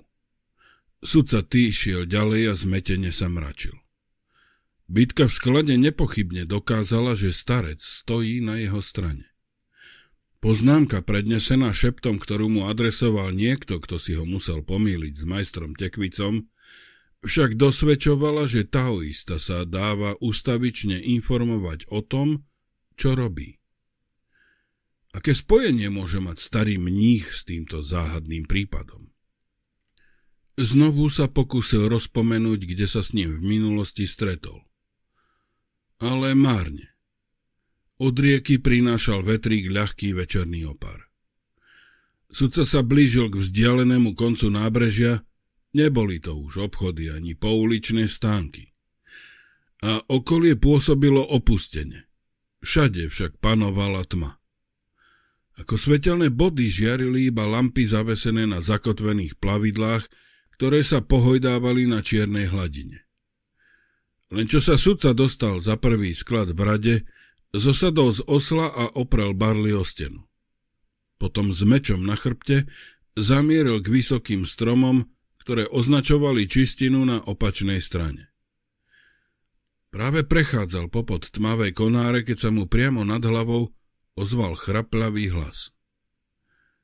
Idete neskoro, ale Chao ešte nedorazil. Pozrel hore a zbadal mohutnú postavu jedného z langových telesných strážcov, ako sedí na hrubom konári. Veru. Svojej práci rozumel pán Lang naozaj dobre. Sudca prešiel cez čistinu a zaklopal na dvere. Muž s guľatou hlavou mu ich hneď otvoril. Som rád, že ste tu, zamrmlal. Z tohto miesta mi naskakuje husia koža. Bojíte sa tajminovho ducha? Opýtal sa chladne sudca. Prisunul lavicu k stene a sadol si. Ja nie. Účtovník si prisadol k sudcovi ty. Viete, kvičal ako prasa. Škoda, že ho tí hlupáci odpravili skôr, než sa do ňo poriadne pustili. Tenké pery vykrivil krutý úsmev. Priviazali ho práve na túto lavicu, viete? Najprv... Vaše zábavky ma nezaujímajú. Sudca si položil meč na kolena a oprel sa o stenu. Ale môžete mi povedať, čo ste z neho vytiahli. Dokopy nič. Keď mu chlapi pálili podošvy, do nekonečna jačal, že tie perly nemá. Potom vrešťal, že nemá zmysel, aby v tom pokračovali, lebo ich naozaj nemá. Predtým, ako ten bezočivý darebák skapal, všetkých nás preklial.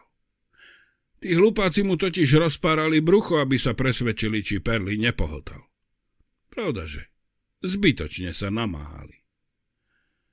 Pozrel na sudcov meč a nervózne dodal.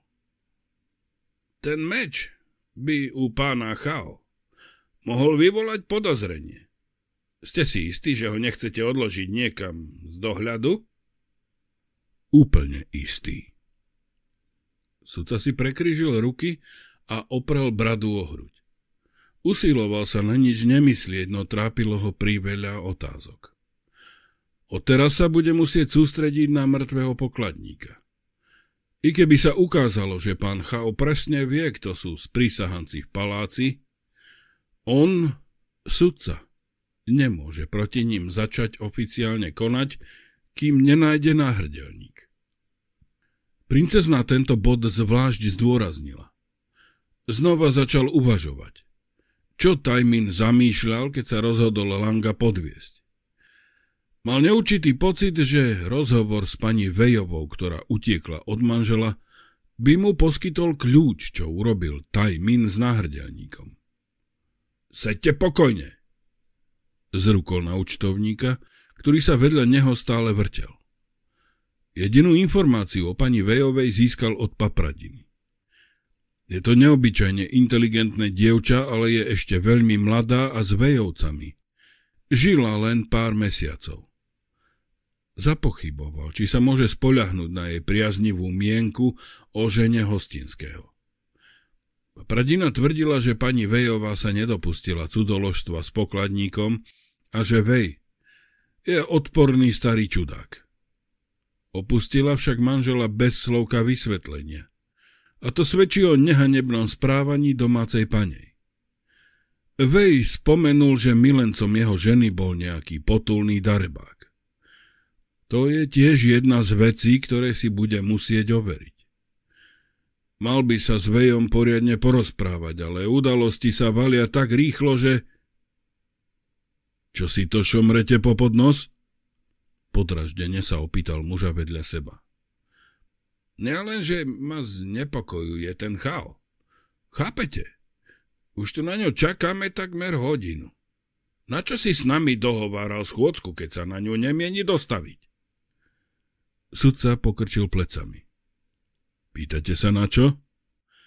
Zrejme ho zdržali nejaké Nepredvídané. Nahle zmlkol. Potom si buchol pesťou do kolena. Vznešené nebesa. Malo mi to napadnúť. Zo všetkých. Čo? Prečo? Zajachtal účtovník. Som taký istý zadubenec ako vy, povedal roztrpčene sudcaty. Táto schôdzka bola pochopiteľne len zákerný úskok. Sudca vyskočil, vystrašeným otázkam účtovníka nevenoval pozornosť a vybehol von, kde dva razy silno zahvízdal na palcoch. Hvízdanie sa ostro rozľahlo nad tichou čistinou. Dvere na vedľajšom sklade boli trochu pootvorené a opatrne z nich vykukovala bradatá tvár. Z borovicového lesa sa ozvali hlasné povely a rinčanie zbraní. Zo stromu naproti sa spustila veľká tmavá postava. Dvaja vojaci schmatli telesného strážcu. Začal sa brániť, ale zrazili ho úderom meča na plocho po hlave. Čistina sa odrazu zaplnila gardistami, ozbrojenými až po zuby. Keď dvaja z nich začali bojovými sekerami rozbíjať dvere na druhom sklade, kapitán Siao s poručíkom Liou v závese pribehli k sudcovi. Po vás sme nevideli nikoho prísť, oznámil mu kapitán. Ten chudý chlapík za vami je zrejme pán Chao, však. Nie, nie je. Ale je zodpovedný za mučenie a vraždu pokladníka. Okamžite ho dajte zatknúť. Chao sa neukázal. Kde máte kone? Musíme sa čo najrýchlejšie dostať do rybárika. Kapitán vydal úsečný rozkaz Liovovi a rozbehol sa k lesu. Sudca ty tesne za ním. Koľko mužov potrebujeme? Spýtal sa sudcu ponad plece. Štyria budú stačiť, odvetil zadýchčanie sudca. Za druhou zákrutou lesnej cesty strážilo šesť jazdcov, niekoľko desiatok koní s bohatými postrojmi. Sudca ty a kapitán si z nich dva vybrali a vyšvihli sa do sedla. Sudca popchol konia a kapitán zakričal na štyroch mužov, aby ho nasledovali. Zatiaľ vojaci na čistine zoradili langových mužov a spútavali ich do vedna reťazami. Poručík Lio vlastnoručne nevzrušene zvezoval muža s guľatou hlavou dlhým tenkým povrazom. Keď sudca ty cválal okolo, zavolal na ňo. Nezabudnite na osla. Čaká pri prvom sklade.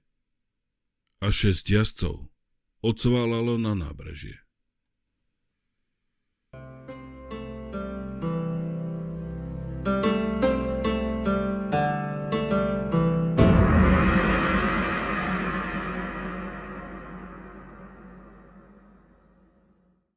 Štrnácta kapitola v šerej hale stál za pultom pán Vej a popíjal čaj s dvoma hostiami. Ohromene hľadel na sudcu ty a gardistov a šálku držal na polceste k ústam. Prišli za pánom Langom nejakí hostia? Vyhrkol sudca.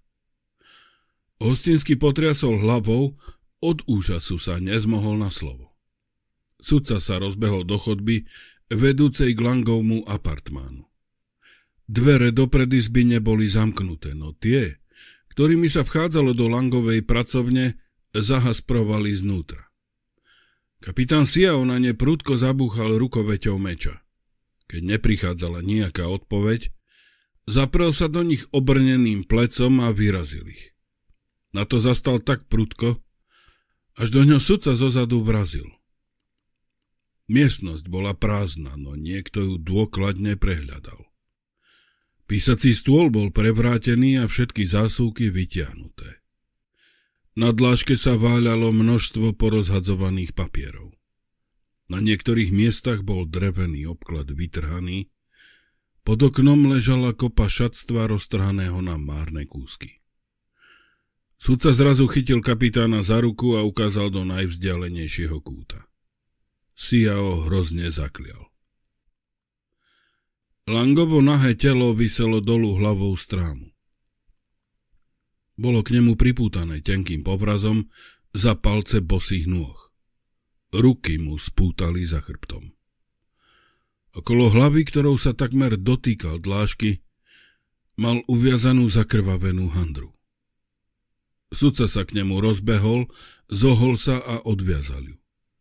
Tej chvíli začala krv kvapkať na dlášku. Rýchlo mu položil ruku na hruď. Bola ešte teplá, no srdce už nebilo. S tvárou bielou ako krieda sa obrátil ku kapitánovi. Prineskoro. Povedzte svojim mužom, aby ho zložili a odniesli do márnice. Sudcatý neistým krokom podišiel k písaciemu stolu, zdvihol prevrátené kreslo a sadol si. Lang bol síce bezcitný zločinec, ktorý si plne zaslúžil, aby ho stiali na popravisku.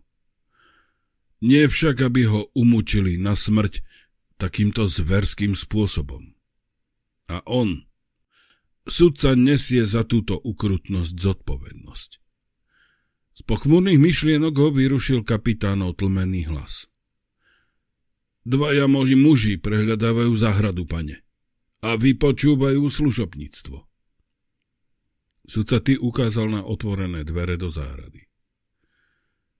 Pochybujem si ja, že by tých votravcov niekto zazrel, povedal unavene. Prešmykli sadnú tadiaľ. Vošli zadnou bránkou vo chvíli, keď kuchári mali plno práce s prípravou večernej ryže. Preto určili čas schôdzky na 6 hodinu. Tá schôdzka im poslúžila ako lesť, aby odlákali langových ľudí a mohli ho vypočúvať o samote. Dopustil som sa hrubej chyby, Siao. Veľmi hrubej chyby. Pomaly si hladkal dlhú čiernu bradu a uvažoval, že ten úskok plne zodpovedá pokrivenému mysleniu nemorálnych dvoranov, neprekonateľných majstrov v podvádzaní a pretvárke. Museli mať medzi langovými mužmi špeha, ktorý ich včas informoval, že pokladník náhrdelník nepriniesol. Preto poň pána Chao neposlali. Neskôr však zrejme dospeli k názoru, že Tajmín, keď sa vrátil do hostinca, aby si zbalil veci, určite náhrdelník odovzdal Langovi a Lang ho nechal odísť, keď mu slúbil oveľa väčšiu odmenu, než sa dohodli predtým. A že Lang poslal svojich ľudí, aby pokladníka zabili, čím si zabezpečil aj ich podiel z lúpeže. A zbavil sa ďalších ťažkostí s pokladníkom sprísahanci z paláca, presvedčení, že Lang ukryl náhrdelník niekde vo svojej pracovni, navrhli schôdzku v sklade, aby ho mohli prekvapiť tu v hostinci. Čo ste vraveli, Sial? Pýtal som sa, pane, či povedia vás, tí lotri. Vôbec našli to, po čo sem prišli? Nenašli. Nebolo to tu. O tom bol sudca ty presvedčený. Pravda, že zďaleka nevylučoval možnosť, že Lang by bol schopný dopustiť sa podobného podvodu, no pokladník by v takom prípade určite mučiteľom povedal, aby ho odviedli za svojim pánom. Mal by totiž nádej, že získa trochu času. Ak by sa mu aj nepodarilo po rozhovore s Langom zachrániť si život. Sudca sa mlčky pozeral, keď dvaja gardisti zvesili mŕtve telo. Položili ho na nosidla, prikryli plachtou a odniesli. Prišlo mu zle a zmocnila sa ho únava z tohto šialeného, bezvýchodiskového prípadu. Ozaj, pane, takmer som vám to zabudol povedať. Práve keď som zhromažďoval mužov pred odchodom do Langovho skladu, Vrátili sa moji agenti z dediny Šeli na druhej strane hôr. Pani Vejovu tam nenašli a sú si úplne istí, že tam ani nebola. Sudca ty na to nič nepovedal. Čiže ani táto teória mu nevyšla. Usiloval sa zo všetkých síl, ale všetky pokusy vychádzali na zmar. Otupene sa spýtal. Čo povedali páni z paláca na môj útek z väzenia? Veľa toho povedať nemohli, pane, lebo som ich zaviedol do cely, kde ste údajne mali byť a Liov tam odviedol skutočne vynikajúcu prácu. Hoci priznávam, že sa tvárili vražedne, čo sa mi vôbec nepáči. Langová vražda mi však poskytuje dobrý dôvod, aby som do haly postavil šesťčlennú stráž. S prísnym rozkazom, aby dnu nikoho nepúšťali. Sudca tý vstal. Výborne, povedal. Potrebujem sa poriadne vyspať. Na to sa obaja muži vrátili do haly. Sudca netušil, že v rybáriku je ubytovaných toľko hostí. Hala bola plná rozčúlených ľudí. Jeden gardista stal pri hlavnom vchode, ten druhý vypočúval zo pár vystrašených sluhov. Len čo hostia zazreli kapitána, obklopili ho a zahrnuli otázkami. Kapitán privolal Veja, ktorý stal s papradinou a recepčnými pri pulte. Hostinskému povedal. Pána Langa zavraždili votrelci a prehľadali jeho apartmán. Vznešené nebesa. Zničili aj nábytok? Choďte sa tam pozrieť sám. Hostinský s recepčným náhlivo odišli do chodby a Siao sa obrátil k hostom. Páni, bude lepšie, ak sa vrátite do svojich izieb.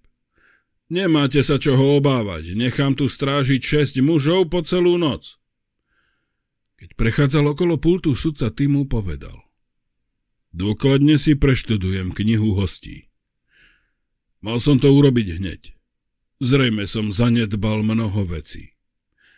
Prídem za vami hneď zajtra ráno. Tuším ste nejako za dobre s tým namysleným kapitánom, poznamenala papradina. Zaujímal ho môj názor na čas smrti. Mohli by ste mi prosím vás dať knihu hostí? Otvorila hornú zásuvku a podala mu objemnú knihu. Oprela sa lakťami o pult a sledovala sudcu, ako v nej listuje. Mená mu veľa nehovorili. Okrem Langa a jeho mužov sa zdalo, že ide o poctivých obchodníkov a všetci prišli o deň alebo viac dní skôr ako sudca ty. Nechá na kapitána, aby preveril ich minulosť. Nevidela som vás celé popoludnie, poznamenala papradina a zvedavo pozrela na sudcovú strhanú tvár. Vyzeráte dosť vyčerpane. Naozaj som unavený. Pôjdem skoro spať. Dobrú noc. Hore v izbe otvoril okno do Korán, potom si sadol za stôl a pritiahol si opletený čajník. Pomaly srkal čaj a zúfalo sa usiloval sústrediť. Musí prehodnotiť situáciu. Úplne nestranne musí sa spamätať zo šoku, ktorý zažil po Langovej ohavnej vražde. Musí brať všetko, čo sa stalo, len ako skladačku na precvičenie duševných schopností a pokúsiť sa umiestniť každú časť na jej logické miesto. Pri veľa častí však chýba. Keby mu princezna nebola dala výslovný príkaz, že nesmie prezradiť svoju totožnosť, kým nenájde náhrdelník, mohol by urobiť aspoň niečo, aby sa veci pohli dopredu. Mohol by ísť do paláca a začať oficiálne vyšetrovanie. V prvom rade by zatkol oboch mužov v sivom rúchu z úradu správcu, ktorí ho sledovali. Bol si istý, že ho neprenaslenovali preto, lebo sa dostal do paláca pod falošnou zámienkou, ale pretože ich platili sprisánci. Tí totiž boli rozhodnutí za každú cenu mu zabrániť, aby našiel náhrdelník. Priamy postup však bol vylúčený a tak uvažoval, aká možnosť mu zostáva. Času mal veľmi málo. Len noc a dopoludne, lebo princezna musí napoludne opustiť vodný palác a odcestovať do sídelného mesta. Sudca vstal a s rukami za chrbtom sa začal nepokojne prechádzať hore dolu po miestnosti. V duchu pred sebou videl princezninu čarovnú tvár. Tretia princezna. Najobľúbenejšia dcéra jeho veličenstva, obklopená desiatkami dvorných dám a stovkami komorných, ochraňovaná hlavným eunuchom a jeho ozrutnými strážcami, napriek tomu osamelá, má len jedinú dvornú dámu, ktorej môže naozaj dôverovať. Cisár jej splní každé želanie. Urobil dokonca krok, ktorý nemá v dejinách období, keď jej zveril dekret na menovanie cisárskeho vyšetrovateľa a nevyplnil na ňom meno. Taká vplyvná mladá žena a pritom natoľko osamelá a zúfala. Myslel na jej veľké utrápené oči. Nepriamo mu naznačila, že náhrdelník jej ukradli, aby na ňu cisár zanevrel. To však nemohol byť pravý dôvod. Cisár bol známy ako múdry, ohľaduplný muž s rozvážnym úsudkom. A strata náhrdelníka ťažko mohla mať za následok niečo viac ako prísne pokarhanie. Napriek tomu jej posledné slova zneli, že svoje šťastie vkladá do jeho rúk. S trpkosťou si uvedomil, že pre príveľkú seba dôveru sa dopustil niekoľkých hrubých chýb. Teória, že zavraždený pokladník sa chystal utiecť so ženou hostinského, bola úplne milná. O čo teda išlo mládencovi v tú noc, keď sa vybral do vodného paláca ukradnúť náhrdelník? Náhle sa sudca zarazil. Staranú tvár mu rozjasnil nesmelý úsmev. Hladkal si pritom bokom brady a uvažoval, že konečne prišiel na možnosť, ako konať priamo a pritom neodhaliť svoju totožnosť. Rýchlo otvoril cestovnú tašku a preskúmal jej obsah. Keď na samom dne objavil prostý odev z čierneho hodvábu a dlhú širokú čiernu šerpu, ktorá k nemu patrila, spokojne kývol hlavou. To je presne to, čo potrebuje. Vyzliekol si hnedý cestovný odev a ľahol si. Potreboval niekoľko hodín spánku, ale v unavenom mozgu mu vírilo priveľa otázok. Dlho sa prehadzoval na posteli, kým konečne zaspal.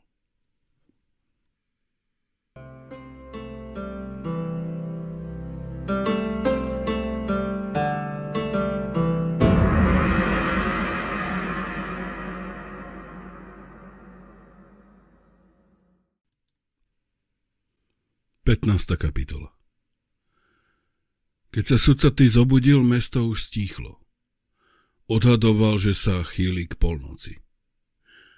Obloha sa zatiahla mrakmi a občas prudko zafúkalo, ale na dažď to nevyzeralo.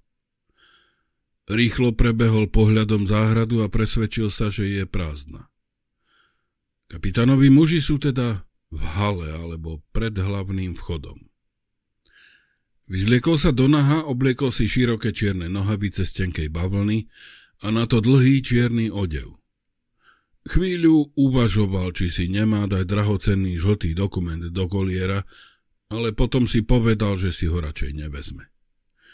Ak sa mu plán nevydarí, aj tak by mu neposlúžil, lebo ho najdu na jeho mŕtvom tele. Tento raz ide o všetko. Po všetkom tom tápaní v temnotách po boji s nepolapiteľnými tieňmi konečne vidí pred sebou presné a jasné východisko. Upevňoval si opasok okolo drieku a ticho si pritom pohmkával.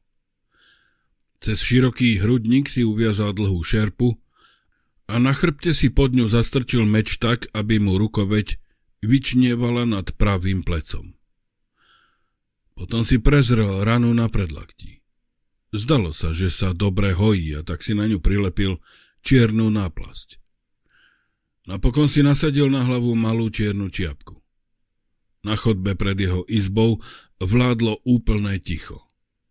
Po ceste ku schodisko sa od úľaku až mykol, keď po ním zrazu zavrzgala podlahová doska. Zostal stáť, chvíľu načúval, no z dola z haly sa nič neozvalo. Sudca tesne popri stene zišiel na prízemie. V hale nikoho nenašiel, ale spred vchodu bolo počuť hlasy gardistov.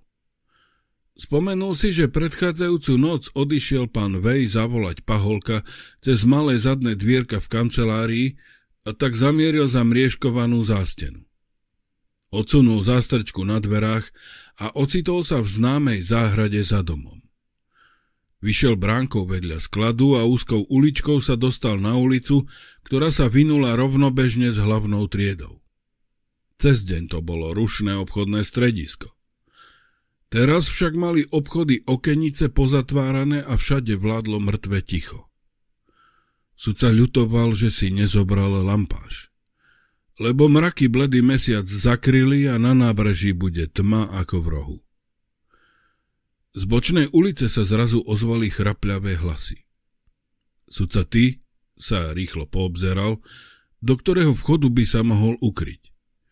No v tej chvíli sa vynorila spoza rohu nočná hliadka a zastavila ho. Seržant dvihol lampáš. Aha, doktor Liang, kam idete tak neskoro? Môžem vám nejako pomôcť? Zavolali ma k ťažkému pôrodu, blízko rybného trhu. Pritom vám nepomôžeme, doktor, vyhlasil seržant a muži sa rozchechtali. Ale niečo pre mňa urobiť môžete poznamenal sudca. Požičajte mi lampáš. Veľmi radi.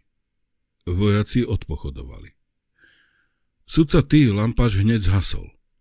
Neskôr sa mu možno veľmi zíde. Keď sa blížil k nábrežiu, niekoľko raz sa obzrel ponad plece, lebo mal nepríjemný pocit, že ho kto si pozoruje. Všetky okenice však boli pozatvárané a v tieni medzi domami sa nič nehýbalo. Východný koniec nábrežia zahaľoval sivý opar.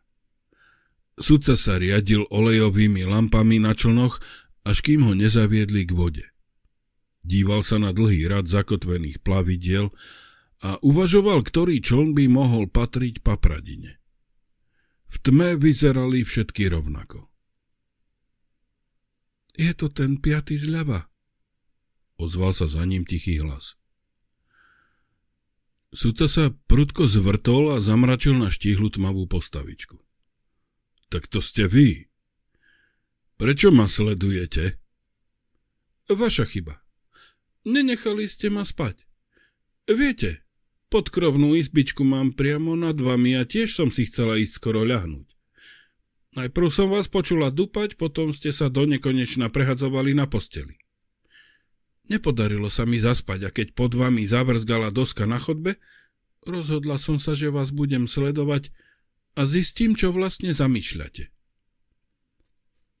Ako vidieť, dobre som urobila, lebo by ma určite nepotešilo, keby ste čln potopili. Mám ho totiž rada. Počúvajte. Slečna papradina, okamžite prestante vymýšľať. Láskavo sa vráte domov. Viem, čo robím. Nie, s člnom to neviete. Kam ste sa vlastne vybrali? Nejdem ďaleko, keď to musíte vedieť. Len do štvrtej zátoky proti prúdu. Pohoršenie odvrkla. A vy si myslíte, že by ste tam v tejto tme trafili? Verte mi, ťažko by ste zbadali ústie zátoky aj zadeného svetla je veľmi úzke a zarastené vodným rastlinstvom. Ja tú zátoku náhodou dobre poznám, lebo sú tam výborné raky. Poďte, nastúpte do člna. Sudca zaváhal. Mala pravdu. Mohlo by mu trvať hodiny, kým by zátoku našiel. Keby bola ochotná počkať tam, nič by jej nehrozilo. A jemu by ušetrila kopu ťažkostí. Chcem sa poobzerať po lese, ale možno budete musieť na mňa čakať aj niekoľko hodín. V člne sa vyspím rovnako pohodlne ako doma v posteli. Okolo celej zátoky rastú vysoké borovice a čln zakotvím pod nimi. V člne mám aj kus plachtoviny pre prípad, že by sa rozpršalo. Ale podľa mňa hrozia na najvýš prehanky. Sudca si sadol do zadnej časti člna. Naozaj mi tým veľmi pomôžete, slečna papradina. Povedal vďačne, keď odrážal bydlom čln od brehu. Mám vás rada. A navyše vám dôverujem. Hoci len nebesa vedia, čo sledujete týmito nočnými potulkami. Lampaž na prove však rozhodne nerozsvietime. Keď sa dostali s člnom doprostred rieky, mrak úplne zastrel mesiac a nastala tma ako vo vreci. Uvedomil si, že bez dievčaťa by bol úplne stratený. Papradina veslovala v rýchlom tempe, no tak zručne, že skoro nebolo počuť, ako čln napreduje. Nad riekou náhle zadul studený vietor a sudca si pritiahol odev tesnejšie na holú hruď. Už sme tu, obratila čln do úzkej zátoky, kde sa mu ovisnuté konáre šúchali o plecia. Pred nimi sa hrozivo vynorila temná hradba vysokých stromov.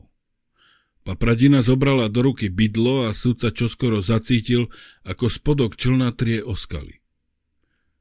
Zakotvím pri tomto skalnom previse, oznámila mu. Už môžete rozsvietiť lampaš, z rieky nás nikto neuvidí. Sudca tý vybral z rukáva kresadlo a rozsvietil lampaš, ktorý si požičal od nočnej hliadky. Všimol si, že papradina má na sebe čiernu blúzu a čierne nohavice, a na vlasoch uviazanú čiernu šatku. S nezbedným výrazom vo veľkých očiach poznamenala. Ako vidíte, viem sa vhodne obliec na nočné dobrodružstvo. V tejto chránenej zátoke sme úplne sami. Len vy a ja. A mesiac nad nami. Nechcete mi pošepkať do úška, čo to všetko znamená? Chcem tu niečo pohľadať. Pôjdem po starom chodníku, čo vedie cez les. Zaberie mi to niekoľko hodín. Ak neprídem do tretej, vráťte sa do mesta sama.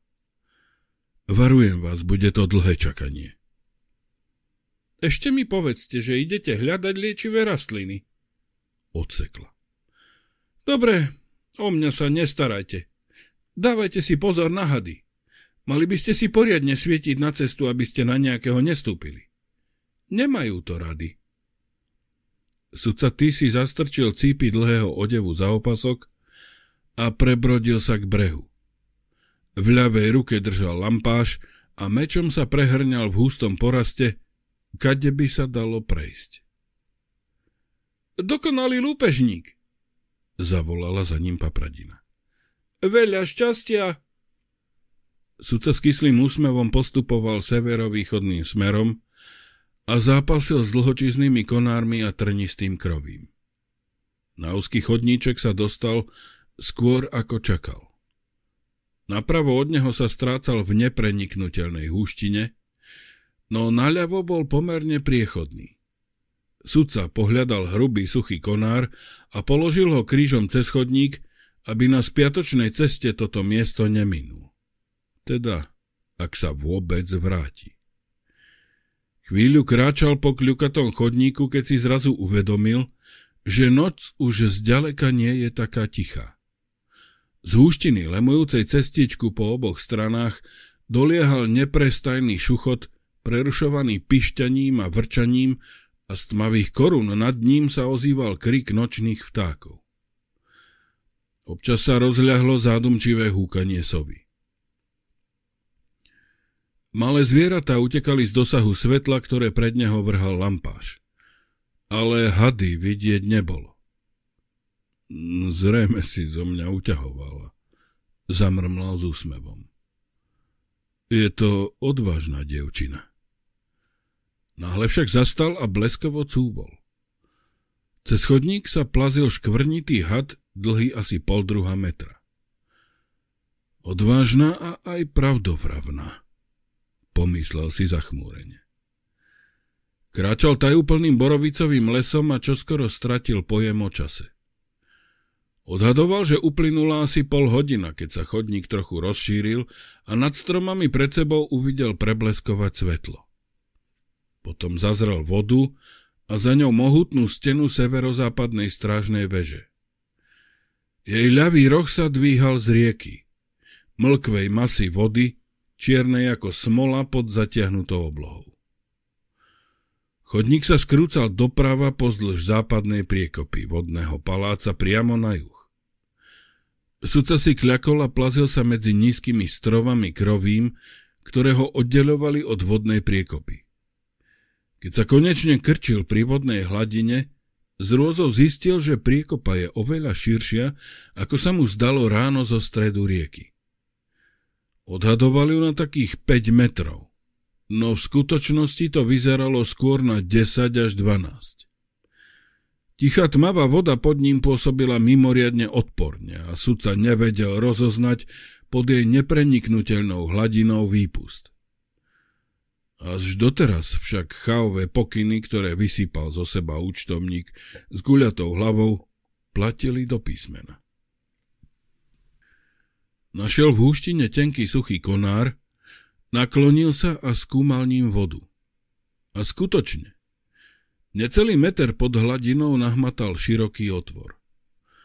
Spoza cimburia strážnej veže sa náhle ozvali hlasné povely, sprevádzané rinčaním železom obitých čižiem na kameni, v nočnom tichu sa rozliehali na všetky strany.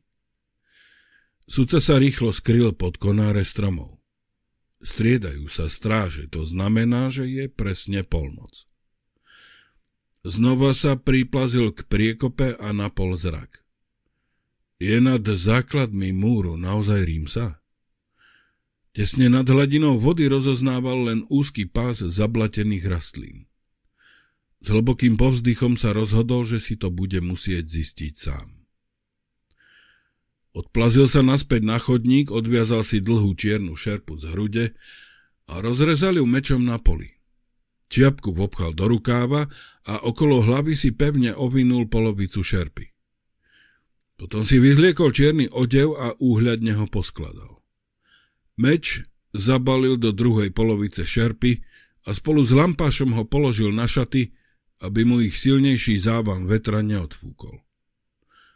Široké nohavice si pevne obkrútil okolo lítok, zastrčil do čižiem a šnúrky uviazal okolo nôh. Napokon si rozdelil dlhú bradu na dve časti a prehodil ich cez plecia. Jej konce na krku vzadu zviazal a zastrčil počerpu na hlave.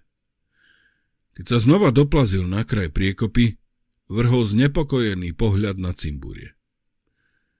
Pán Chao povedal, že vo chvíli, keď sa pokladník dostane k palácu, lukostrelci budú zamestnaní inde. Sprisahanci zrejme niečo vymysleli aby odvrátili ich pozornosť od stráženia. Bude musieť riskovať. Pomaly sa spustil do vody. S nohami to nebolo také hrozné. Za to ľadová voda ho mrazila na holom bruchu a hrudníku. S úšklepkom si pomyslel, že Tajmin určite plával popri výpuste pod vodou. Sám sa však na taký akrobatický výkon necítil. S očami a nosom nad hladinou tápal popri klskom výpuste. Rukami narážal na mazľavé, nedefinovateľné predmety a meké, lepkavé čiastočky, ktoré sa poddávali pod jeho dotykom. Drevo na starých vrátach výpustu bolo zhnité, preto musel rátať s nečakanými dierami. Na pol ceste náhle stratil rovnováhu. Potopil sa a voda mu zabublala nad hlavou. Podarilo sa mu znova zachytiť výpustu, zhlboka sa nadýchol a pokračoval v ceste. Keď sa dostal na druhú stranu, uľahčene si vydýchol. Skrčený vo vode začal ohmatávať zablatený pás rastlín popri spodnej časti múru. Záhadný pán Chao bol zrejme odpudivý človek, no sudca oceňoval jeho presnosť. Skutočne tam bola Rímsa pokrytá smradľavým nánosom bahna, husto zarastená burinou, no ako opora pre nohy postačovala. S obavami pozrel na prečnievajúce cimburie, 6 metrov nad sebou, pomaly sa zdvihol z vody a vyliezol na rímsu. Roztiahol ruky, chrbtom sa pritisol na zošikmený múr a pomaly sa posúval okolo rohu strážnej veže. Pred sebou mal teraz rieku, trblietavú, šíravu, vody čiernej ako smola. Opatrne postupoval pozdĺž severného múra a každý krok na zabahnené rímse si dopredu vyskúšal špičkou premočenej čižmy. Po chvíli začal z čierneho prúdu, pomaly tečúceho pred ním, dostávať závrat. Mal pocit, že on a spolu s ním celý palác plávajú proti prúdu rieky. Rázne zavrel oči a postupoval ďalej. Uvedomoval si, že takýto pohyb je pomerne ľahký pre štíhleho drobného mládenca. Ako bol Tajmin. Za to on pri svojej výške a hmotnosti je v jasnej nevýhode. Pri každom druhom kroku sa mu noha zabárala hlboko do nánosu a musel rátať aj s dierami na miestach, kde sa časti rímsi zdrobili. Keď sa dostal na úsek, kde sa nahromadilo menej bahna, obrátil sa tvárou k stene. Znova otvoril oči. Táto poloha mala výhodu aj v tom, že videl škáry medzi zvetranými tehlami, kde sa mohol zachytiť koncami prstov. Nesmierne sa mu uľavilo, keď ľavou rukou nahmatal vypuklý kamenný kváder, ktorý označoval oblúk prvého vodného kanála. Strčil dnu ruku a asi v štvrť metrovej vzdialenosti nahmatal tyč železnej mreže. Uchopil ju, zoskočil pod oblúk Zachytil sa hornej tyče mreže a unavené nohy zakliesnil do spodnej, takže ich mal za mrežou a čižmi tesne nad vodou. Nebola to veľmi pohodlná poloha, no bol v úplnom bezpečí, lebo horná časť oblúka ho chránila pred pozornými zrakmi z cimburia. Nervózne uvažoval o počte vodných kanálov, cez ktoré ešte musí prejsť. Ráno ich napočítal osem. Tajmin to však dokázal. A on ide presne v jeho stopách. Jediný rozdiel je v tom, že cieľom pokladníka bolo získať náhrdelník, kým on chce získať audienciu. Bol to jediný spôsob, ako sa porozprávať s princeznou a neporušiť pritom jej príkaz, aby všetko zachoval v úplnej tajnosti. Cesta, ktorou šiel Tajmin, mu zároveň pomohla poskytnúť kľúč k záhade, kam ukryl náhrdelník.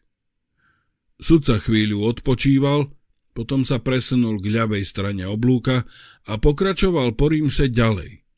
S pravým lícom pritisnutým na drsný povrch múra a s čižmami čvachtajúcimi v nánose. Postupne si zvykal na nezvyčajný spôsob pohybu bokom. Navyše sa cítil dostatočne v bezpečí pred šípmi, lebo sa presvedčil, že cimburie asi o štvrť metra prečnieva nad múrom.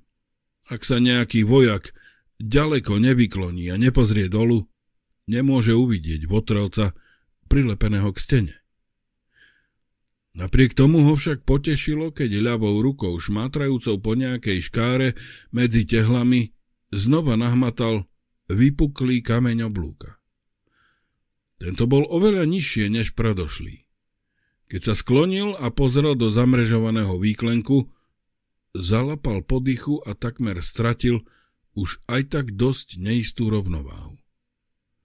Najnižšiu tyč zvierala tenká biela ruka.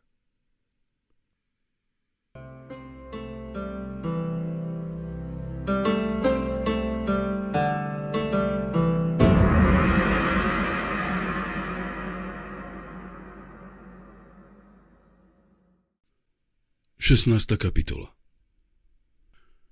Sucatý sa s nadľudským úsilím upokojil. Keď sa lepšie prizrel, uvidel, že tenké zápestie obopína náramok z číreho nefritu, podobe skrúteného draka. Hlavou mu preblesla myšlienka, že to nie je vodný kanál, ale klenuté okno kopky. Pred hrubou železnou mrežou asi štvrť metra nad vodou bola necelý meter široká rímsa zo sivých plochých kameňov.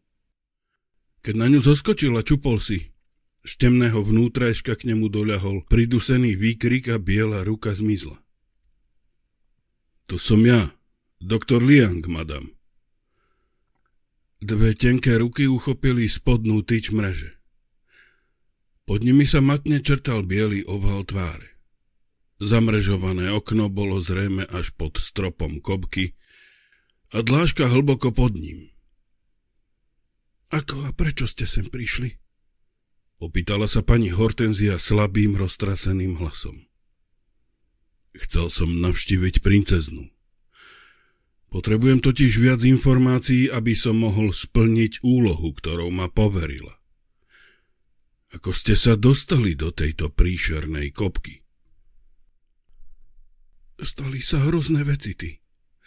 Od včerajšieho večera som nedostala ani jesť, ani piť. Dajte mi, prosím vás, trochu vody. Sudca si odmotal za hlavy čiernu šerpu, zložil ju a nabral do nej doplná vody. Podal jej túto narýchlo urobenú presakujúcu nádobu cez mrežu a povedal. Ponorte si do nej tvár, ale nevypite viac než niekoľko dúškov. Pani Hortenzia po chvíli pokračovala. Skutočne trpím slabšou astmou.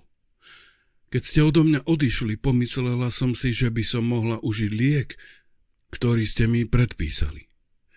Jedna dvorná dáma mi však doň tajne primiešala nejakú hroznú drogu. Krátko na to, ako som ho užila, začala sa mi krútiť hlava. Spadla som na zem a dostala som prudké krče. Princezna sa veľmi vystrašila a hneď zavolala palácových lekárov a tí vyhlásili, že som smrteľne chorá. Potom som odpadla. Keď som sa prebrala, ležala som na vlhkej dláške v kúte tejto kopky. Nikto za mnou doteraz neprišiel. Zmlkla po chvíľke sa znova unavene rozhovorila. Viem presne, čo urobia. Prídu ráno, keď budem umierať od hladu a smedu. Dajú mi otrávené jedlo a nápoj, potom odnesú moje telo k princeznej Povedia, že lekári robili všetko, čo bolo v ich silách, ale zomrela som im pred očami.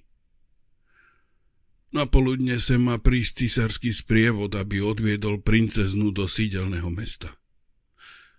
Na dôkladné vyšetrenie mojej smrti nezvýši čas. Dáte sa mi ešte napiť? Prestrčila mokrú látku cez mrežu. Kto sú tí podlí sprisahanci? Opýtal sa, keď jej podával vodu. To je jedna z otázok, ktorú som chcel položiť princeznej. Bude lepšie, keď za ňou pôjdete, ty. Určite je úplne bez seba a zrejme by vám nedôverovala. Možno si myslí, že ste mi úmyselne predpísali škodlivý liek. Pýtate sa, kto sú naši nepriatelia? Ako by sme to s princeznou mohli vedieť. Každý deň nás od rána do večera obklopujú desiatky ľudí. Každý je prehnane zdvorilý, dychtí sa zavďačiť a stále sa usmieva. Ako máme zistiť, ktorý z nich je platený špech alebo ha má prsty v nejakej zákernej intrige? Môžem vám povedať len toľko – že ak sa opovážili položiť svoje špinavé ruky na mňa, najbližšiu priateľku jej výsosti, tak podľa mňa hlavný eunuch a správca, dvaja najvyšší úradníci, musia vedieť aspoň niečo o tom, čo sa deje. No ťažko povedať, čo všetko im nahovorili. Ťažko povedať, koľkých podplatili, aby rozšírili tie najodpornejšie klamstvá a koľkých oddaných služobníkov hodili do temnice po šikovne vymyslenom obvinení. V tomto paláci je len jediná osoba, ty, ktorá je úplne nedotknutelná. A to je tretia princezna. Sudca ty prikývol. Madam, obaja, hlavný eunuch aj správca, vystupovali nápadne nepriateľsky, keď som za vami prišiel do paláca. A ten druhý sa zo všetkých síl usiluje dať ma zavrieť. Kto povedal princeznej, že som pricestoval do riečného mesta a pod akým menom vystupujem? Majster Tekvica. Pred piatimi rokmi skôr, než dostala princezná vodný palác ako letné sídlo, chodil majster do cisárskeho paláca pravidelne. Jeho veličenstvo ho totiž poverilo, aby vyučoval korunného princa filozofiu. Tretia princezná sa často zúčastňovala na prednáškach a odvtedy majstra úprimne obdivuje. Keď sa majster Tekvica stal pustovníkom a usadil sa tu v riečnom meste, princezna ho neraz pozývala k sebe, lebo v rozhovoroch s ním nachádza potešenie a úplne mu dôveruje. A pretože majster Tekvica je taký obľúbený v cisárskom paláci a tiež vzhľadom na jeho pokročilý vek, hlavný eunuch sa neodvážil proti tomu niečo namietať. Majster si zrejme domyslel, že princezná má ťažkosti, lebo predvčerom vystrelil na balkón jej salóna na východnom rohu paláca šíp bez hrotu. Viete, je vynikajúci lukostrelec. Zoznámil som sa s ním, odvetil sudca. Vie výborne narábať aj s mečom. Pravdaže. Mladého princa učil tiež šermiarskému umeniu. A hoci mu nohy neslúžia, je vynikajúci šermiar. Keby sedel na stoličke s mečom v každej ruke, traja šermiari by sa k nemu nemohli ani priblížiť. Takže priviazal naší list a v ňom princeznej oznámil váš príchod aj meno, pod ktorým vystupujete. A tiež, kde ste sa ubytovali. Poradil jej, aby sa s vami spojila. Princezná ma okamžite zavolala a povedala, že vás chce poveriť, aby ste našli jej náhrdelník. Tak som poslala po vás dceru, lebo okrem nej nemôžem nikomu dôverovať. Rozumiem. Zlodeja som vypátral. Bol to mladý chlapec, ktorého si najali banditi a tých si zase najali zákerní sprísahanci z tunajšieho paláca.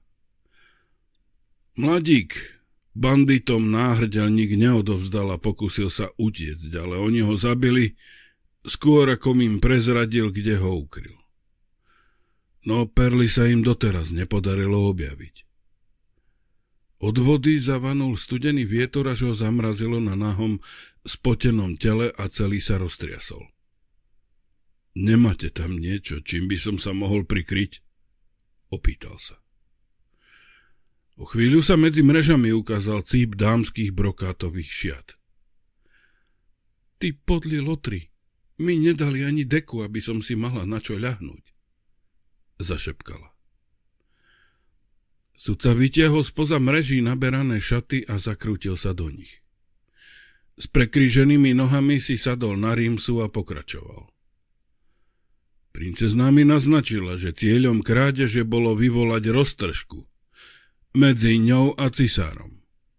Jeho cisárskou, chcem povedať, dovolte, aby som za týchto mimoriadných okolností vynechal všetky tituly. Práve dnes večer spáchali vaši nepriatelia ohavnú vraždu, lebo dúfali, že sa im konečne podarí zmocniť náhrdelníka. Ale prečo ho chcú tak veľmi dostať do rúk?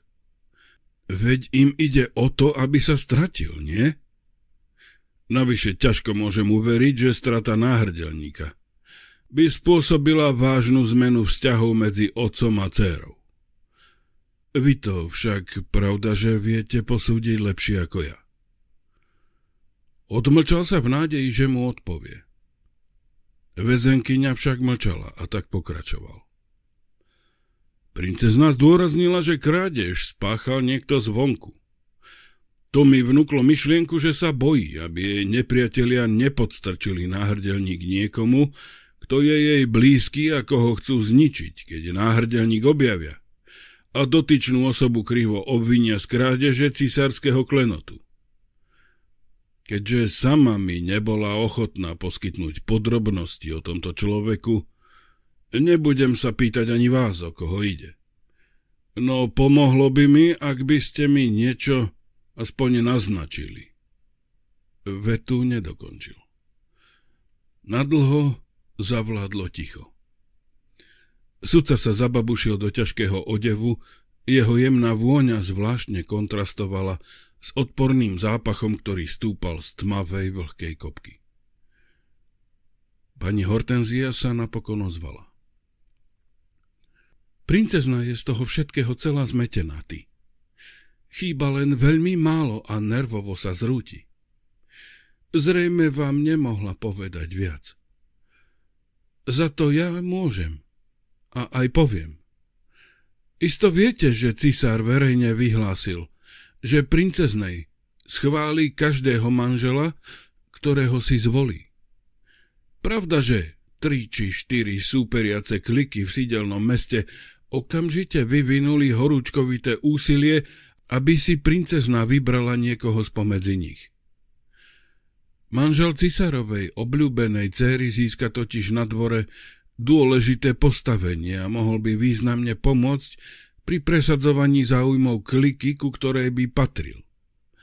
Viete si predstaviť ich hnev a sklamanie, keď princezna začala viditeľne prejavovať náklonnosť plukovníkovi Kangovi, veliteľovi cisárskej gardy.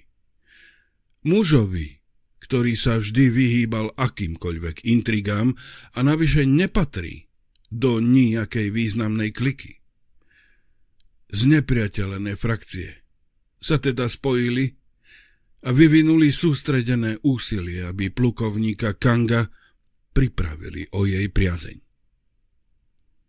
V tom prípade je riešenie jasné.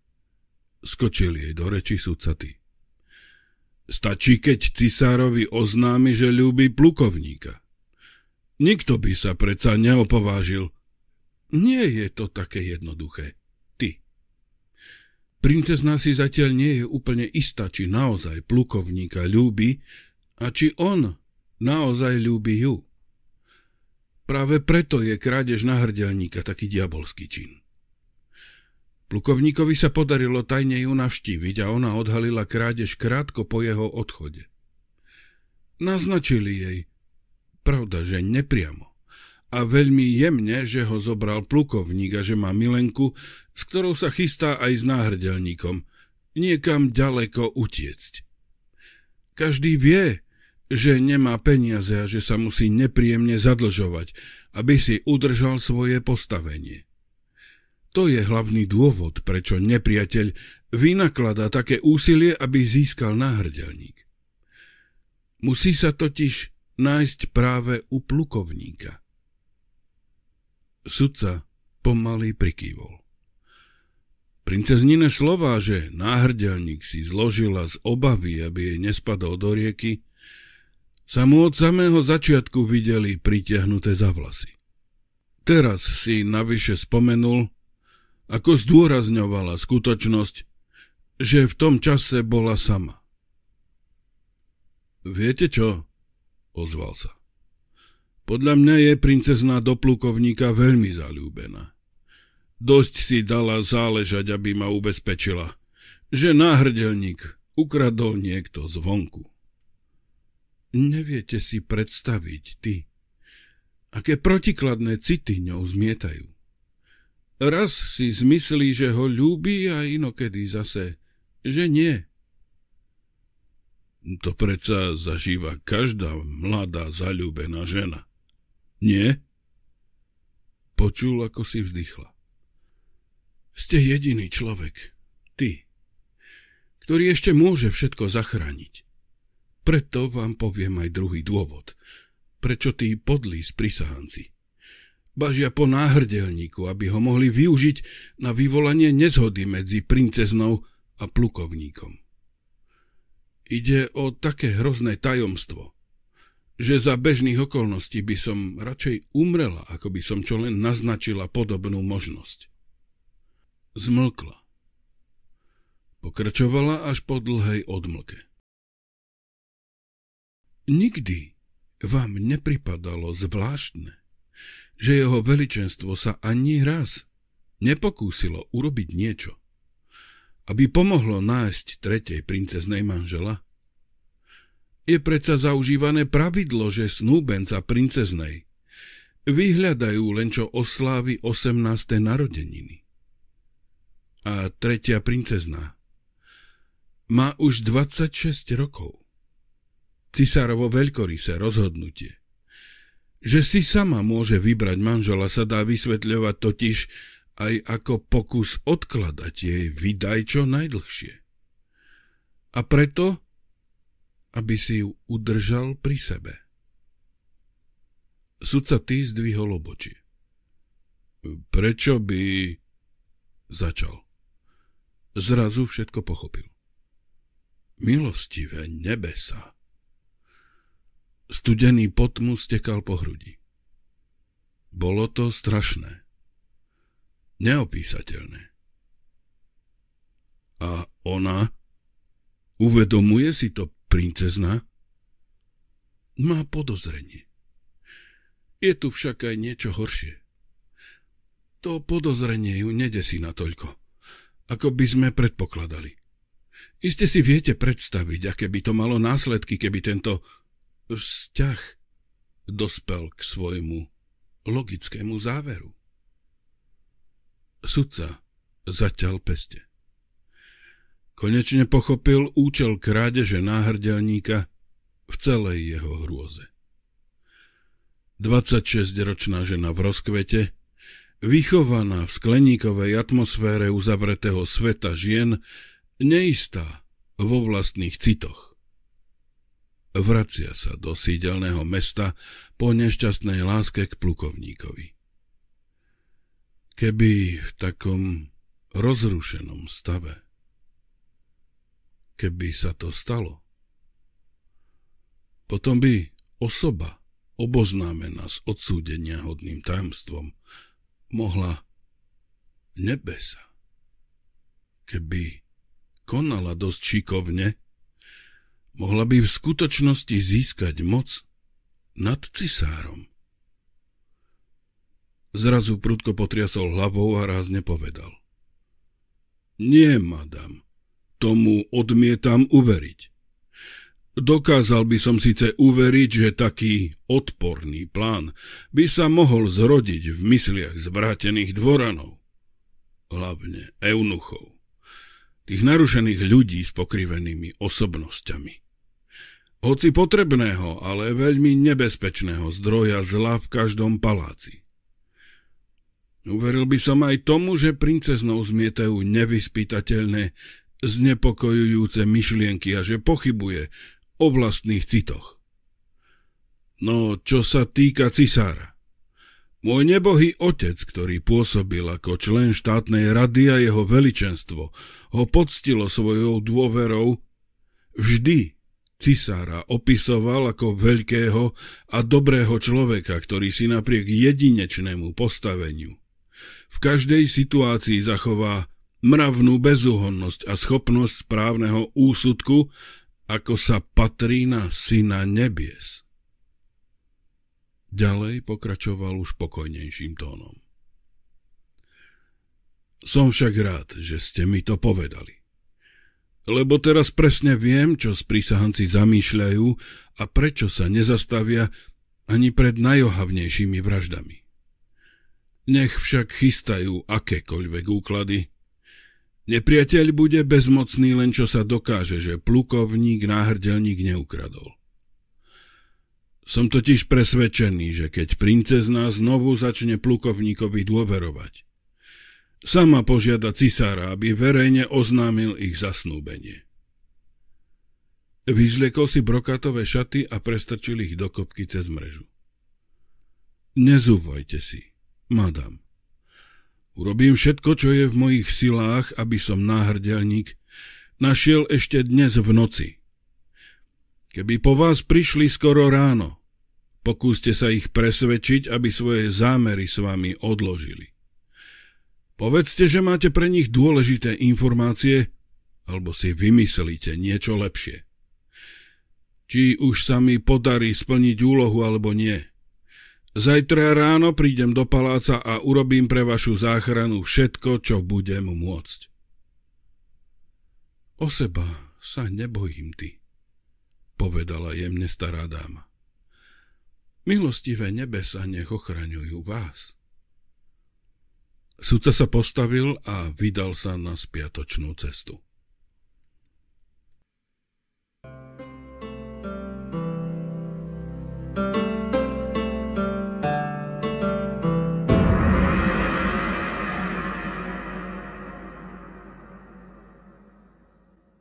Sedemnásta kapitola len čo sa sudca ty konečne dostal pod ochranu stromov v rohu vodnej priekopy.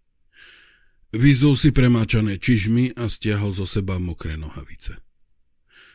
Energicky si vyšúchal nahé telo suchou polovicou čiernej šerpy, do ktorej si predtým zabalil meč. Potom si pruh hladky uviazal okolo drieku a ako bedrovú zásterku obliekol si dlhý čierny odev a na hlavu nasadil čiernu čiapku. Najprv nevedel, čo s mokrým odevom, no napokon ho vopchal do zajačej nory. Nakoniec zobral lampáš a meč. Pocit telesného pohodlia ho naplňal nevyslovným blahom.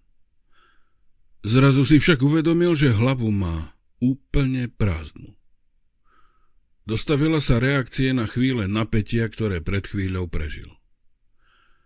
Kráčal po lesnom chodníku a cítil, že nie je schopný ani sa len pokúsiť roztriediť nové informácie.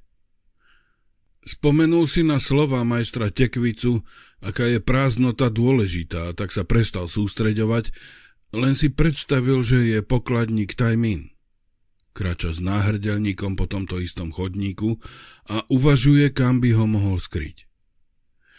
Pri chôdzi si uvedomil, že hoci má myseľ otupenú, jeho zmysly sú mimoriadne čulé. Ostrov vnímal všetky pachy lesa, ušami zachytil každý zvuk, ktorý sa ozval v temnom lísti.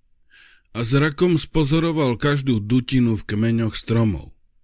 Každú priehlbinu v balvanoch obrastených machom, na ktoré dopadlo svetlo jeho lampáša. Narýchlo prezrel každé miesto, ktoré mohlo upútať pokladníkovú pozornosť, no náhrdelník nenašiel. Asi po hodine cesty si oškrel predkolenie o suchú halus, ktorú položil cez chodník. Bol rád, že si predtým označil miesto, odkiaľ vyrazil na cestu, lebo stromy a kríky vyzerali všade rovnako. Odhrnul konáre a predieral sa húštinou na breh zátoky. Kým kráčal pod klembou vysokých stromov, nezbadal, že medzi tým vyšiel mesiac – jeho matné svetlo teraz dopadalo na pokojnú hladinu zátoky. Zastal na skalnatom brehu a s údivom hľadel na čln, zakotvený pod ovisnutými konármi hrčavej borovice. Papradina v ňom nebola.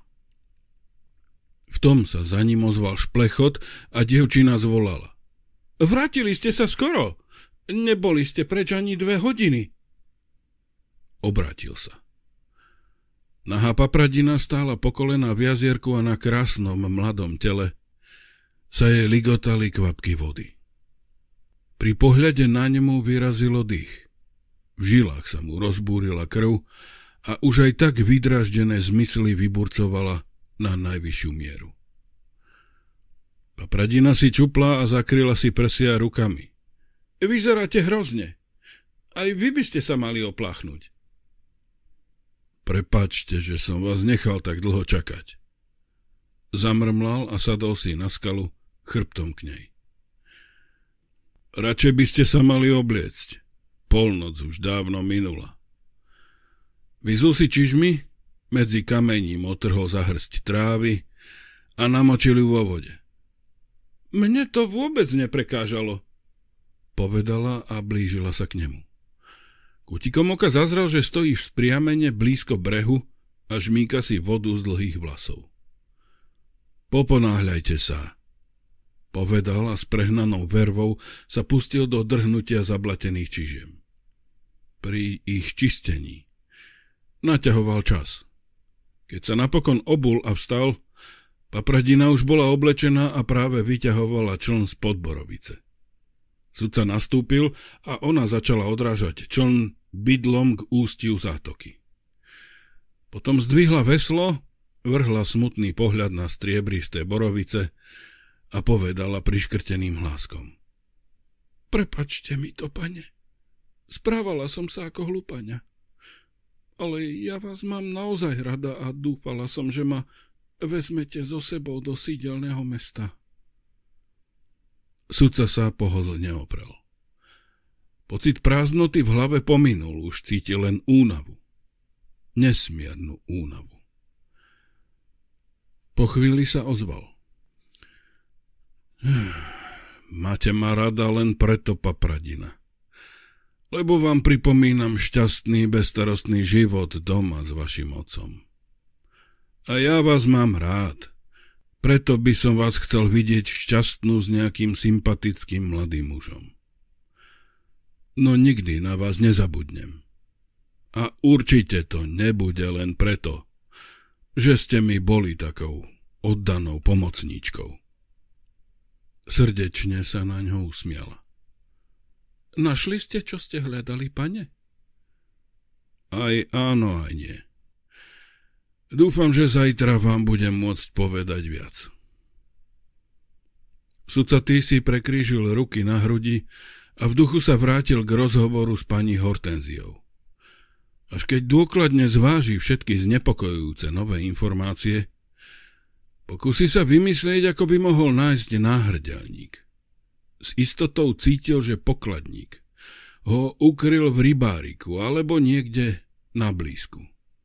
Inak by sa tam predsa nevracal a neriskoval, že sa stretne s langovými mužmi. Tajmin dobre vedel, že Liang Liao a jeho chlapi skôr či neskôr odídu na juh a on bude mať príležitosť, aby sa tam z dediny Šli vrátil po náhrdelník. Nábrežie bolo rovnako ľudoprázdne, ako keď ho opúšťali. Teraz však mesačné svetlo vrhalo na dlažbové kamene tajúplné tiene. Ja pôjdem prvý, povedal sudcaty. Pri prvom náznaku ťažkosti sa skryte do nejakého vchodu alebo do bočnej ulice. Cestou do uličky za hostincom u rybárika však nestretli ani živú dušu. Keď vklzli dnu vchodom do kuchyne, sudca si zrazu uvedomil, že je hladný ako vlk. Vy ste večerali? Opýtal sa. Keď papradina prikývla, schmatol z príborníka drevenú nádobu so studenou rýžou a tácňu s kyslými slivkami. Pripíšte mi to na účet. Zamrmlal. Papradina potlačila chichot. Keď prechádzali cez halu, začuli spred vchodu rinčanie zbraní. Gardisti stáli na stráži. Po špičkách vyšli hore a pred dverami sudcovej izby sa rozlúčili. Sudca tý zapálil sviečku a prezliekol sa do čistého nočného úboru. S uspokojením zistil, že čaj v opletenej kanvici je ešte teplý. Sadol si do kresla pri stole a vymenil si náplasť na predlaktí. Potom použil drevenú pokrievku nádoby ako tanier a zo studenej ryže a kyslých sliviek ušúľal guľky. S chuťou zjedol toto jednoduché vojenské jedlo a zapil ho niekoľkými šálkami čaju. Keď sa posilnil, zobral zo storíka pri stene kalabasu, natiahol sa na ležadlo a oprel o vankúš. Začal zavezovať a rozvezovať červené strapce na kalabase a pritom si v duchu usporadúval myšlienky. Plán s náhrdelníkom už poznal do najnechutnejších podrobností. Sprisahanci v paláci chceli obviniť plukovníka Kanga, aby sa nemohol stať budúcim cisárským zaťom a zároveň docieliť, aby princezna ešte pred odchodom do sídelného mesta upadla do stavu citového zmetku. Pani Hortenzia spomenula, že do intríg mohli byť zapojení hlavný eunuch a správca. Bol tu však ešte tretí, vysoký úradník. Plukovník Kang. O ňom vedel naozaj veľmi málo. Len to, že princezna je do ňo zalúbená a kapitán Siao ho obdivuje. Ani princezna, ani kapitán však nie sú objektívni. Sprísahanci v paláci naznačili, že plukovník má milenku. Na prvý pohľad to vyzerá ako zlomyselné ohováranie. Na druhej strane však nesmie zabúdať, že títo sprisahanci sú skúsení intrigáni. Vždy si dajú záležať, aby na každom výmysle bolo pravdivé aspoň zrnko. Zvyčajne zneužijú a skreslia skutočnú udalosť. Prekrútia niečí výrok, Stačí zmeniť pár slov alebo posunúť dôraz. Preto nesmie vylúčiť ani možnosť, že plukovník naozaj má milenku. Skutočnosť, že plukovník neukradol náhrdelník, ešte nedokazuje, že do toho nie je aspoň nepriamo zapletený. Využiť plán nepriateľa vo vlastný prospech je lesť, o ktorej sa píše v každej vojenskej príručke. A plukovník bol v tú osudnú noc s princeznou. Zrejme stáli spolu pri okne pavilonu a princezna odložila náhrdelník na bočný stolík pred tým, ako prešli mesačnými dverami do vedľajšej miestnosti. Čiže stačilo, aby Tajmin natiahol ruku cez okno a zobral ho. A čo ak sa plukovník s pokladníkom tajne dohodli? Bolo veľmi ťažké určiť, ktorá skupina v paláci sa ho opakovane pokúša pripraviť o život. Pani Hortenzia poslala poňho do rybárika mužov v čiernych služobných odevoch úradu hlavného eunucha. Lenže rovnako oblečení boli aj muži, ktorí ho vysadili v lese, kde ho mali zabiť. Muži, ktorí sa ho pokusili zatknúť, mali sivé rovnošaty agentov správcu. To však nič neznamená, lebo ich mohol najeť v paláci niekto, kto nie je ich priamy nadriadený. Vrátane plukovníka Kanga.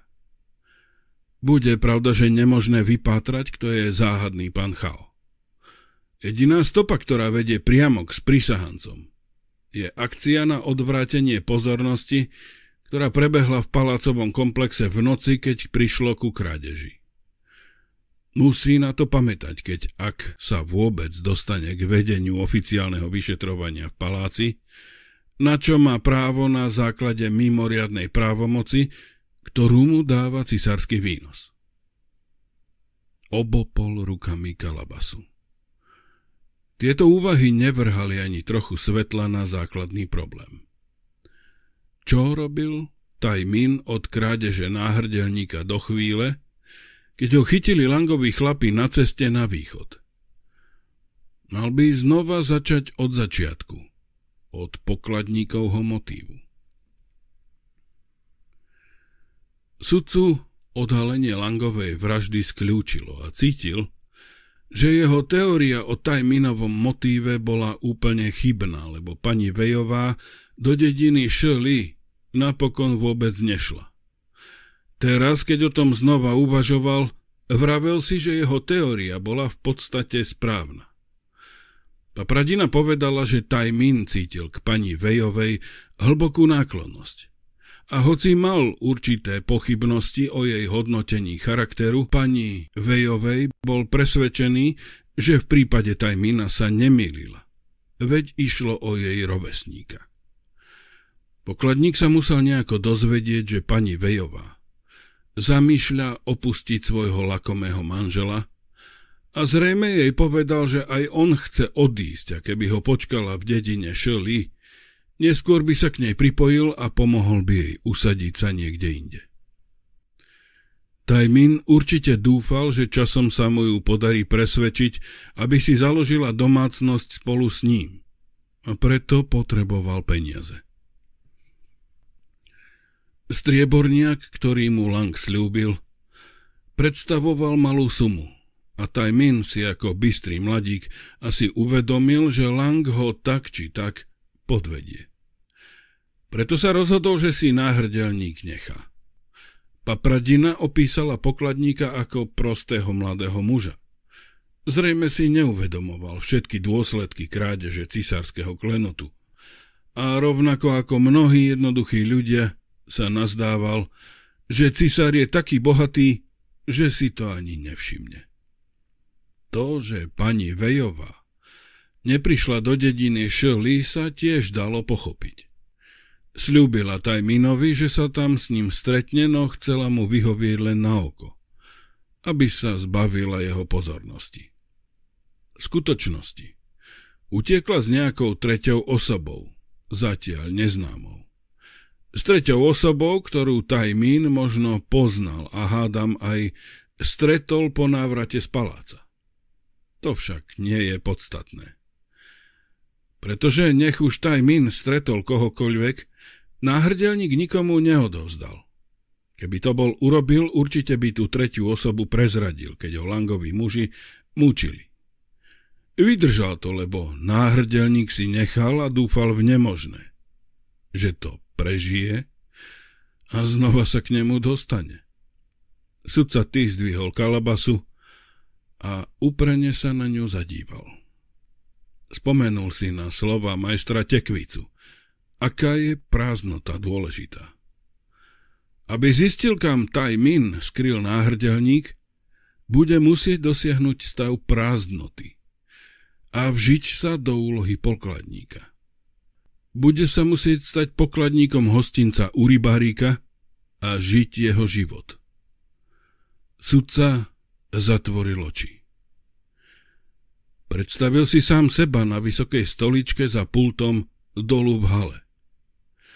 Lakomý zamestnávateľ ho zle platí. Sedí tam každý deň od rána do noci. Jeho jedinou zábavou je občasná rybačka na rieke. Zábavou, ktorej sa môže venovať len vtedy, keď v hostinci nie je veľa práce. Má však aj každodenné rozptýlenie, a to pohľad na zbožňovanú pani Vejovú. Hostinského žena musí tráviť v hale veľa času, lebo podľa toho, čo hovoril majiteľ deviatich oblakov, aktívne sa podielala na vedení hostinca. Pokladník zrejme využije každú príležitosť, aby sa s ňou dal do reči. Nebýva to však často, lebo jeho zamestnávateľ sa postará, aby mládenec svoje povinnosti za pultom nezanedbával pridlho. Triedi rozličné potvrdenky a účty, zratúva jednotlivé položky pomocou počítadla a výsledky zapisuje červeným tušom do... Červený tuš? Sudca ty otvoril oči. To je niečo, čomu by mal venovať pozornosť. Tajmin vyznačil cestu do dediny Šli červeným tušom. Mapa bude v jednej zo zásuviek pultu. Treba ju len mať po ruke. Pre pohodlie hostí. Hore vo svojej podkrovnej izbičke by Tajmin balíček červeného tušu ani špeciálnu doštičku na miešanie nedržal. To znamená, že musel do mapy kresliť, keď sedel za pultom. Nebesa. Že by to bolo správne riešenie? Posadil sa Položil kalabasu na ležadlo a zamyslene si šúchal krk. Rozhodol sa, že to overí. Sudca vyšiel na chodbu a opatrne sa vyhol vrzgajúcej doske. Halu matne osvetľoval jediný lampáš nad pultom. Recepčný po sebe upratal, nechal tam len veľkú dosku na miešanie tušu, balíček čierneho tušu a okrúhlu nádobku s niekoľkými štecami na písanie. Sudca zistil, že napravo od vysokej stoličky pokladníka sú v pulte dve zásuvky. Najprv vytiahol hornú.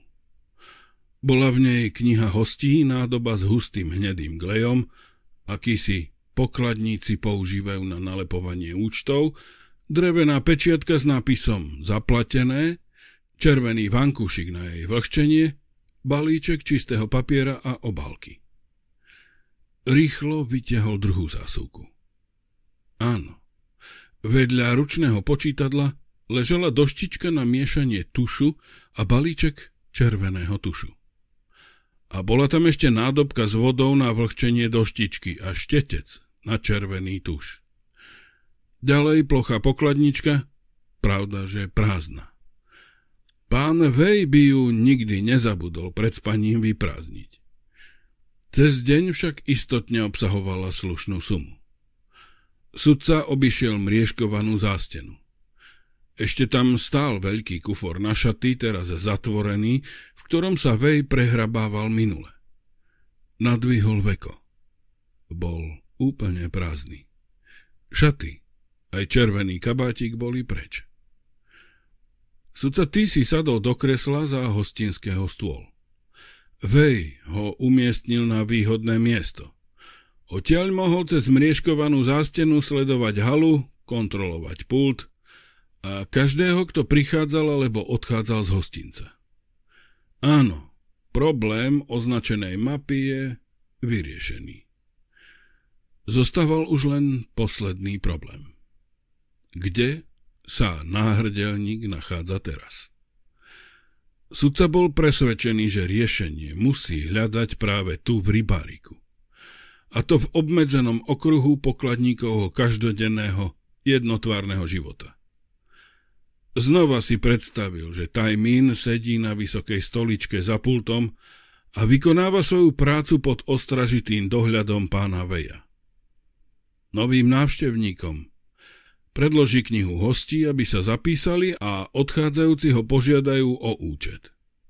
Tajmín pripraví rozličné potvrdenky za noceľách a ďalšie platené služby, Položky zráta na abakuse a výslednú sumu napíše červeným tušom na účet.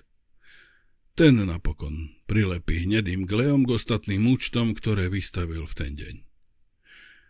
Keď host zaplatí, pokladník odloží peniaze do pokladničky v druhej zásuvke. Potom dá na účet pečiatku zaplatené a sudca sa náhle vystrel. Oboma rukami zvieral operadla kresla a rýchlo si v duchu všetko prebehol ešte raz. Áno, pravda, že to tak musí byť. Oprel sa a buchol si pesťou do čela. Nebesa. Dopustil sa tej najväčšej chyby, akú môže kriminalista urobiť. Prehliadol niečo, čo bolo jasné na prvý pohľad.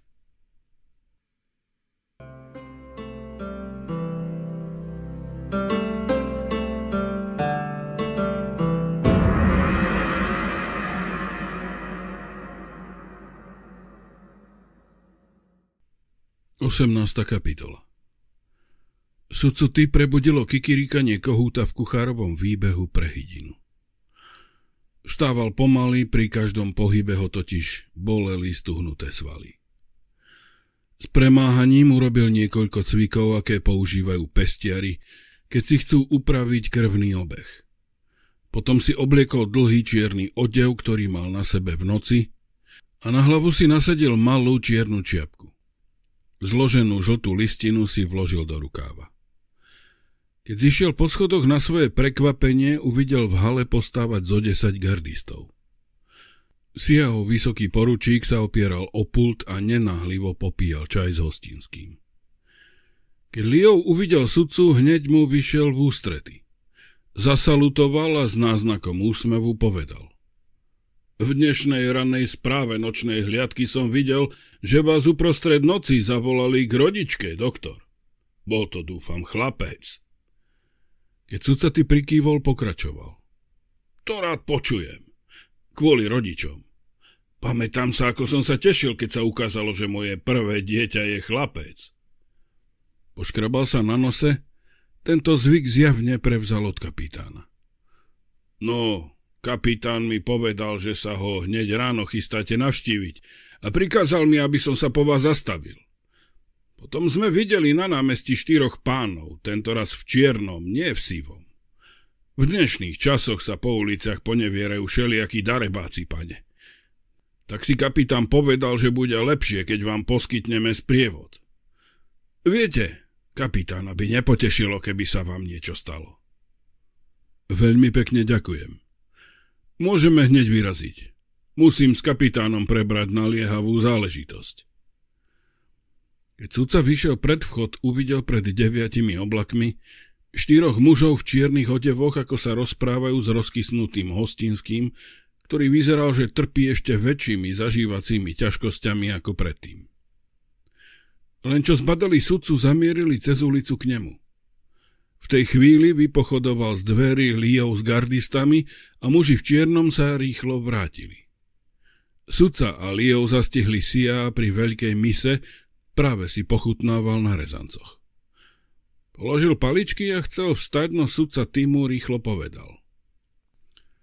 Zostaňte sedieť. Veľmi sa ponáhľam. Poprvé ďakujem vám za príhodný sprievod. Po druhé, chcem, aby ste hneď dali pred svojim úradom vstýčiť žltú cisárskú štandardu. Z rukáva vybral žltú listinu a rozložil ju na stole. Kapitán na prvý pohľad pochopil, o čo ide. Takmer prevratil stoličku, keď Resko vstával. To, pane, e, chcem povedať, excelencia, ja... Okamžite vydajte potrebné rozkazy, kapitán.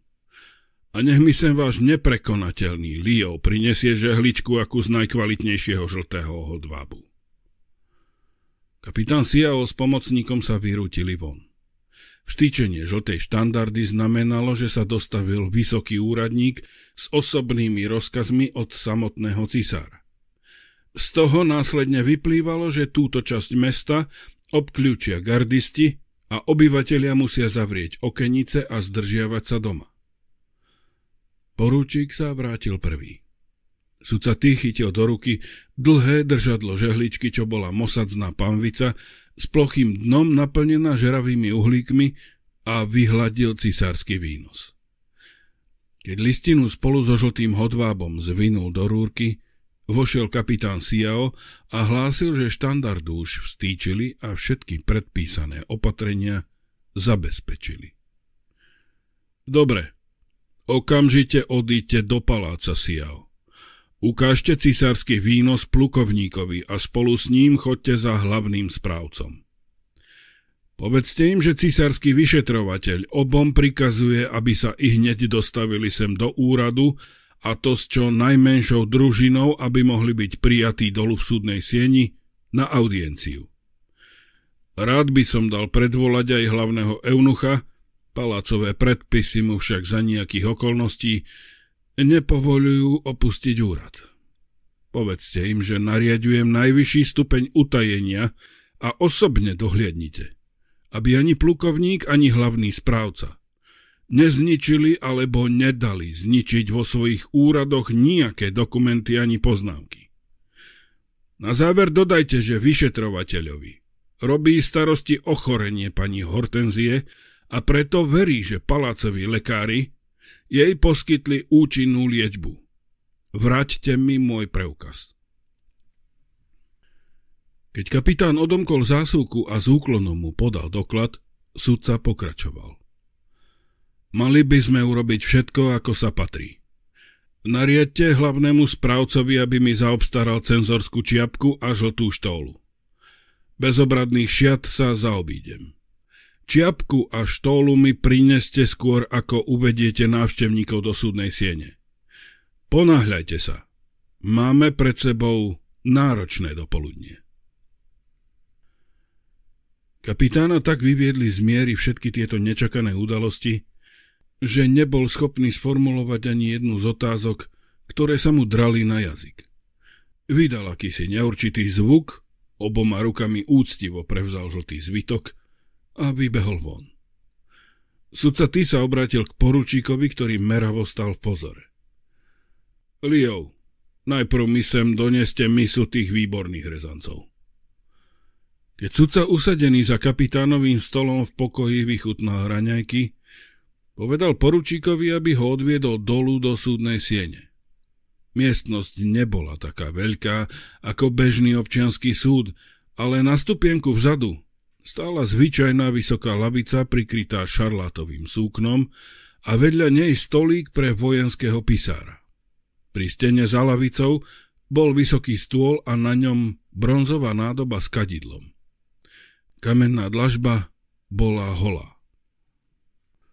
Liov, odneste ten nízky stolík a z oboch stran lavice dajte umiestniť kresla a doneste mi veľkú kanvicu horúceho čaju. Sudca si sadol do kresla za lavicou. Keď poručík priniesol veľkú kanvicu z modrobieleho porcelánu a nalial mu šálku čaju, sudca mu prikázal, aby počkal vonku. Mal dozrieť, aby do siene nevstúpil nikto, okrem hlavného správcu, plukovníka a kapitána. Potom sa sudca ty oprel v kresle, pomaly si hladkal bokom brady a obzeral si prázdnu miestnosť. Pripomínala mu jeho vlastnú súdnu sieň v Puyangu. Ak všetko dobre pôjde, mohol by sa tam o deň, dva vrátiť. Kým prišiel kapitán Siao a odovzdal mu žltý zvitok, Stihol ty vypiť niekoľko šálok čaju. Teraz vstal, zapálil kadidlo v bronzovej kadidelnici a žltý zvytok položil pred ňu na čestné miesto, vyhradené pre císarské výnosy. Kapitán rozviazal uzlík z červeného hodvábu.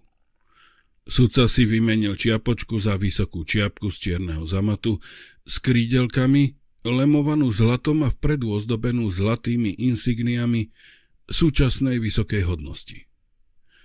Okolo pliec si ovinul širokú žltú štólu, znovu si sadol a oznámil kapitánovi, že audiencia sa môže začať. Dvojkrídlové dvere sa rozleteli a dnu vošiel hlavný správca, majestátny v širokom obradnom rúchu z fialového brokátu, vyšívaným zlatom s vysokou trojposchodovou čiapkou na hlave.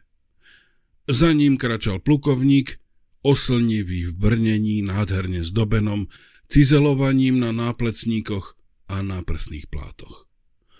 Obaja sa hlboko uklonili, až sa dlhé pestré perá na plukovníkovej zlatej prilbe dotkli zeme. Potom predstúpili pred lavicu a kľakli si na kamennú dlažbu. Môžete vstať, vyzval ich stroho sudcatý.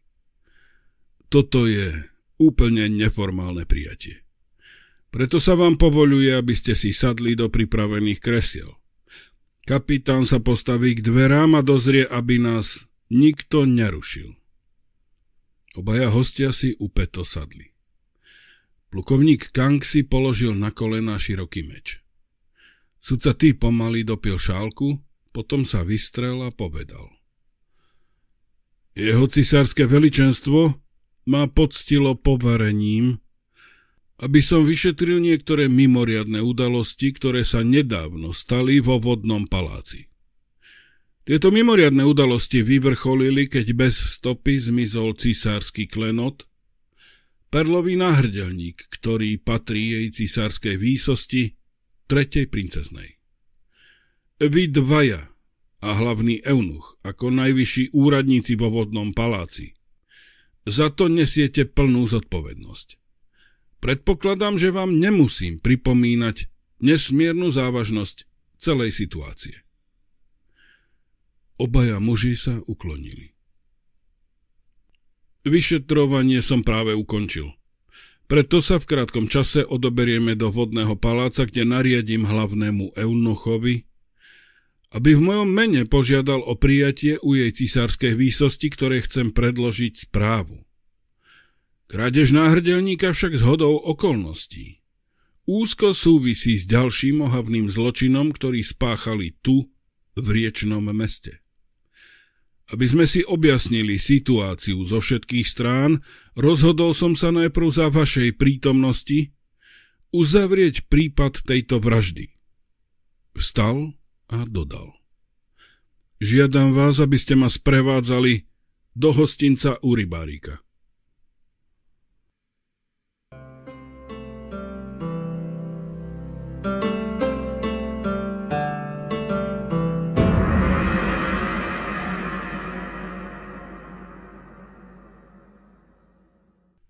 Devetnásta kapitola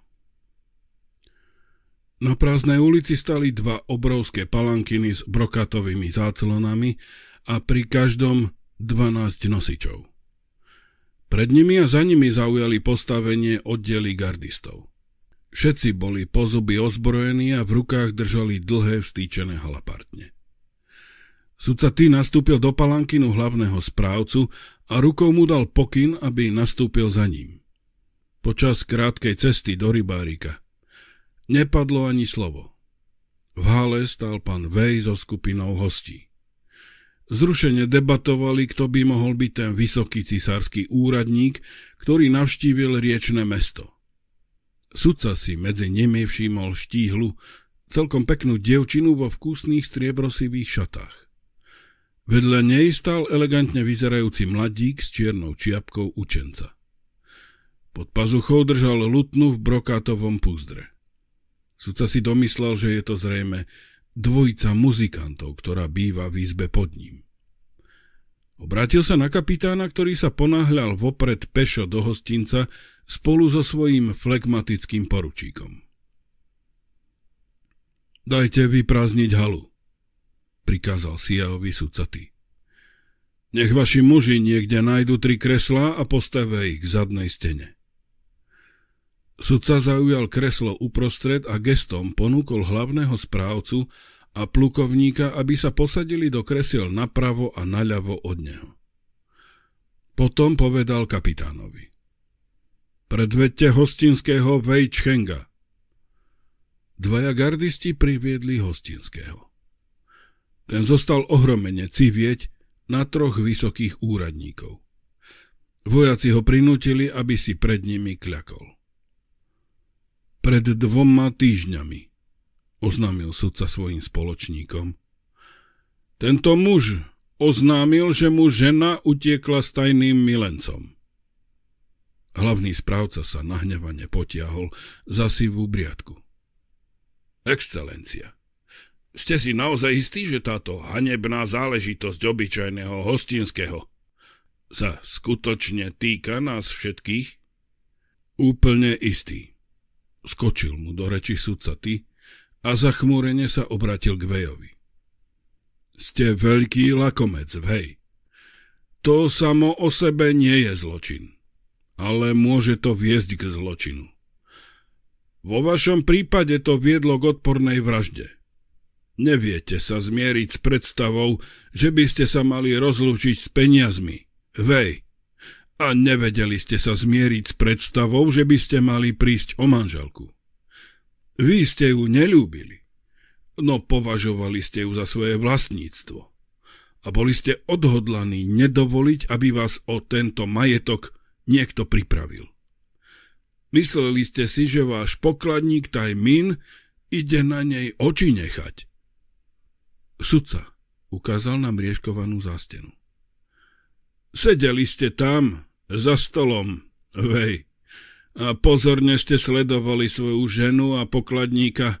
Natrčali ste uši, aby ste počuli, o čom sa pri pulte rozprávajú. Keď ste zistili, že Tajmin si vyznačil cestu na mape, ktorá je uložená v zásuvke, usúdili ste, že sa chystá s vašou ženou utiecť. Podľa mňa bol váš záber chybný. Ale nemôžem to dokázať, lebo pokladník je mŕtvý. A vaša žena tiež. Pred dvoma týždňami ste ju totiž zavraždili. Hostinský zdvihol strhanú tvár. To, to nie je pravda, vykríkol. Tá skazená ženská ma opustila. Prisahám. Ona? Vyvarujte sa ďalších chýb, vej, z rukou sudca. Už ste sa dopustili dvoch a to stačí, aby ste skončili na popravisku. Prídete o hlavu, lebo ste svoju ženu zabili bez najmenšieho dôkazu o jej cudzoložstve. Prvú chybu ste spravili, keď ste sústavne sekírovali, že priveľa míňa na seba. A preto často prijímala sladkosti od vášho kolegu v deviatich oblakoch. Zopár jej ich dal aj v ten večer, keď ste ju zabili. Druhú chybu ste spravili, keď ste nezničili všetky jej šaty. Aj to zavinila vaša chamtivosť. Namiesto toho, aby ste ich spálili, odložili ste ich na predaj starinárovi. No nejaká žena by neutiekla bez svojich najlepších šiat.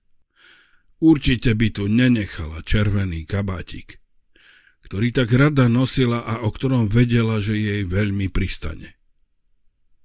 Sudca vstal. Páni, teraz vás zavediem do skladu za hostincom. Kapitán, nech vaši muži zaistia obvineného aj s poručíkom, poďte za mnou.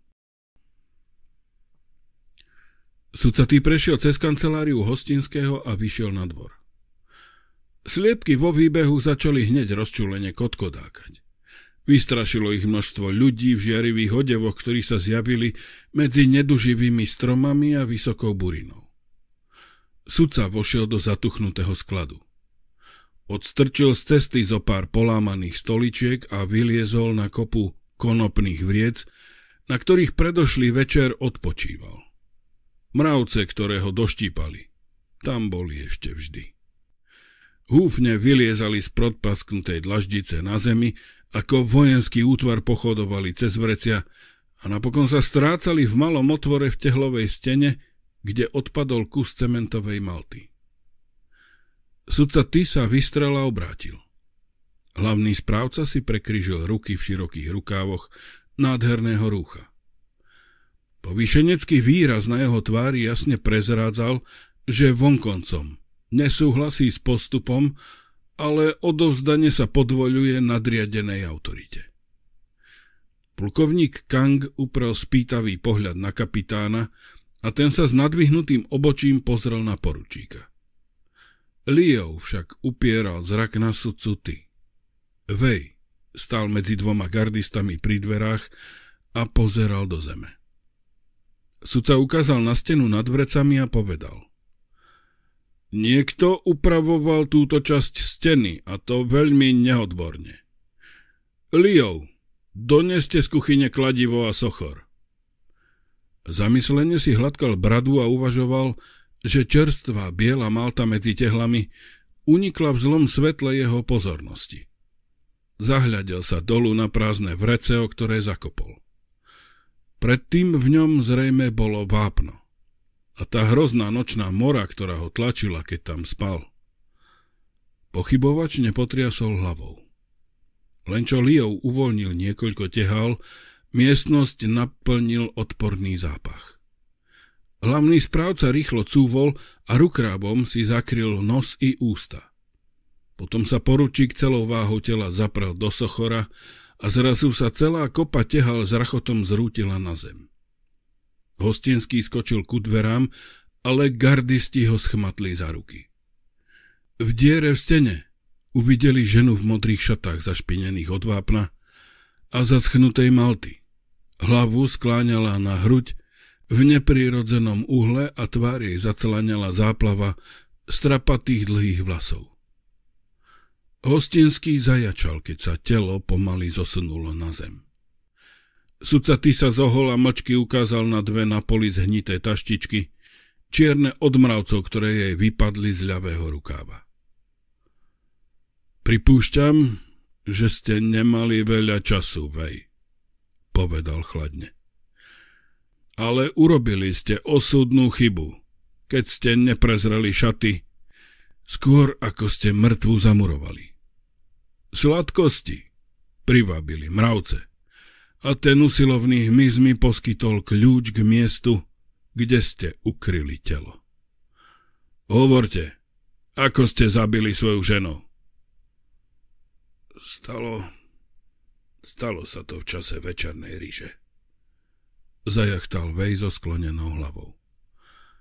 Služobníctvo bolo zaneprázdnené. Obsluhovalo hostí v izbách. Zaškrtil som ju vo svojej kancelárii. Potom som ju preniesol sem. Ona... Rozvzlikal sa.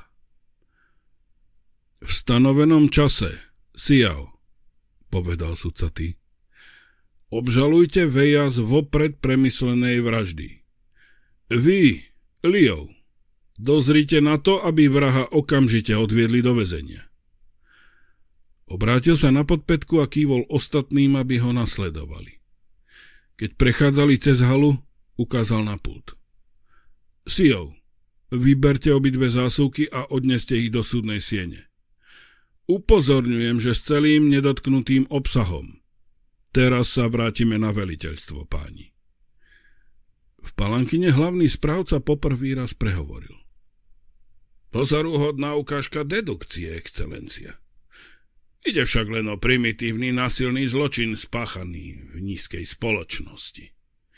Môžem sa vás opýtať, akú má spojitosť so závažnými záležitosťami v paláci, ktoré zaujímajú nás? Hneď sa to dozviete, odvetil pokojne sudca.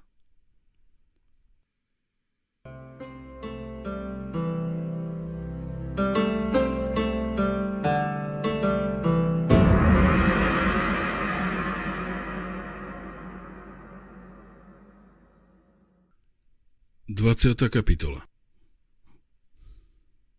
Po návrate do súdnej siene prikázal sudca ty kapitánovi, aby položil obidve zásuvky na lavicu. Potom mu nariadil, aby priniesol veľkú misu, naplnenú vlaždou vodou s čistiacim prostriedkom a kus jemného bieleho hodvábu. Sudca si sadol do kresla a nalial si šálku čaju. Všetci traja muži čakali bez slova na kapitánov návrat. Keď si jeho položil na lavicu porcelánovú misu a hodváb, sudca ty povedal. Teraz sa dostávam k otázke náhrdelníka. Ukradol ho Tajmin, pokladník z hostinca u rybárika.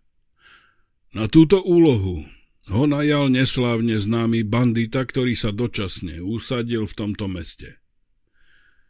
Plukovník Kang sa vystrel a s napätím v hlase sa opýtal. Ako ho vykradol, excelencia? Tí, čo si krádež u banditu objednali, Poskytli pokladníkovi presný návod, ako možno náhrdelník ukradnúť zvonka.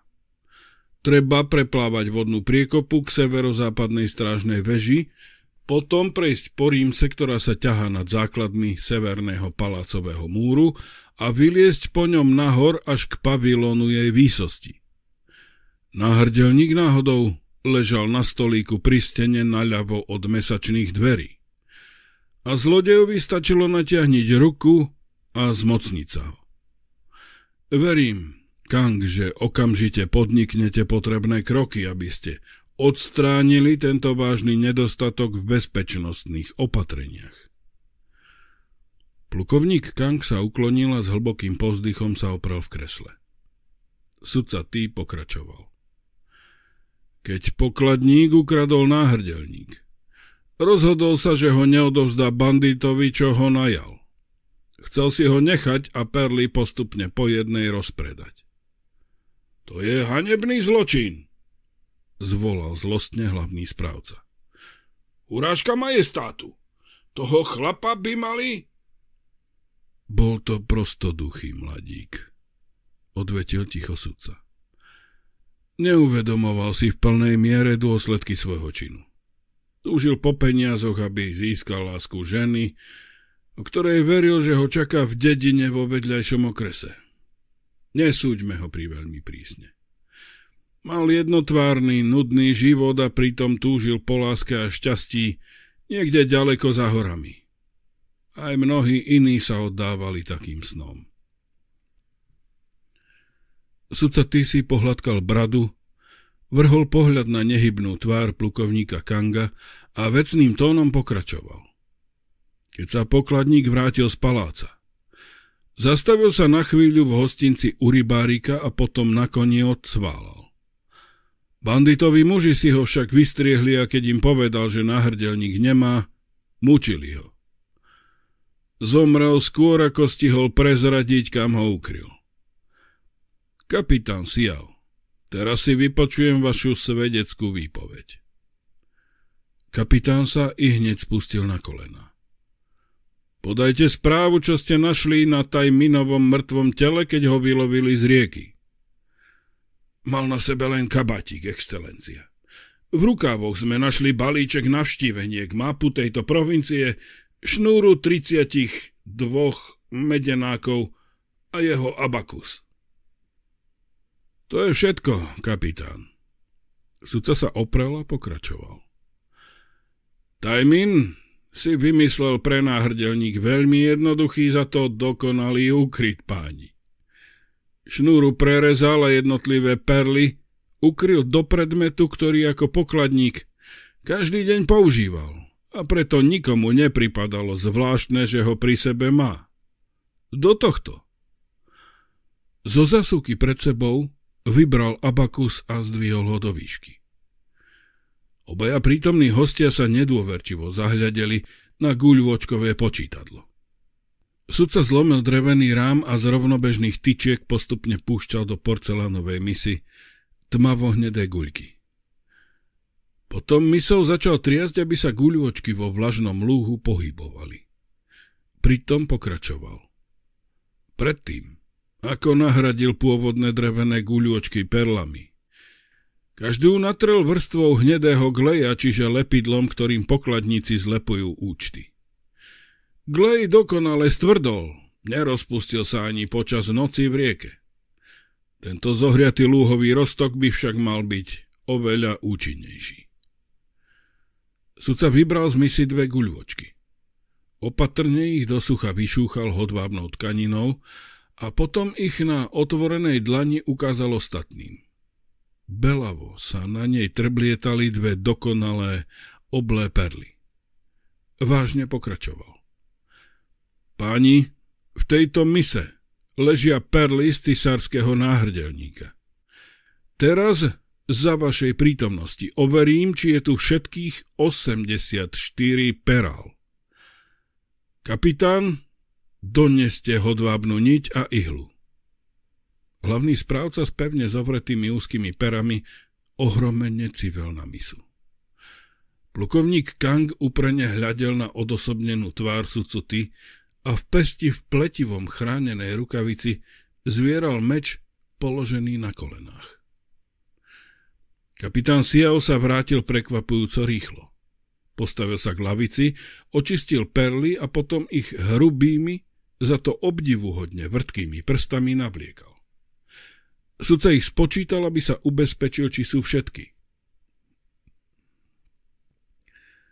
Vložil si náhrdelník do rukáva a povedal.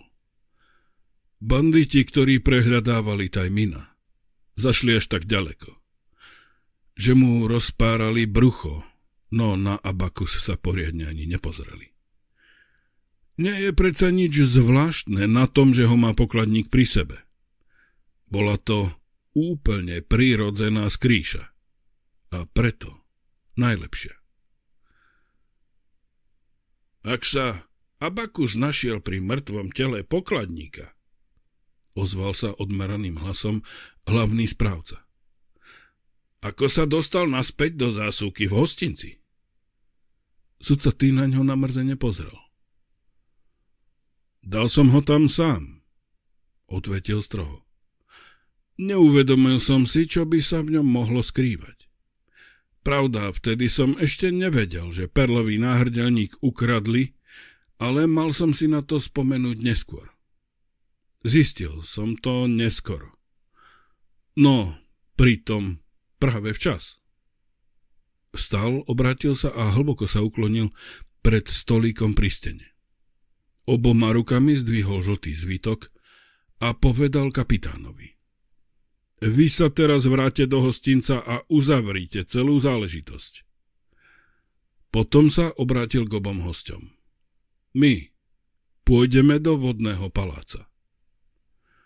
Len čo sprievod prešiel cez mravorový most nad vodnou priekopou, masívna palácová brána sa roztvorila a palankiny vniesli dnu. Na prvom nádvorí stáli v dvojrade nastúpení gardisti a zbraňami im vzdávali poctu.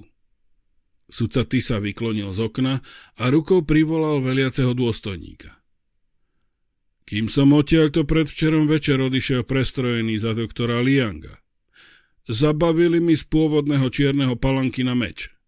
Dozrite, aby sa okamžite našiel. Spoznáte ho podľa dvoch znakov vyložených na čepeli zlatom. Je tam napísané dažďový drak.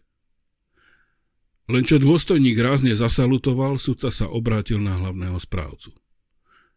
Teraz pôjdeme rovno do vašej kancelárie. Pred vysokou sieňou vystúpili z palankinu. Sudca dal pokyn plukovníkovi Kangovi a vošiel dnu. Pri písacom stole hlavného správcu sa radca tlmene rozprával s tromi dvoranmi. Všetci si okamžite kľakli. Sudca Typ obchal žltý zvítok do rukáva a povedal. Staňte a podajte mi hlásenie o zdravotnom stave pani Hortenzie. Radca sa z námaho postavil a hlboko sa mu uklonil. Na dôkaz úcty si pritom ruky prekrížené na hrudi zasunul do dlhých rukávov. Excelencia, ošetrujúci lekár hlásil, že pani Hortenziu postihol náhly zápal mozgových blán, čo je bežné ochorenie v tomto horúcom a vlhkom podnebí.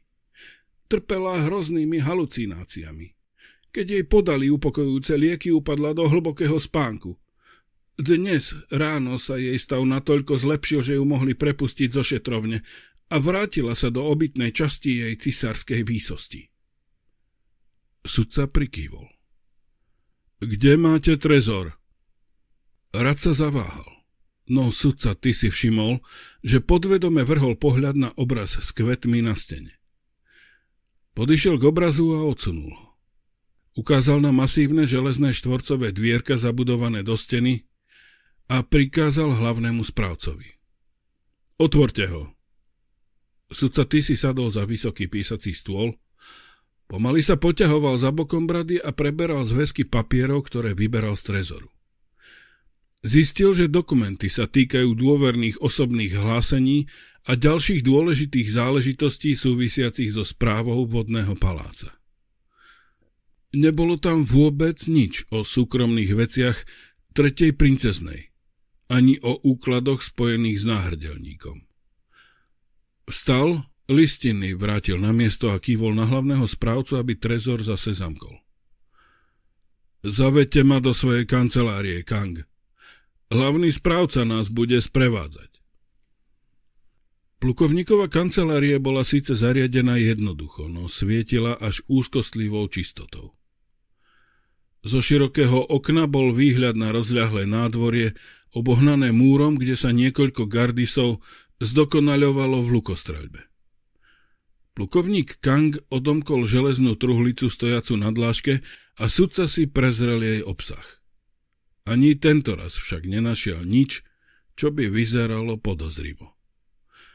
Založil si ruky za chrbát a povedal plukovníkovi. Pred štyrmi dňami, pred polnocou sa v palácovom komplexe prihodila istá mimoriadná udalosť. Chcel by som vidieť o tom hlásenie. Kang. Plukovník vytiahol z jednoduchého dreveného písacieho stola zásuvku a položil pred sudcu veľkú knihu. Každá strana bola uhľadne rozdelená na malé očíslované štvorčeky, kde sa uvádzali služby gardy. Gang nej listoval, kým nenašiel potrebný dátum, potom si pozorne prečítal krátku poznámku napísanú na okraji.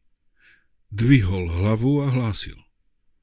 Pol hodiny pred polnocou náhle začala horieť strecha čajového pavilonu na šiestom nádvorí, v severozápadnom rohu palácového komplexu. Ja som bol v tom čase v inej časti paláca, ale môj zástupca tam okamžite poslal jeden oddiel a ten bez ťažkosti oheň uhasil. Hlavný eunuch si však zrejme tiež všimol dým a poslal odkaz, že si želá, aby celú oblasť i hneď uzavreli. Chcel tak predísť nebezpečenstvu, že by nejaká iskra vyletela a zapálila aj obytnú časť jej výsosti. Môj zástupca vydal hliadkam na západných a severných hradbách rozkaz v tomto zmysle. Na svoje stanovištia sa vrátili hodinu po polnoci. Môžete to dokázať? Plukovník obrátil stranu. Bol na nej prilepený prúžok červeného papiera s pečaťou hlavného eunucha a niekoľkými načarbanými pokynmi. Sudca ty kývol hlavou. Teraz, páni, sa všetci spolu poberieme do kancelárie hlavného eunucha. Správa o príchode cisárskeho vyšetrovateľa sa medzi tým rozšírila po paláci. Stráž pred úradom hlavného eunucha otvorila pred tromi návštevníkmi bránu do Korán a v ústrety sa im ponáhľal tučný eunuch. Hodil sa na zem a čelom sa dotkol kamenných dlaždíc. Počkáte na mňa tu na chodbe, oznámil sudca svojim spoločníkom. Pôjdem dnu požiadať o povolenie prekročiť Zlatý most. Zaklopal na dvere nalakované na zlato. Keď sa nič neozývalo, vošiel dnu a zavrel za sebou dvere. V elegantne zariadenej knižnici nenašiel nikoho. Stuchnutý pach starých kníh sa miešal s ťažkou vôňou orchideí na podobločnici. Sudca ty vyzrel von. Dolu v záhrade pri vysokej skalke stál starec oblečený v prostom domácom odeve s dlhými rukávmi, na hlave mal čiapku z priesvitného tylu. Sudca vyšiel do záhrady a vykročil po úzkom dláždenom chodníku, ktorý sa kľukatil medzi miniatúrnymi rybníkmi so zlatými rybkami a kvitnúcimi kríkmi. V zelenom lístí, kde sa ešte trblietala rosa, švitorili drobné pestrofarebné vtáčiky. Hlavný eunuch sa obrátil. Pozrel sa na sudcu spod ťažkých viečok a povedal. Dnes v noci sa stalo niečo úžasné. Ty? Pozrite, tento vzácný kvet zrazu rozkvitol. Všimnite si, aké má jemne tvarované lupenia za matovú farbu. Túto rastlinu som si objednal z južných oblastí a doniesol mi ju zvláštny kuriér. Tri mesiace som sa o ňu sám staral, no nikdy som sa neopovažoval dúfať, že raz rozkvitne. Sucaty sa sklonil nad orchideu, veľkú ako ľudská ruka. Vyrastala z dutiny v kmeni palmy, ktorá sa vynula ku skale. Žlté lupe neposiate fialovo čiernymi škvrnami mali takmer mačaciu eleganciu. Orchidea šírila okolo seba slabú, ale veľmi výraznú vôňu. Musím sa priznať, že som nikdy nič podobné nevidel. Poznamenal a vystrel sa. A nikdy už ani neuvidíte, odvetil ticho starec. Dlhými nechtami stonku preštikol a dvihol si kvet k nosu. Pomaly ním kýval a pokračoval. Keď ste sem predčerom prišli, ty, hneď som vedel, že nemôžete byť obyčajný lekár. Vy ste sa mali triasť od strachu, ba priam plaziť po zemi, keď ste uvideli mňa. A za kreslom môjho obľúbeného kata. Namiesto toho ste si so mnou pokojne vymieniali hlboko myselné postrehy, ako by sme si boli rovní. Ak niekam na budúce pôjdete v prestrojení, ty dajte si záležať, aby ste zamaskovali aj svoju osobnosť. Vynaložili ste veľa námahy, aby ste ma dali odstrániť. Poznamenal sudca. Šťastie však stálo na mojej strane a teraz vrátim perlový náhrdelník jeho cisárskej výsosti. Preto žiadam od vás povolenie prekročiť Zlatý most. Starec krútil kvet vo svojej tenkej ruke. Aby ste ma správne pochopili, ty. Áno, túžil som pomoci. Po takmer neobmedzenej moci, ako má človek, ktorý pozná cisárovo odsúdenia hodné tajomstvo. Mal som však už aj iný, oveľa silnejší motív. Chcel som mať tretiu princeznu navždy pri sebe. Ty. Túžil som sa o ňu nežne starať. Tak nežne, ako som sa staral o tento vzácný kvet. Chcel som ju vydať každý deň, počúvať jej čarovný hlas, vedieť, čo robí. A to stále.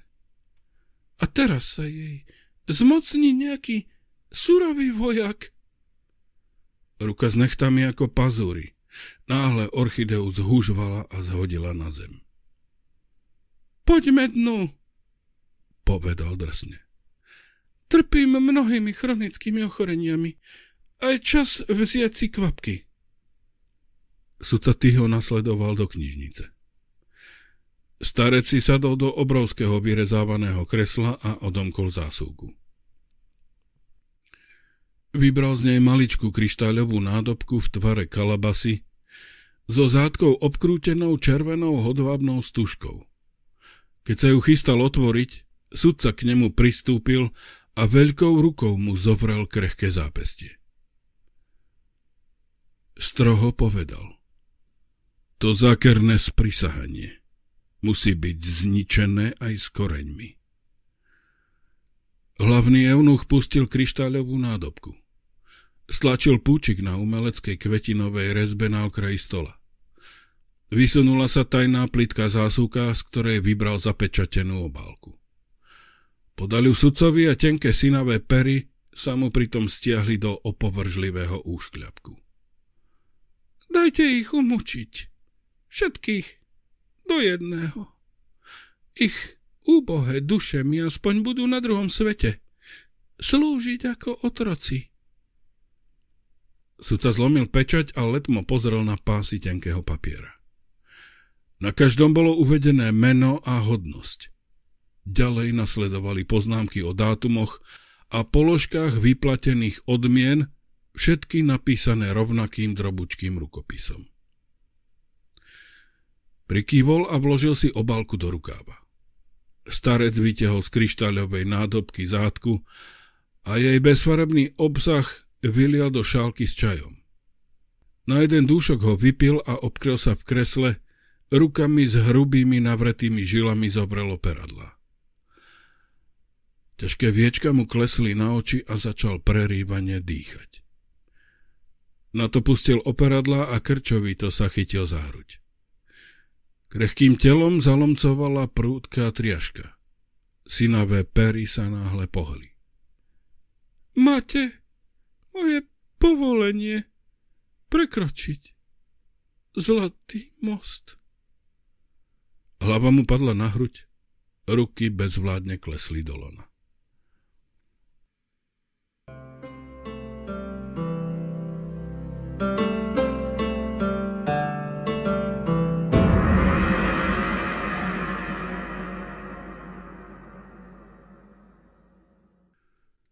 Dvadsiata prvá kapitola Hlavný správca s plukovníkom Kangom stiesnene mlčali a postávali na chodbe.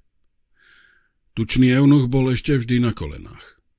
Sudca tý zatvoril dvere nalakované na zlato, podal hlavnému správcovi obálku a povedal.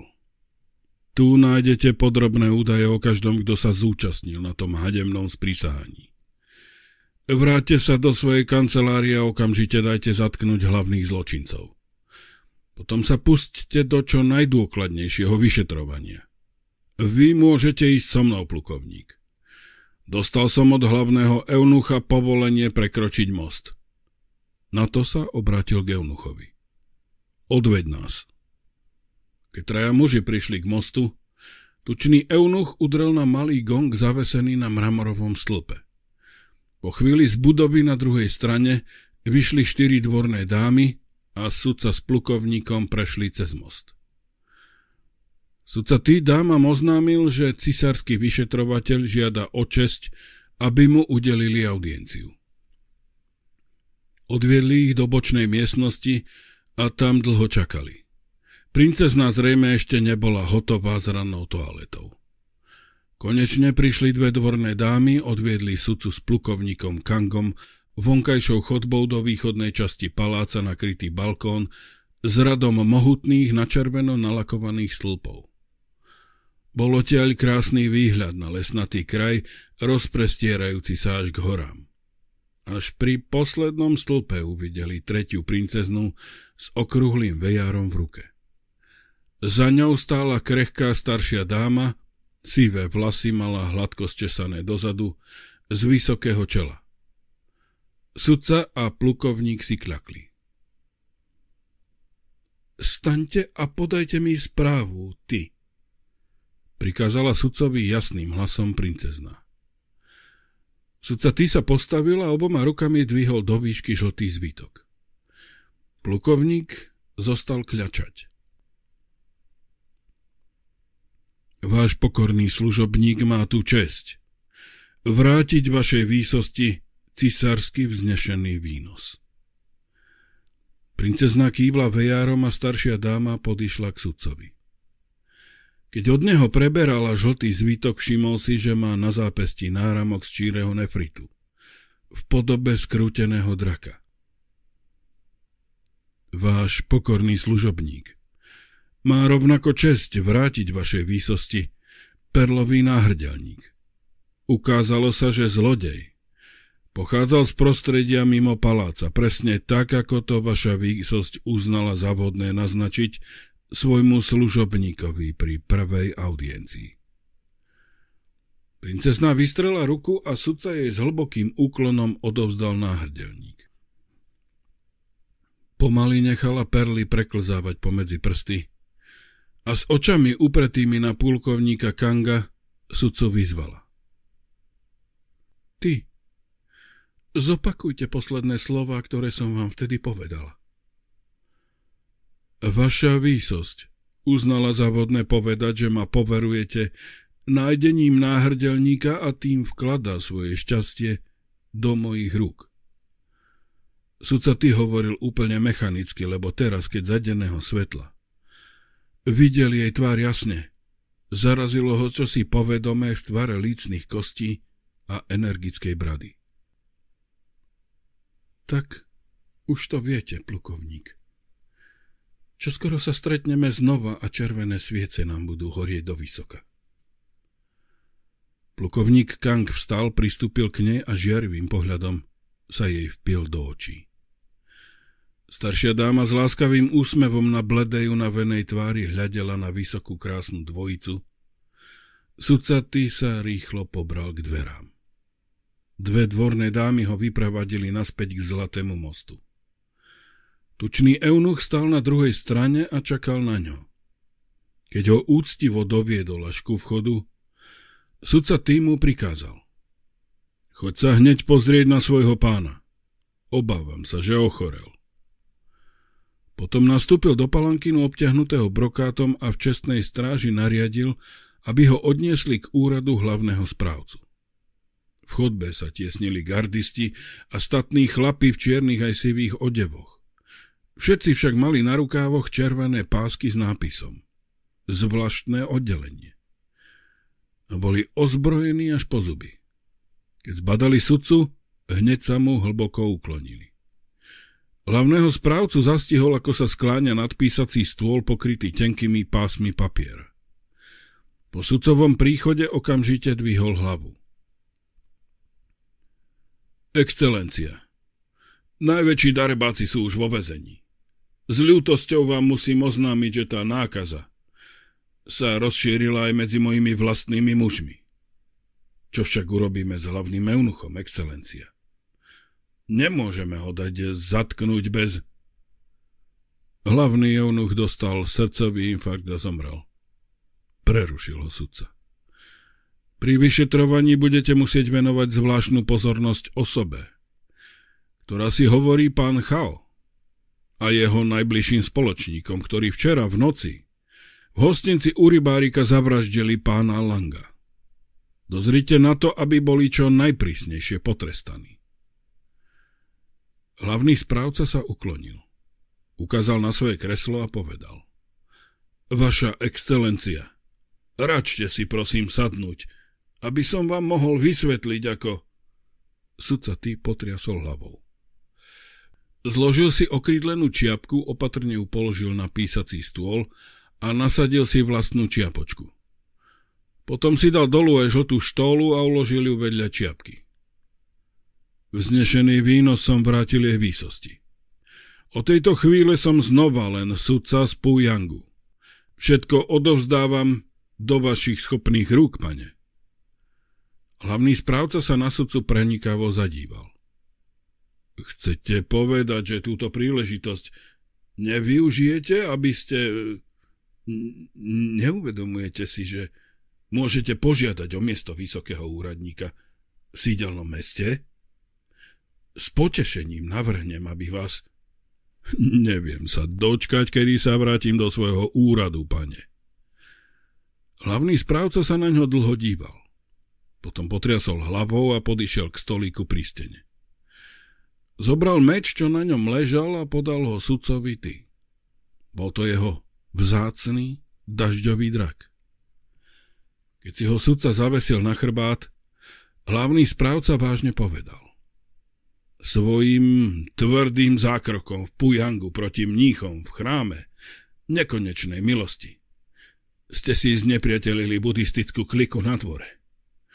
Teraz ste proti sebe poštvali mocnú skupinu eunuchov. Bol by som rád, keby ste si uvedomili ty, že na císarskom dvore máte nezmieriteľných nepriateľov. ale aj verných priateľov. Vrátane mňa.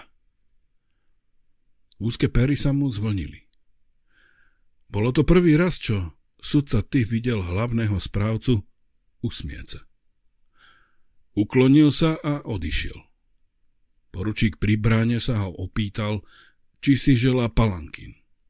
Sudca však radšej požiadal o koňa. Brána sa otvorila a sudca ty odsválal cez mramorový most.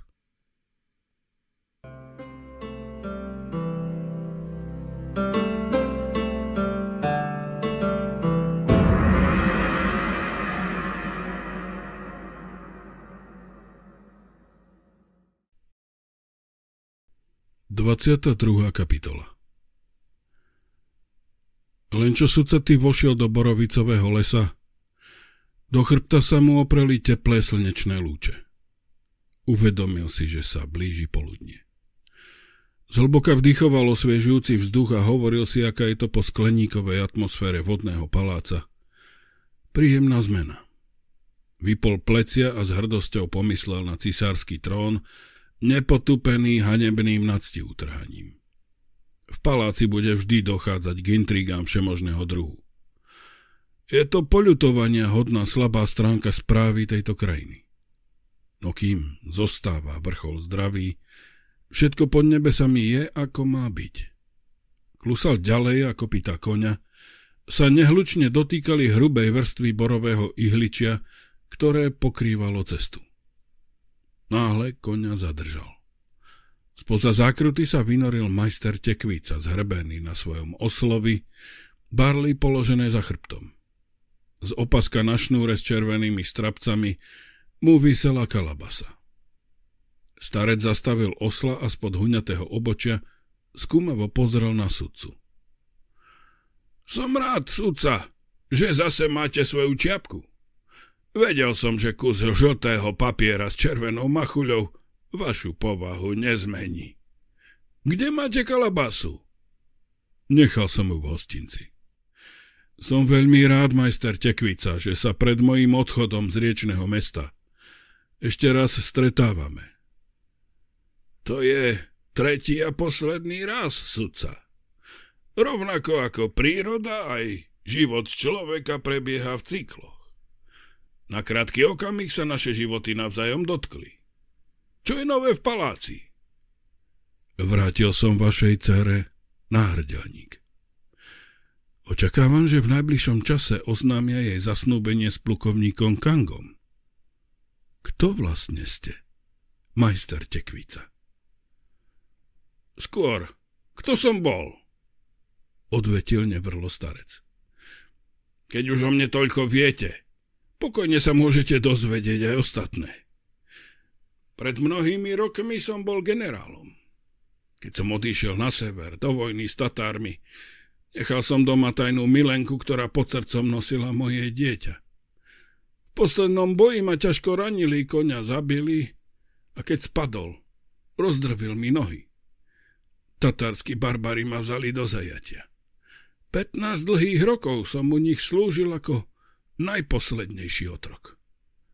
To ma naučilo chápať prázdnotu svetskej moci. Bol by som sa zabil, ale spomienka na milenku ma udržiavala pri živote čo aj úbohom. Keď sa mi konečne podarilo utiecť a vrátil som sa do Číny, bola mŕtva. Krátko po mojom obchode ju vybrali za cisárovú manželku a v stanovenom čase sa jej narodila dcéra. Moja dcera, ako ste sa správne dovtípili. Zapísali ju ako cisárovo vlastné dieťa. Lebo eunusi sa báli trestu za to, že sa pred prijatím mojej milenky do haremu neubezpečili, že je panna. To ma presvedčilo o prázdnote svetskej lásky. Sudca. Tak som sa stal potulným mníchom. Zostalo mi len jediné puto, ktoré ma viazalo s týmto svetom – a to záujem o šťastie mojej céry. Odmlčal sa, potom zdráhavo dodal. Volal som sa O Yang Pei Chan. Sudca tý pomaly prikývol. Počul o kedysi slávnom energickom generálovi. Jeho smrť v boji oplakával celý národ. Bolo to pred 25 rokmi. Starec pokračoval. Tekvica sa stane užitočnou, iba keď sa vyprázdni. Pretože až potom jej suchá šupka môže slúžiť ako nádoba. To isté sa vzťahuje aj na nás, sudca. Až keď sa zbavíme všetkých marných nádejí, všetkých malicherných túžob a ilúzií, môžeme byť užitoční ostatným. Vy si to možno uvedomíte neskôr, až budete o niečo starší. Keď som sa s vami vtedy v lese stretol, spoznal som vás, lebo som vedel z rozprávania, že sa na seba podobáme a vycítil som silu vašej osobnosti. Náhodou to dopadlo tak, že tekvice, ktoré sme mali obaja pri sebe, sa stali prvým spojovacím článkom medzi nami. Pomohli vytvoriť vzťah medzi lekárom na cestách a potulným mníchom, nenúteným, úplne prírodzeným spôsobom.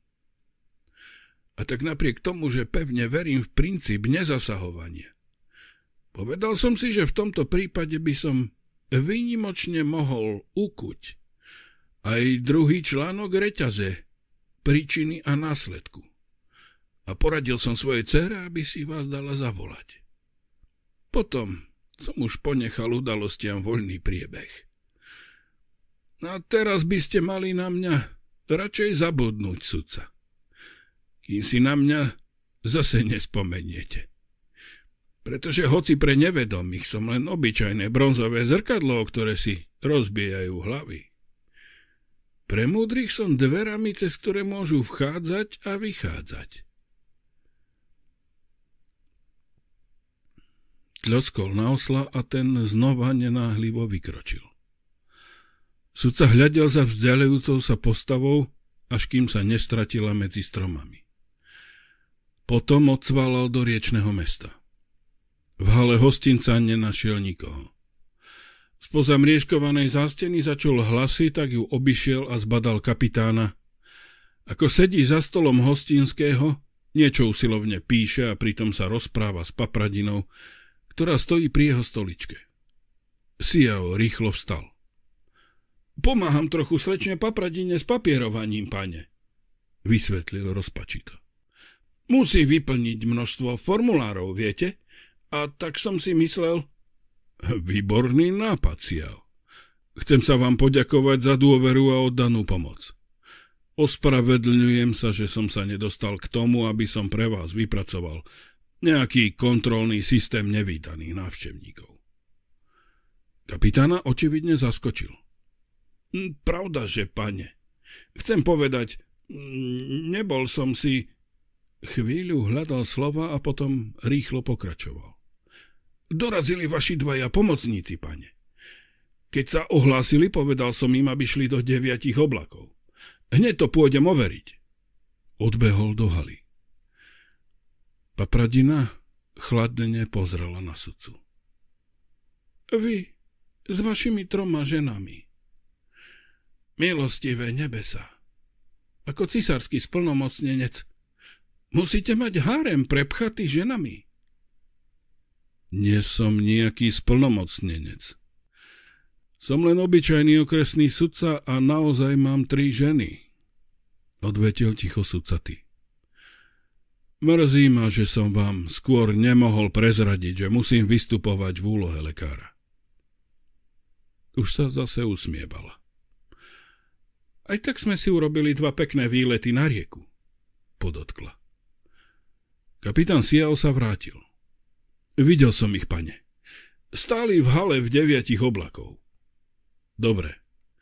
Naobedujem sa s nimi a potom odcestujeme. Želám veľa šťastia. Obidvom. Rýchlo vyšiel na ulicu. Vo vstupnej hale hostinca u deviatich oblakov sa opieral o pult tučný hostinský. V tvári bol celý zelený a bucľatými rukami sa držal za brucho. Vrhol na sudcu vyčítavý pohľad.